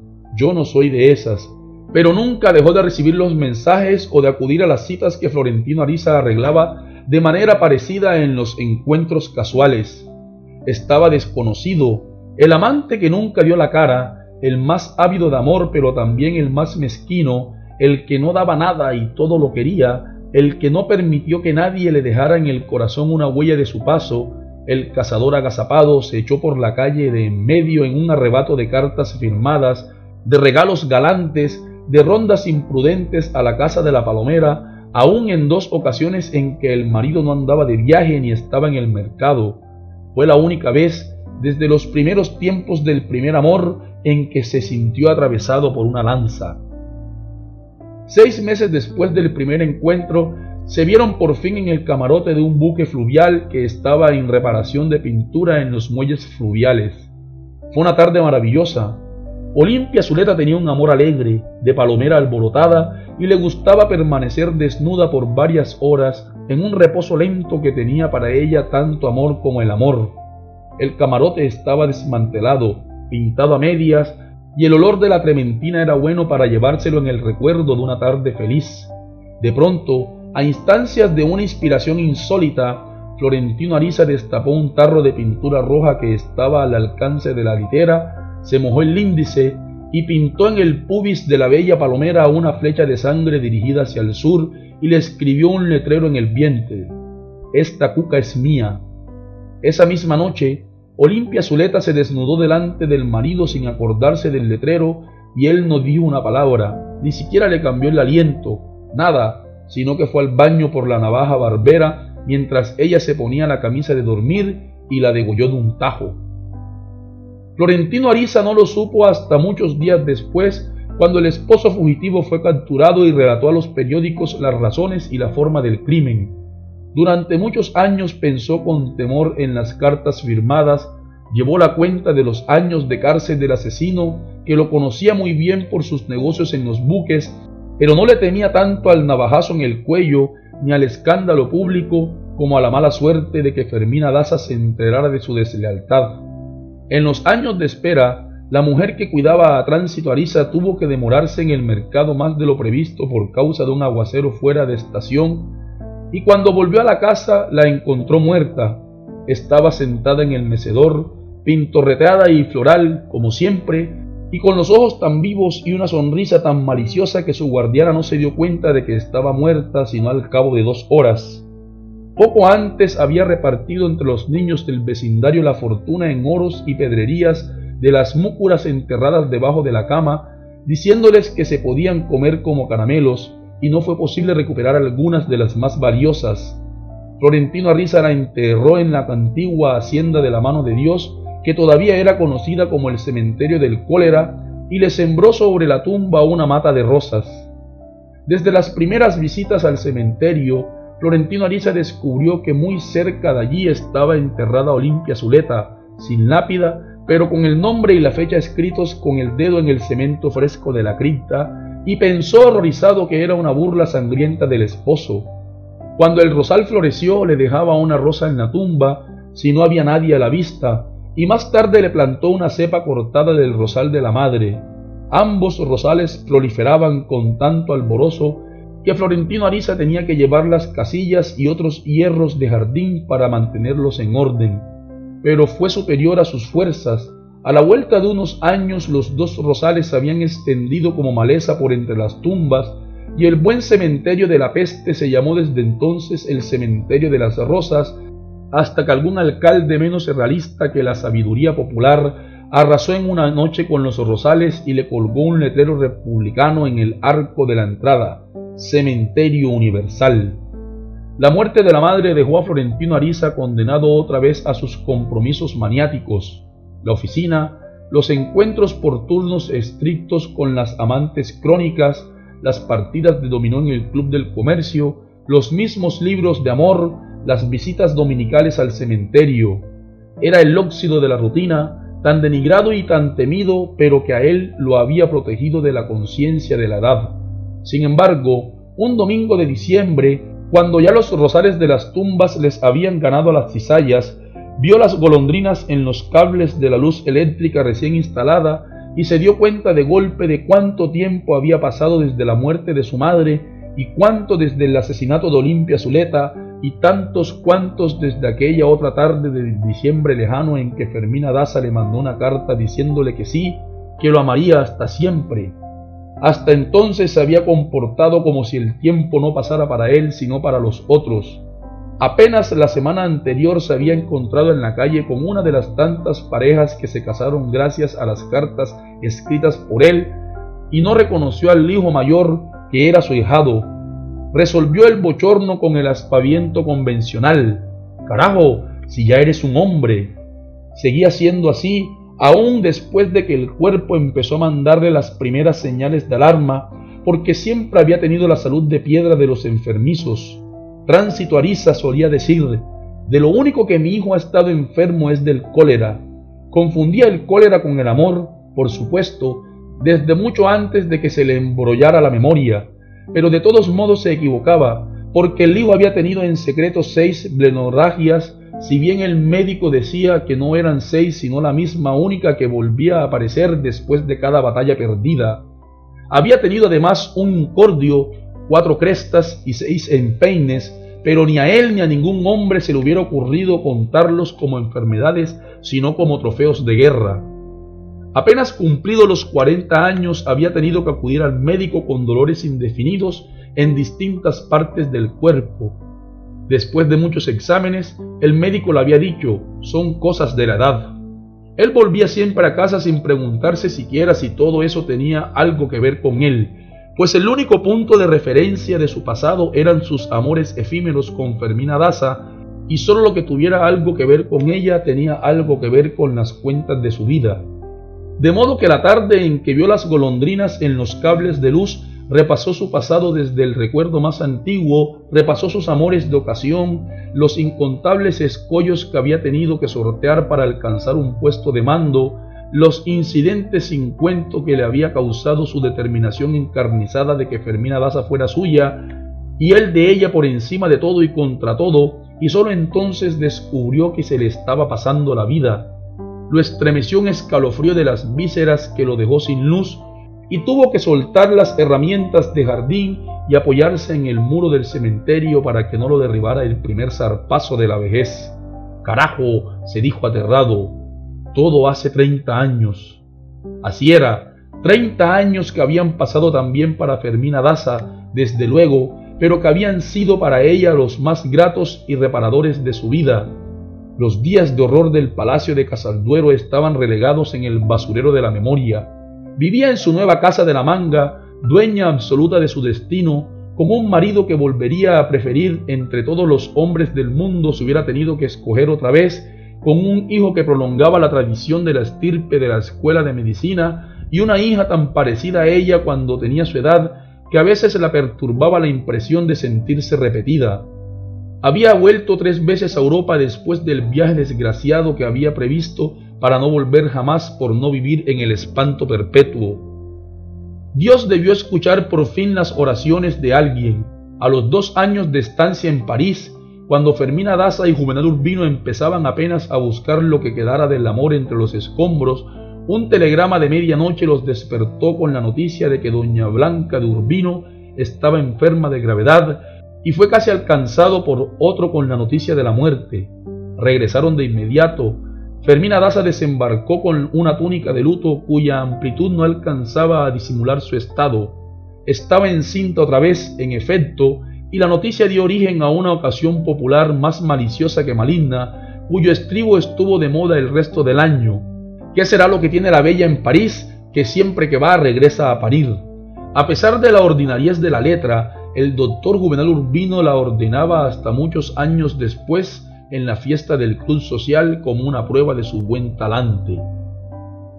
El noble palacio del Marqués de Casualdero, de cuya existencia y blasones no se encontró nunca una noticia cierta, fue vendido primero a la tesorería municipal por un precio adecuado y más tarde revendido por una fortuna al gobierno central cuando un investigador holandés estuvo haciendo excavaciones para probar que allí estaba la tumba verdadera de Cristóbal Colón, la quinta, las hermanas del doctor Urbino se fueron a vivir en el convento de las Salesianas, en reclusión sin votos, y Fermina Daza permaneció en la antigua casa de su padre hasta que estuvo terminada la quinta de la manga. Entró en ella pisando firme, entró a mandar, con los muebles ingleses tirados desde el viaje de bodas y los complementos que hizo venir después del viaje de reconciliación, y desde el primer día empezó a llenar de toda clase de animales exóticos que ella misma iba a comprar en las goletas de las Antillas. Entró con el esposo recuperado, con el hijo bien criado, con la hija que nació a los cuatro meses del regreso y a la cual bautizaron con el nombre de Ofelia. El doctor Urbino, por su parte, entendió que era imposible recuperar a la esposa de un mundo tan completo como la tuvo en el viaje de bodas porque la parte de amor que él quería era la que ella le había dado a los hijos con lo mejor de su tiempo, pero aprendió a vivir y a ser feliz con los residuos. La armonía tan anhelada culminó por donde menos lo esperaban en una cena de gala en que sirvieron un plato delicioso que Fermina Daza no logró identificar. Empezó con una buena ración, pero le gustó tanto que repitió con otra igual y estaba lamentando no servirse la tercera por remilgos de urbanidad cuando se enteró que acababa de comerse con un placer insospechado dos platos rebosantes de puré de berenjena. Perdió con galanura. A partir de entonces, en la quinta de la manga se sirvieron berenjenas en todas sus formas, casi con tanta frecuencia como en el palacio de Casualduero, y eran tan apetecidas por todos que el doctor Juvenal Urbino alegraba los ratos libres de la vejez, repitiendo que quería tener otra hija para ponerle el nombre bien amado en la casa, Berenjena Urbino. Fermina Daza sabía entonces que la vida privada, al contrario de la vida pública, era tornadiza e imprevisible. No le era fácil establecer diferencias reales entre los niños y los adultos, pero en un último análisis prefería a los niños porque tenían criterios más ciertos. Apenas doblado el cabo de la madurez, desprovista por fin de cualquier espejismo, empezó a vislumbrar el desencanto de no haber sido nunca lo que soñaba ser cuando era joven en el parque de los evangelios, sino algo que nunca se atrevió a decirse ni siquiera a sí misma, una sirvienta de lujo. En sociedad terminó por ser la más amada, la más complacida y por lo mismo la más temida, pero en nada se le exigía con más rigor ni se le perdonaba menos que en el gobierno de la casa. Siempre se sintió viviendo una vida prestada por el esposo, soberana absoluta de un vasto imperio de felicidad edificado por él y solo para él. Sabía que él la amaba más allá de todo, más que a nadie en el mundo, pero solo era para él, a su santo servicio.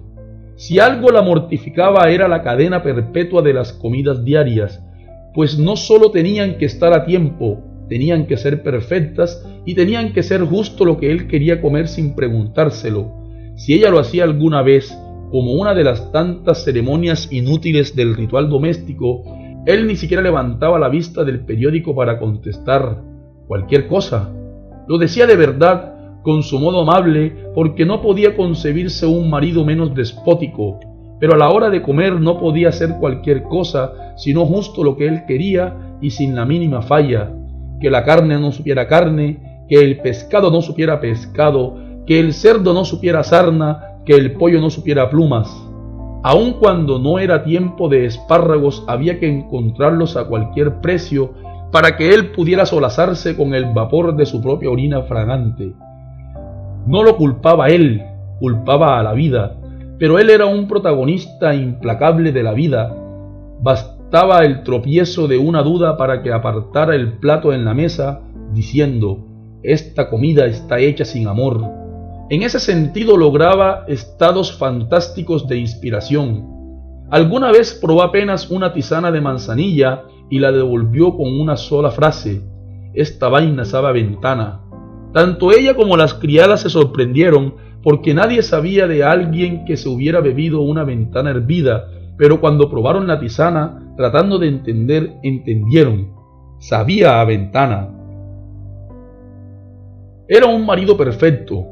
Nunca recogía nada del suelo, ni apagaba la luz, ni cerraba la puerta. En la oscuridad de la mañana, cuando faltaba un botón en la ropa, ella le oía decir, uno necesitaría dos esposas, una para quererla y otra para que le pegue los botones. Todos los días, al primer trago de café y a la primera cucharada de sopa humeante, lanzaba un aullido desgarrador que ya no asustaba a nadie y enseguida un desahogo. El día que me largue de esta casa, ya sabrán que ha sido porque me aburrí de andar siempre con la boca quemada. Decía que nunca se hacían almuerzos tan apetitosos y distintos como los días en que él no podía comérselos por haberse tomado un purgante y estaba tan convencido de que era una perfidia de la esposa que terminó por no purgarse si ella no se purgaba con él. Hastiada de su incomprensión, ella le pidió un regalo insólito de cumpleaños, que hiciera él por un día los oficios domésticos. Él aceptó divertido y en efecto tomó posesión de la casa desde el amanecer. Sirvió un desayuno espléndido pero olvidó que a ella le caían mal los huevos fritos y no tomaba café con leche. Luego impartió las instrucciones para el almuerzo de cumpleaños con ocho invitados y dispuso el arreglo de la casa, y tanto se esforzó por hacer un gobierno mejor que el de ella, que antes del mediodía tuvo que capitular sin un gesto de vergüenza. Desde el primer momento se dio cuenta de no tener la menor idea de dónde estaba nada, sobre todo en la cocina, y las sirvientas le dejaron revolverlo todo para buscar cada cosa, pues también ellas jugaron al juego. A las diez no se habían tomado decisiones para el almuerzo porque todavía no estaba terminada la limpieza de la casa ni el arreglo del dormitorio. El baño se quedó sin lavar, olvidó poner el papel higiénico, cambiar las sábanas y mandar al cochero a buscar a los hijos y confundió los oficios de las criadas ordenó a la cocinera que arreglara las camas y puso a cocinar a las camareras. A las once, cuando ya estaban a punto de llegar los invitados, era tal el caos en la casa que Fermina Daza reasumió el mando, muerta de risa, pero no con la actitud triunfal que hubiera querido, sino estremecida de compasión por la inutilidad doméstica del esposo. Él respiró por la herida con el argumento de siempre, al menos no me fue tan mal como te iría a ti tratando de curar enfermos. Pero la lección fue útil y no solo para él. En el curso de los años ambos llegaron por distintos caminos a la conclusión sabia de que no era posible vivir juntos de otro modo, ni amarse de otro modo. Nada en este mundo era más difícil que el amor. En la plenitud de su nueva vida, Fermina Daza veía a Florentino Ariza en diversas ocasiones públicas y con tanta más frecuencia cuanto más ascendía él en su trabajo, pero aprendió a verlo con tanta naturalidad que más de una vez se olvidó de saludarlo por distracción. Oía hablar de él a menudo, porque en el mundo de los negocios era un tema constante su escalada cautelosa pero incontenible en la CFC, lo veía mejorar sus modales, su timidez se le cantaba como una cierta lejanía enigmática, le sentaba bien un ligero aumento de peso, le convenía la lentitud de la edad y había sabido resolver con dignidad la calvicie arrasadora. Lo único que siguió desafiando hasta siempre al tiempo y a la moda fueron sus atuendos sombríos, las levitas anacrónicas, el sombrero único, las corbatas de cintas de poeta de la mercancía de su madre, el paraguas siniestro. Fermina Daza se fue acostumbrando a verlo de otro modo y terminó por no relacionarlo con el adolescente lánguido que se sentaba a suspirar por ella bajo los ventarrones de hojas amarillas en el Parque de los Evangelios. En todo caso, nunca lo vio con indiferencia y siempre se alegró con las buenas noticias que le daban sobre él, porque poco a poco la iban aliviando de su culpa. Sin embargo, cuando ya lo creía borrado por completo de la memoria, apareció por donde menos lo esperaba convertido en un fantasma de sus nostalgias. Fueron las primeras auras de la vejez cuando empezó a sentir que algo irreparable había ocurrido en su vida siempre que oía tronar antes de la lluvia. Era la herida incurable del trueno solitario, pedregoso y puntual que retumbaba todos los días de octubre a las 3 de la tarde en la sierra de Villanueva y cuyo recuerdo se iba haciendo más reciente con los años, Mientras que los recuerdos nuevos se confundían con la memoria a los pocos días, los del viaje legendario por la provincia de la prima Hildebranda se iban volviendo tan vívidos que parecían de ayer, con la nitidez perversa de la nostalgia. Se acordaba de Manaure, el de la sierra, su calle única, recta y verde, sus pájaros de buen agüero, la casa de los espantos donde despertaba con la camisa empapada por las lágrimas inagotables de Petra Morales, muerta de amor muchos años antes en la misma cama en que ella dormía. Se acordaba del sabor de las guayabas de entonces que nunca más había vuelto a ser el mismo, de los presagios tan intensos que su rumor se confundía con el de la lluvia, de las tardes de topacio de San Juan del Cesar, cuando salía a pasear con su corte de primas alborotadas y llevaba los dientes apretados para que no se le saliera el corazón por la boca a medida que se acercaban a la telegrafía, viendo de cualquier modo la casa de su padre porque no podía soportar el dolor de la adolescencia, la visión del parquecito desolado desde el balcón, la fragancia silvina de las gardenias en las noches de calor, el susto del retrato de dama antigua la tarde de febrero en que se decidió su destino, y hacia donde quiera que se revolvía su memoria de aquellos tiempos tropezaba con el recuerdo de Florentino Ariza. Sin embargo, siempre tuvo bastante serenidad para darse cuenta de que no eran recuerdos de amor ni de arrepentimiento, sino la imagen de un sinsabor que le dejaba un rastro de lágrimas. Sin saberlo, estaba amenazada por la misma trampa de compasión que había perdido a tantas víctimas desprevenidas de Florentino Ariza.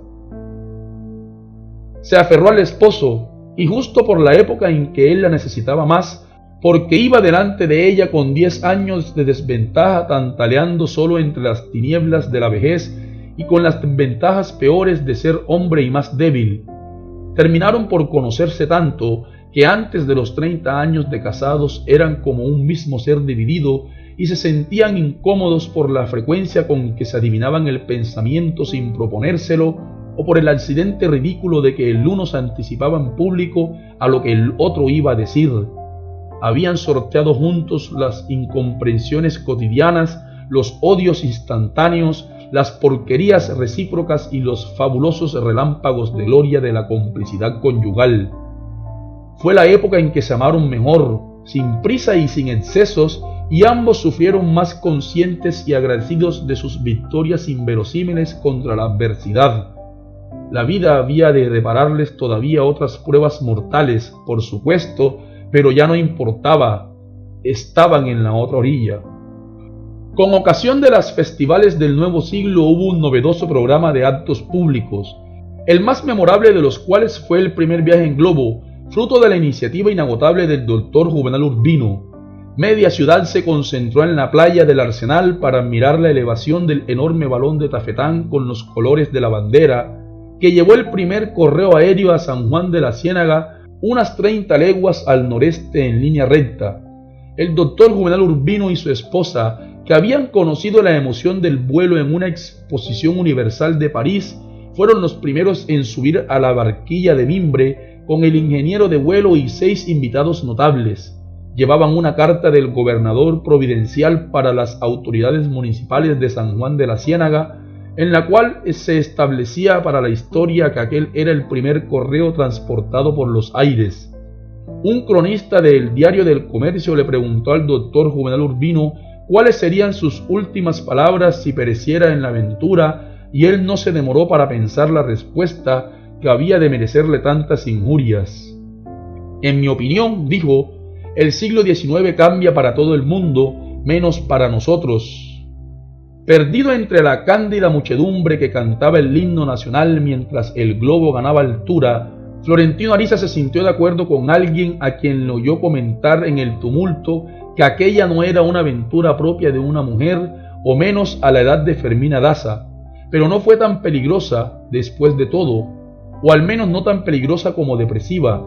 El globo llegó sin contratiempos a su destino después de un viaje apacible por un cielo de un azul inverosímil. Volaron bien, muy bajo, con un viento plácido y favorable, primero por las estribaciones de las crestas nevadas y luego sobre el vasto piélago de la Ciénaga Grande. Desde el cielo, como las veía Dios, vieron las ruinas de la muy antigua y heroica ciudad de Cartagena de Indias, la más bella del mundo, abandonada de sus pobladores por el pánico del cólera, después de haber resistido a toda clase de asedios de ingleses y tropelías de bucaneros durante tres siglos. Vieron las murallas intactas, la mezcla de las calles, las fortificaciones devoradas por las trinitarias, los palacios de mármoles y altares de oro con sus virreyes podridos de peste dentro de las armaduras. Volaron sobre los palafitos de las trojas de Catacá, pintados de colores de locos, con tambos para criar iguanas de comer y colgados de balsaminas y astromelias en los jardines lacustres. Cientos de niños desnudos se lanzaban al agua alborotados por la gritería de todos, se tiraban por las ventanas, se tiraban desde los techos de las casas y desde las canoas que conducían con una habilidad asombrosa y se zambullían como sábalos para rescatar los bultos de ropa, los frascos de tabonucos para la tos, las comidas de beneficencia que la hermosa mujer del sombrero de plumas les arrojaba desde la boquilla del globo. Volaron sobre los océanos de sombra de los plantíos de banano, cuyo silencio se elevaba hasta ellos como un vapor letal y Fermina Daza se acordó de ella misma a los tres años, a los cuatro quizás, paseando por la floresta sombría de la mano de su madre, que también era casi una niña en medio de otras mujeres vestidas de muselina, igual que ella, con sombrillas blancas y sombreros de gasa. El ingeniero del globo, que iba observando el mundo como un catalejo, dijo, parecen muertos, le pasó el catalego al doctor Juvenal Urbino y éste vio las carretas de bueyes entre los sembrados, las guardarrayas de la línea del tren, las acequias heladas y dondequiera que fijó sus ojos encontró cuerpos humanos esparcidos. Alguien dijo saber que el cólera estaba haciendo estragos en los pueblos de la Ciénaga Grande.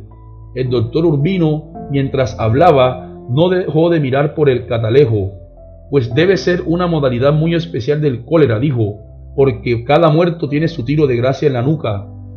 Poco después volaron sobre el mar de espumas y descendieron sin novedad en un playón ardiente cuyo suelo agrietado de salitre quemaba como fuego vivo.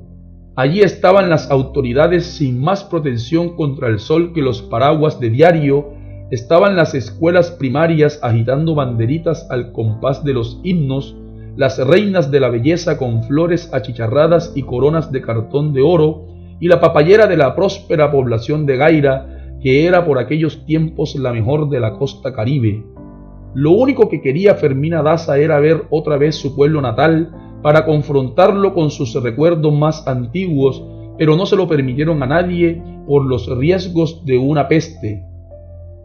El doctor Juvenal Urbino entregó la carta histórica que luego se traspapeló y nunca más se supo de ella, y la comitiva en pleno estuvo a punto de asfixiarse en el sopor de los discursos. Al final los llevaron en mulas hasta el embarcadero de Pueblo Viejo, donde la ciénaga se juntaba con el mar, porque el ingeniero no consiguió que el globo volviera a elevarse.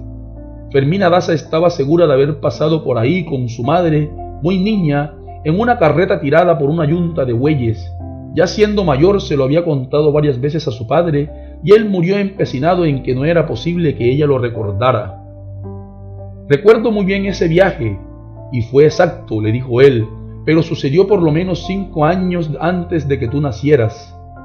Los miembros de la expedición en globo regresaron tres días después al puerto de origen estragados por una mala noche de tormenta, y fueron recibidos como héroes. Perdido en la muchedumbre, desde luego, estaba Florentino Ariza, quien reconoció en el semblante de Fermina Daza las huellas del pavor. Sin embargo, esa misma tarde volvió a verla en una exhibición de ciclismo, también patrocinada por el esposo, y no le quedaba ningún vestigio de cansancio. Manejaba un velocípedo insólito que más bien parecía un aparato de circo, con una rueda delantera muy alta sobre la cual iba sentada y una posterior muy pequeña que apenas le servía de apoyo. Iba vestida con unos calzones bombachos de cenefas coloradas que provocaban el escándalo de las señoras mayores y el desconcierto de los caballeros, pero nadie fue indiferente a su destreza. Esa y tantas otras a lo largo de tantos años eran imágenes efímeras que se le aparecían de pronto a Florentino Ariza cuando le daba la gana al azar y volvían a desaparecer del mismo modo dejando en su corazón una tirilla de ansiedad. Pero marcaban la pauta de su vida, pues él había conocido la sevicia del tiempo no tanto en carne propia como en los cambios imperceptibles que notaba en Fermina Daza cada vez que la veía. Cierta noche entró en el mesón de don Sancho, un restaurante colonial de alto vuelo, y ocupó el rincón más apartado como solía hacerlo cuando se sentaba solo a comer sus meriendas de pajarito. De pronto vio a Fermina Daza en el gran espejo del fondo, sentada en la mesa con el marido y dos parejas más, y en un ángulo que él podía verla reflejada en todo su esplendor. Estaba indefensa, conduciendo la conversación con una gracia y una risa que estallaban como fuegos de artificio, y su belleza era más radiante bajo las enormes arañas de lágrimas Alicia había vuelto a atravesar el espejo.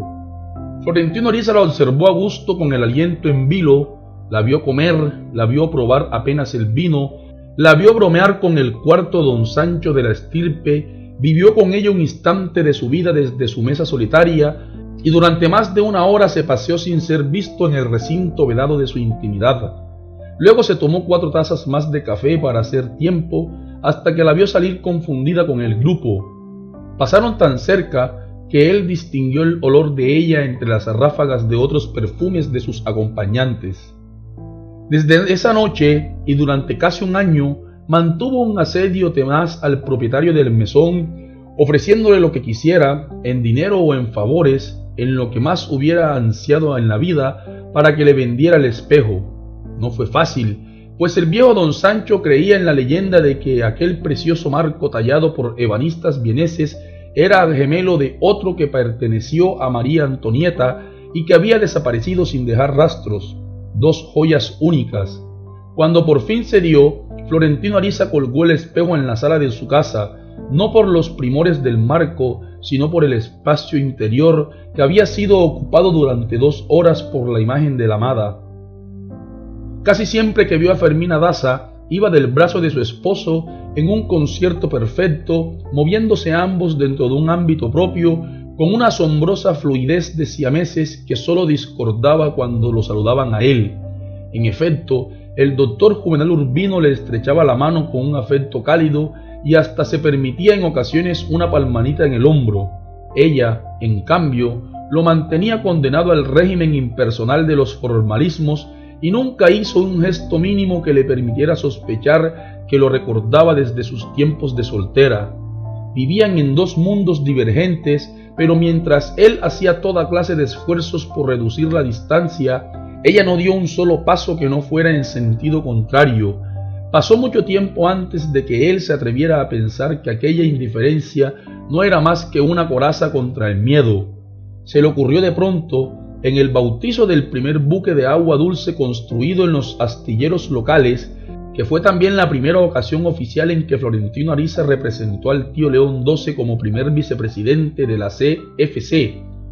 Esta coincidencia revistió el acto de una solemnidad especial y no faltó nadie que tuviera alguna significancia en la vida de la ciudad.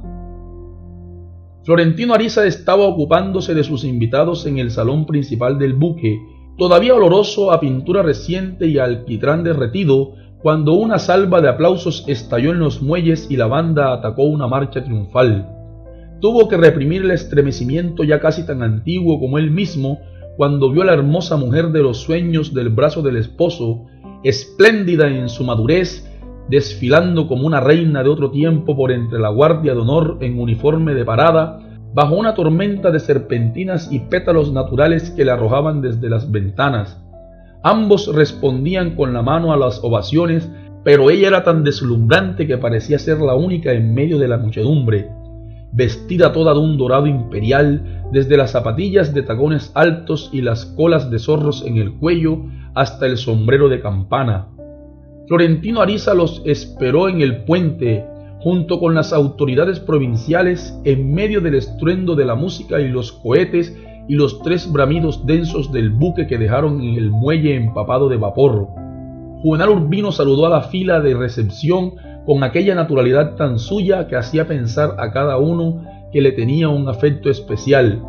Primero el capitán del buque en uniforme de gala, después el arzobispo, después el gobernador con su esposa y el alcalde con la suya, y después el jefe militar de la plaza, que era un andino recién llegado.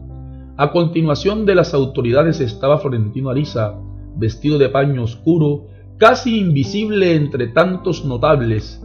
Luego de saludar al comandante de la plaza, Fermina Daza pareció vacilar ante la mano tendida de Florentino Ariza. El militar, dispuesto a presentarlos, le preguntó a ella si no se conocían. Ella no dijo que sí ni que no, sino que le tendió la mano a Florentino Ariza con una sonrisa de salón. Aquello había ocurrido en dos ocasiones del pasado y había ocurrido de y había ocurrido otras veces y Florentino Ariza lo asimiló siempre como un comportamiento del carácter de Fermina Daza. Pero aquella tarde se preguntó con su infinita capacidad de ilusión si una indiferencia tan encarnizada no sería un subterfugio para disimular un tormento de amor. La sola idea le alborotó las querencias, volvió a rondar la quinta de Fermina Daza con las mismas ansias con que lo hacía tantos años antes en el parquecito de los Evangelios, pero no con la intención calculada de que ella lo viera, sino con la única de verla para saber que continuaba en el mundo. Solo que entonces le era difícil pasar inadvertido el barrio de La Manga estaba en una isla semidesértica, separada de la ciudad histórica por un canal de aguas verdes y cubierta por matorrales de caco que habían sido guardias de enamorados dominicales durante la colonia. En años recientes habían demolido el viejo puente de piedra de los españoles y construyeron uno de material con globos de dulces para dar paso a los nuevos tranvías de mulas. Al principio, los habitantes de la manga tenían que soportar un suplicio que no se tuvo en cuenta en el proyecto, y era dormir tan cerca de la primera planta eléctrica que tuvo la ciudad, cuya trepitación era un temblor de tierra continuo. Ni el doctor Juvenal Urbino con todo su poder había logrado que la mudaran para donde no estorbara, hasta que intercedió en favor suyo su comprobada complicidad con la divina providencia. Una noche estalló la caldera de la planta con una explosión pavorosa, voló por encima de las casas nuevas, atravesó media ciudad por los aires y desbarató la galería mayor del antiguo convento de San Julián el Hospitalario. El viejo edificio en ruinas había sido abandonado a principios de aquel año, pero la caldera les causó la muerte a cuatro personas que se habían fugado a prima noche de la cárcel local y estaban escondidos en la capilla. Aquel suburbio apacible con tan bellas tradiciones de amor, no fue en cambio muy propicio para los amores contrariados cuando se convirtió en barrio de lujo. Las calles eran polvorientas en verano, pantanosas en invierno y desoladas durante todo el año, y las casas escasas estaban escondidas entre jardines frondosos con trenzas de mosaicos en vez de los balcones volados de antaño, como hechas a propósito para desalentar a los enamorados furtivos. Menos mal que aquella época se impuso a la moda de pasear por las tardes en las viejas victorias de alquiler arregladas para un solo caballo, y el recorrido terminaba en una eminencia desde donde se apreciaban los crepúsculos desgarrados de octubre, mejor que desde la torre del faro, y se veían los tiburones sigilosos acechando la playa de los seminaristas y el trasatlántico de los jueves, inmenso y blanco, que casi podía tocarse con las manos cuando pasaba por el canal del puerto. Florentino Ariza solía alquilar una victoria después de una jornada dura en la oficina, pero no le plegaba la capota como era la costumbre en los meses de calor, sino que permanecía escondido en el fondo del asiento, invisible en la sombra, siempre solo, y ordenando rumbos imprevistos para no alborotar los malos pensamientos del cochero. Lo único que en realidad le interesaba del paseo era el parteón de mármol rosado, medio oculto entre matas de plátano y mangos frondosos, réplica sin fortuna de las mansiones idílicas de las algodoneras de Luciana. Los hijos de Fermina Daza volvían a casa poco antes de las cinco. Florentino Ariza los veía llegar en el coche de la familia y veía salir después al doctor Juvenal Urbino para sus visitas médicas de rutina, pero en casi un año de rondas no pudo ver ni siquiera el celaje que anhelaba. Una tarde en que insistió en el paseo solitario a pesar de que estaba cayendo el primer aguacero devastador de junio, el caballo resbaló en el fango y se fue de bruces. Florentino Ariza se dio cuenta con horror de que estaba justo frente a la quinta de Fermina Daza y le hizo una súplica al cochero sin pensar que su consternación podía delatarlo. Aquí no, por favor, le gritó. En cualquier parte menos aquí. Ofuscado por el apremio, el cochero trató de levantar el caballo sin desgancharlo y el eje del coche se rompió. Florentino Ariza salió como pudo y soportó la vergüenza bajo el rigor de la lluvia hasta que otros paseantes ofrecieron para llevarlo a su casa. Mientras esperaba, una criada de la familia Urbino lo había visto con la ropa ensopada y chapaleando en el fango hasta las rodillas y le llevó un paraguas para que se guareciera en la terraza. Florentino Ariza no había soñado con tanta fortuna en el más desaforado de sus delirios, pero aquella tarde hubiera preferido morir a dejarse ver por Fermina Daza en semejante estado. Cuando vivían en la ciudad vieja, Juvenal Urbino y su familia iban los domingos a pie desde la casa hasta la catedral a la misa de ocho, que era más un acto mundano que religioso. Más tarde, cuando cambiaron de casa, siguieron yendo en el coche durante varios años y a veces se demoraban en tertulias de amigos bajo las palmeras del parque. Pero cuando construyeron el templo del seminario conciliar en La Manga, con playa privada y cementerio propio, ya no volvieron a la catedral sino en ocasiones muy solemnes. Ignorante de estos cambios, Florentino Ariza esperó varios domingos en la terraza del café de la parroquia, vigilando la salida de las tres misas.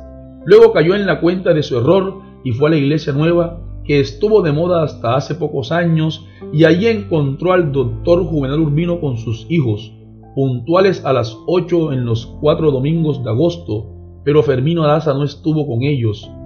Uno de esos domingos visitó el nuevo cementerio contiguo donde los residentes del barrio de la Manga estaban construyendo sus panteones suntuosos, y el corazón le dio un salto cuando encontró a la sombra de las grandes ceibas el más suntuoso de todos, ya terminado, con vitrales góticos y ángeles de mármol, y con las lápidas doradas para toda la familia en letras doradas. Entre ellas, desde luego, la de doña Fernanda Daza de Urbino de la calle y a continuación la del esposo con un epitafio común, juntos también en la paz del Señor. En el resto del año, Fermina Daza no asistió a ninguno de los actos cívicos ni sociales, ni siquiera los de Navidad, en los cuales ella y su marido solían ser protagonistas de lujo, pero donde más se notó su ausencia fue en la sesión inaugural de la temporada de ópera. En el intermedio, Florentino Ariza sorprendió un grupo en el que sin duda hablaban de ella sin mencionarla, Decían que alguien la vio subir una medianoche de junio anterior en el transatlántico de la Cunar rumbo a Panamá y que llevaba un velo oscuro para que no se le notaran los estragos de la enfermedad vergonzosa que la iba consumiendo. Alguien preguntó qué mal tan terrible podría ser para atreverse con una mujer de tantos poderes y la respuesta que recibió estaba saturada de una bilis negra. Una dama tan distinguida no puede tener sino la tisis.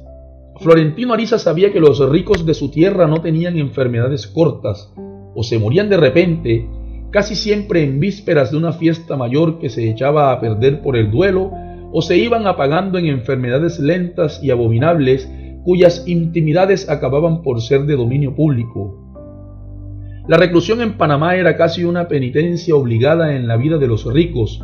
Se sometían a lo que Dios quisiera en el hospital de los adventistas, un inmenso galpón blanco extraviado en los aguaceros prehistóricos del Darién, donde los enfermos perdían la cuenta de la poca vida que les quedaba y en cuyos cuartos solitarios con ventanas de angeo nadie podía saber con certeza si el olor ácido fénico era de la salud o de la muerte. Los que se restablecían regresaban cargados de regalos espléndidos que repartían a manos llenas con una cierta angustia por hacerse perdonar la indiscreción de seguir vivos. Algunos volvían con el abdomen atravesado de costuras bárbaras que parecían hechas con cáñamo de zapatero, se alzaban la camisa para mostrarlas en las visitas, las comparaban con las de otros que habían muerto sofocados por los excesos de la felicidad, y por el resto de sus días seguían contando y volviendo a contar las apariciones angélicas que habían visto bajo los efectos del cloroformo. En cambio, nadie conoció nunca la visión de los que no regresaron, entre estos los más tristes, los que murieron desterrados en el pabellón de los tísicos, más por la tristeza de la lluvia que por las molestias de la enfermedad. Puesto a escoger, Florentino Ariza no sabía qué hubiera preferido para Fermina Daza, pero antes que nada prefería la verdad, así fuera insoportable, y por mucho que la buscó no dio con ella, le resultaba inconcebible que nadie pudiera darle al menos un indicio para confirmar la versión. En el mundo de los buques fluviales, que era el suyo, no había misterio que pudiera conservarse ni confidencia que se pudiera guardar. Sin embargo, nadie había oído hablar de la mujer del velo negro, nadie sabía nada, en una ciudad donde todo se sabía y donde muchas cosas se sabían inclusive antes de que ocurrieran, sobre todo las cosas de los ricos. Pero tampoco nadie tenía explicación alguna para la desaparición de Fermina Daza. Florentino Ariza seguía rondando la manga, oyendo misas sin devoción en la basílica del seminario, asistiendo a actos cívicos que nunca lo hubieran interesado en otro estado de ánimo, pero el paso del tiempo no hacía sino aumentar el crédito de la versión. Todo parecía normal en la casa de los urbinos, solo faltaba la madre. En medio de tantas averiguaciones encontró otras noticias que no conocía o que no andaba buscando, y entre ellas la muerte de Lorenzo Daza en la aldea cantábrica donde había nacido. Recordaba haberlo visto durante muchos años en las bulliciosas guerras de ajedrez del café de la parroquia, con la voz estragada de tanto hablar y más gordo y áspero a medida que sucumbía en las arenas movedizas de una mala vejez. No habían vuelto a dirigirse la palabra desde el ingrato desayuno de anisado del siglo anterior, y Florentino Ariza estaba seguro de que Lorenzo Daza seguía recordándolo con tanto rencor como él, aún después de conseguir para la hija el matrimonio de fortuna que se le había convertido en la única razón de estar vivo. Pero seguía tan decidido a encontrar una información inequívoca sobre la salud de Fermina Daza, que había vuelto al café de la parroquia para obtenerla de su padre por la época en que se celebró allí el torneo histórico en que Jeremías de San Amor se enfrentó solo a 42 adversarios. Fue así como se enteró de que Lorenzo Daza había muerto y se alegró de todo corazón, aún a sabiendas de que el precio de aquella alegría podía ser el seguir viviendo sin la verdad. Al final admitió como cierta la versión del hospital de desahuciados, sin más consuelo que un refrán conocido, mujer enferma, mujer eterna en sus días de desaliento se conformaba con la idea de que la noticia de la muerte de Fermina Daza, en caso de que ocurriera, le llegaría de todos modos sin buscarla. No iba a llegarle nunca, pues Fermina Daza estaba viva y saludable en la hacienda donde su prima Hildebranda Sánchez vivía olvidada del mundo, a media legua del pueblo de Flores de María. Se había ido sin escándalo, de común acuerdo con el esposo, embrollados ambos como adolescentes con la única crisis seria que habían sufrido en 25 años de un matrimonio estable. Los había sorprendido en el reposo de la madurez cuando ya se sentían a salvo de cualquier emboscada de la adversidad, con los hijos grandes y bien criados y con el porvenir abierto para aprender a ser viejos sin amarguras. Había sido algo tan imprevisto para ambos que no quisieron resolverlo a gritos, con lágrimas y mediadores, como era de uso natural en el Caribe, sino con la sabiduría de las naciones de Europa, y de tanto no ser ni de aquí ni de allá, terminaron chapaleando en una situación pueril que no era de ninguna parte. Por último, ella había decidido irse, sin saber siquiera por qué, ni para qué, por pura rabia, y él no había sido capaz de persuadirla, impedido por su conciencia de culpa. Fermina Daza, en efecto, se había embarcado a medianoche dentro del mayor sigilo y con la cara cubierta con una mantilla de luto, pero no en un transatlántico de la Conrad con destino a Panamá, sino en el buquecito regular de San Juan de la Ciénaga, la ciudad donde nació y vivió hasta la pubertad y cuya nostalgia se iba haciendo insoportable con los años. Contra la voluntad del marido y las costumbres de la época, no llevó más acompañante que una hijada de quince años que se había criado con la servidumbre de la casa, pero habían dado aviso de su viaje a los capitanes de los barcos y a las autoridades de cada puerto. Cuando tomó la determinación reflexiva, les anunció a los hijos que se iba a temperar por tres meses donde la tía Hildebranda, pero estaba decidida a quedarse. El doctor Juvenal Urbino conocía muy bien la entereza de su carácter y estaba tan atribulado que lo aceptó con humildad como un castigo de Dios por la gravedad de sus culpas. Pero no se habían perdido de vista las luces del barco cuando ya ambos estaban arrepentidos de sus flaquezas.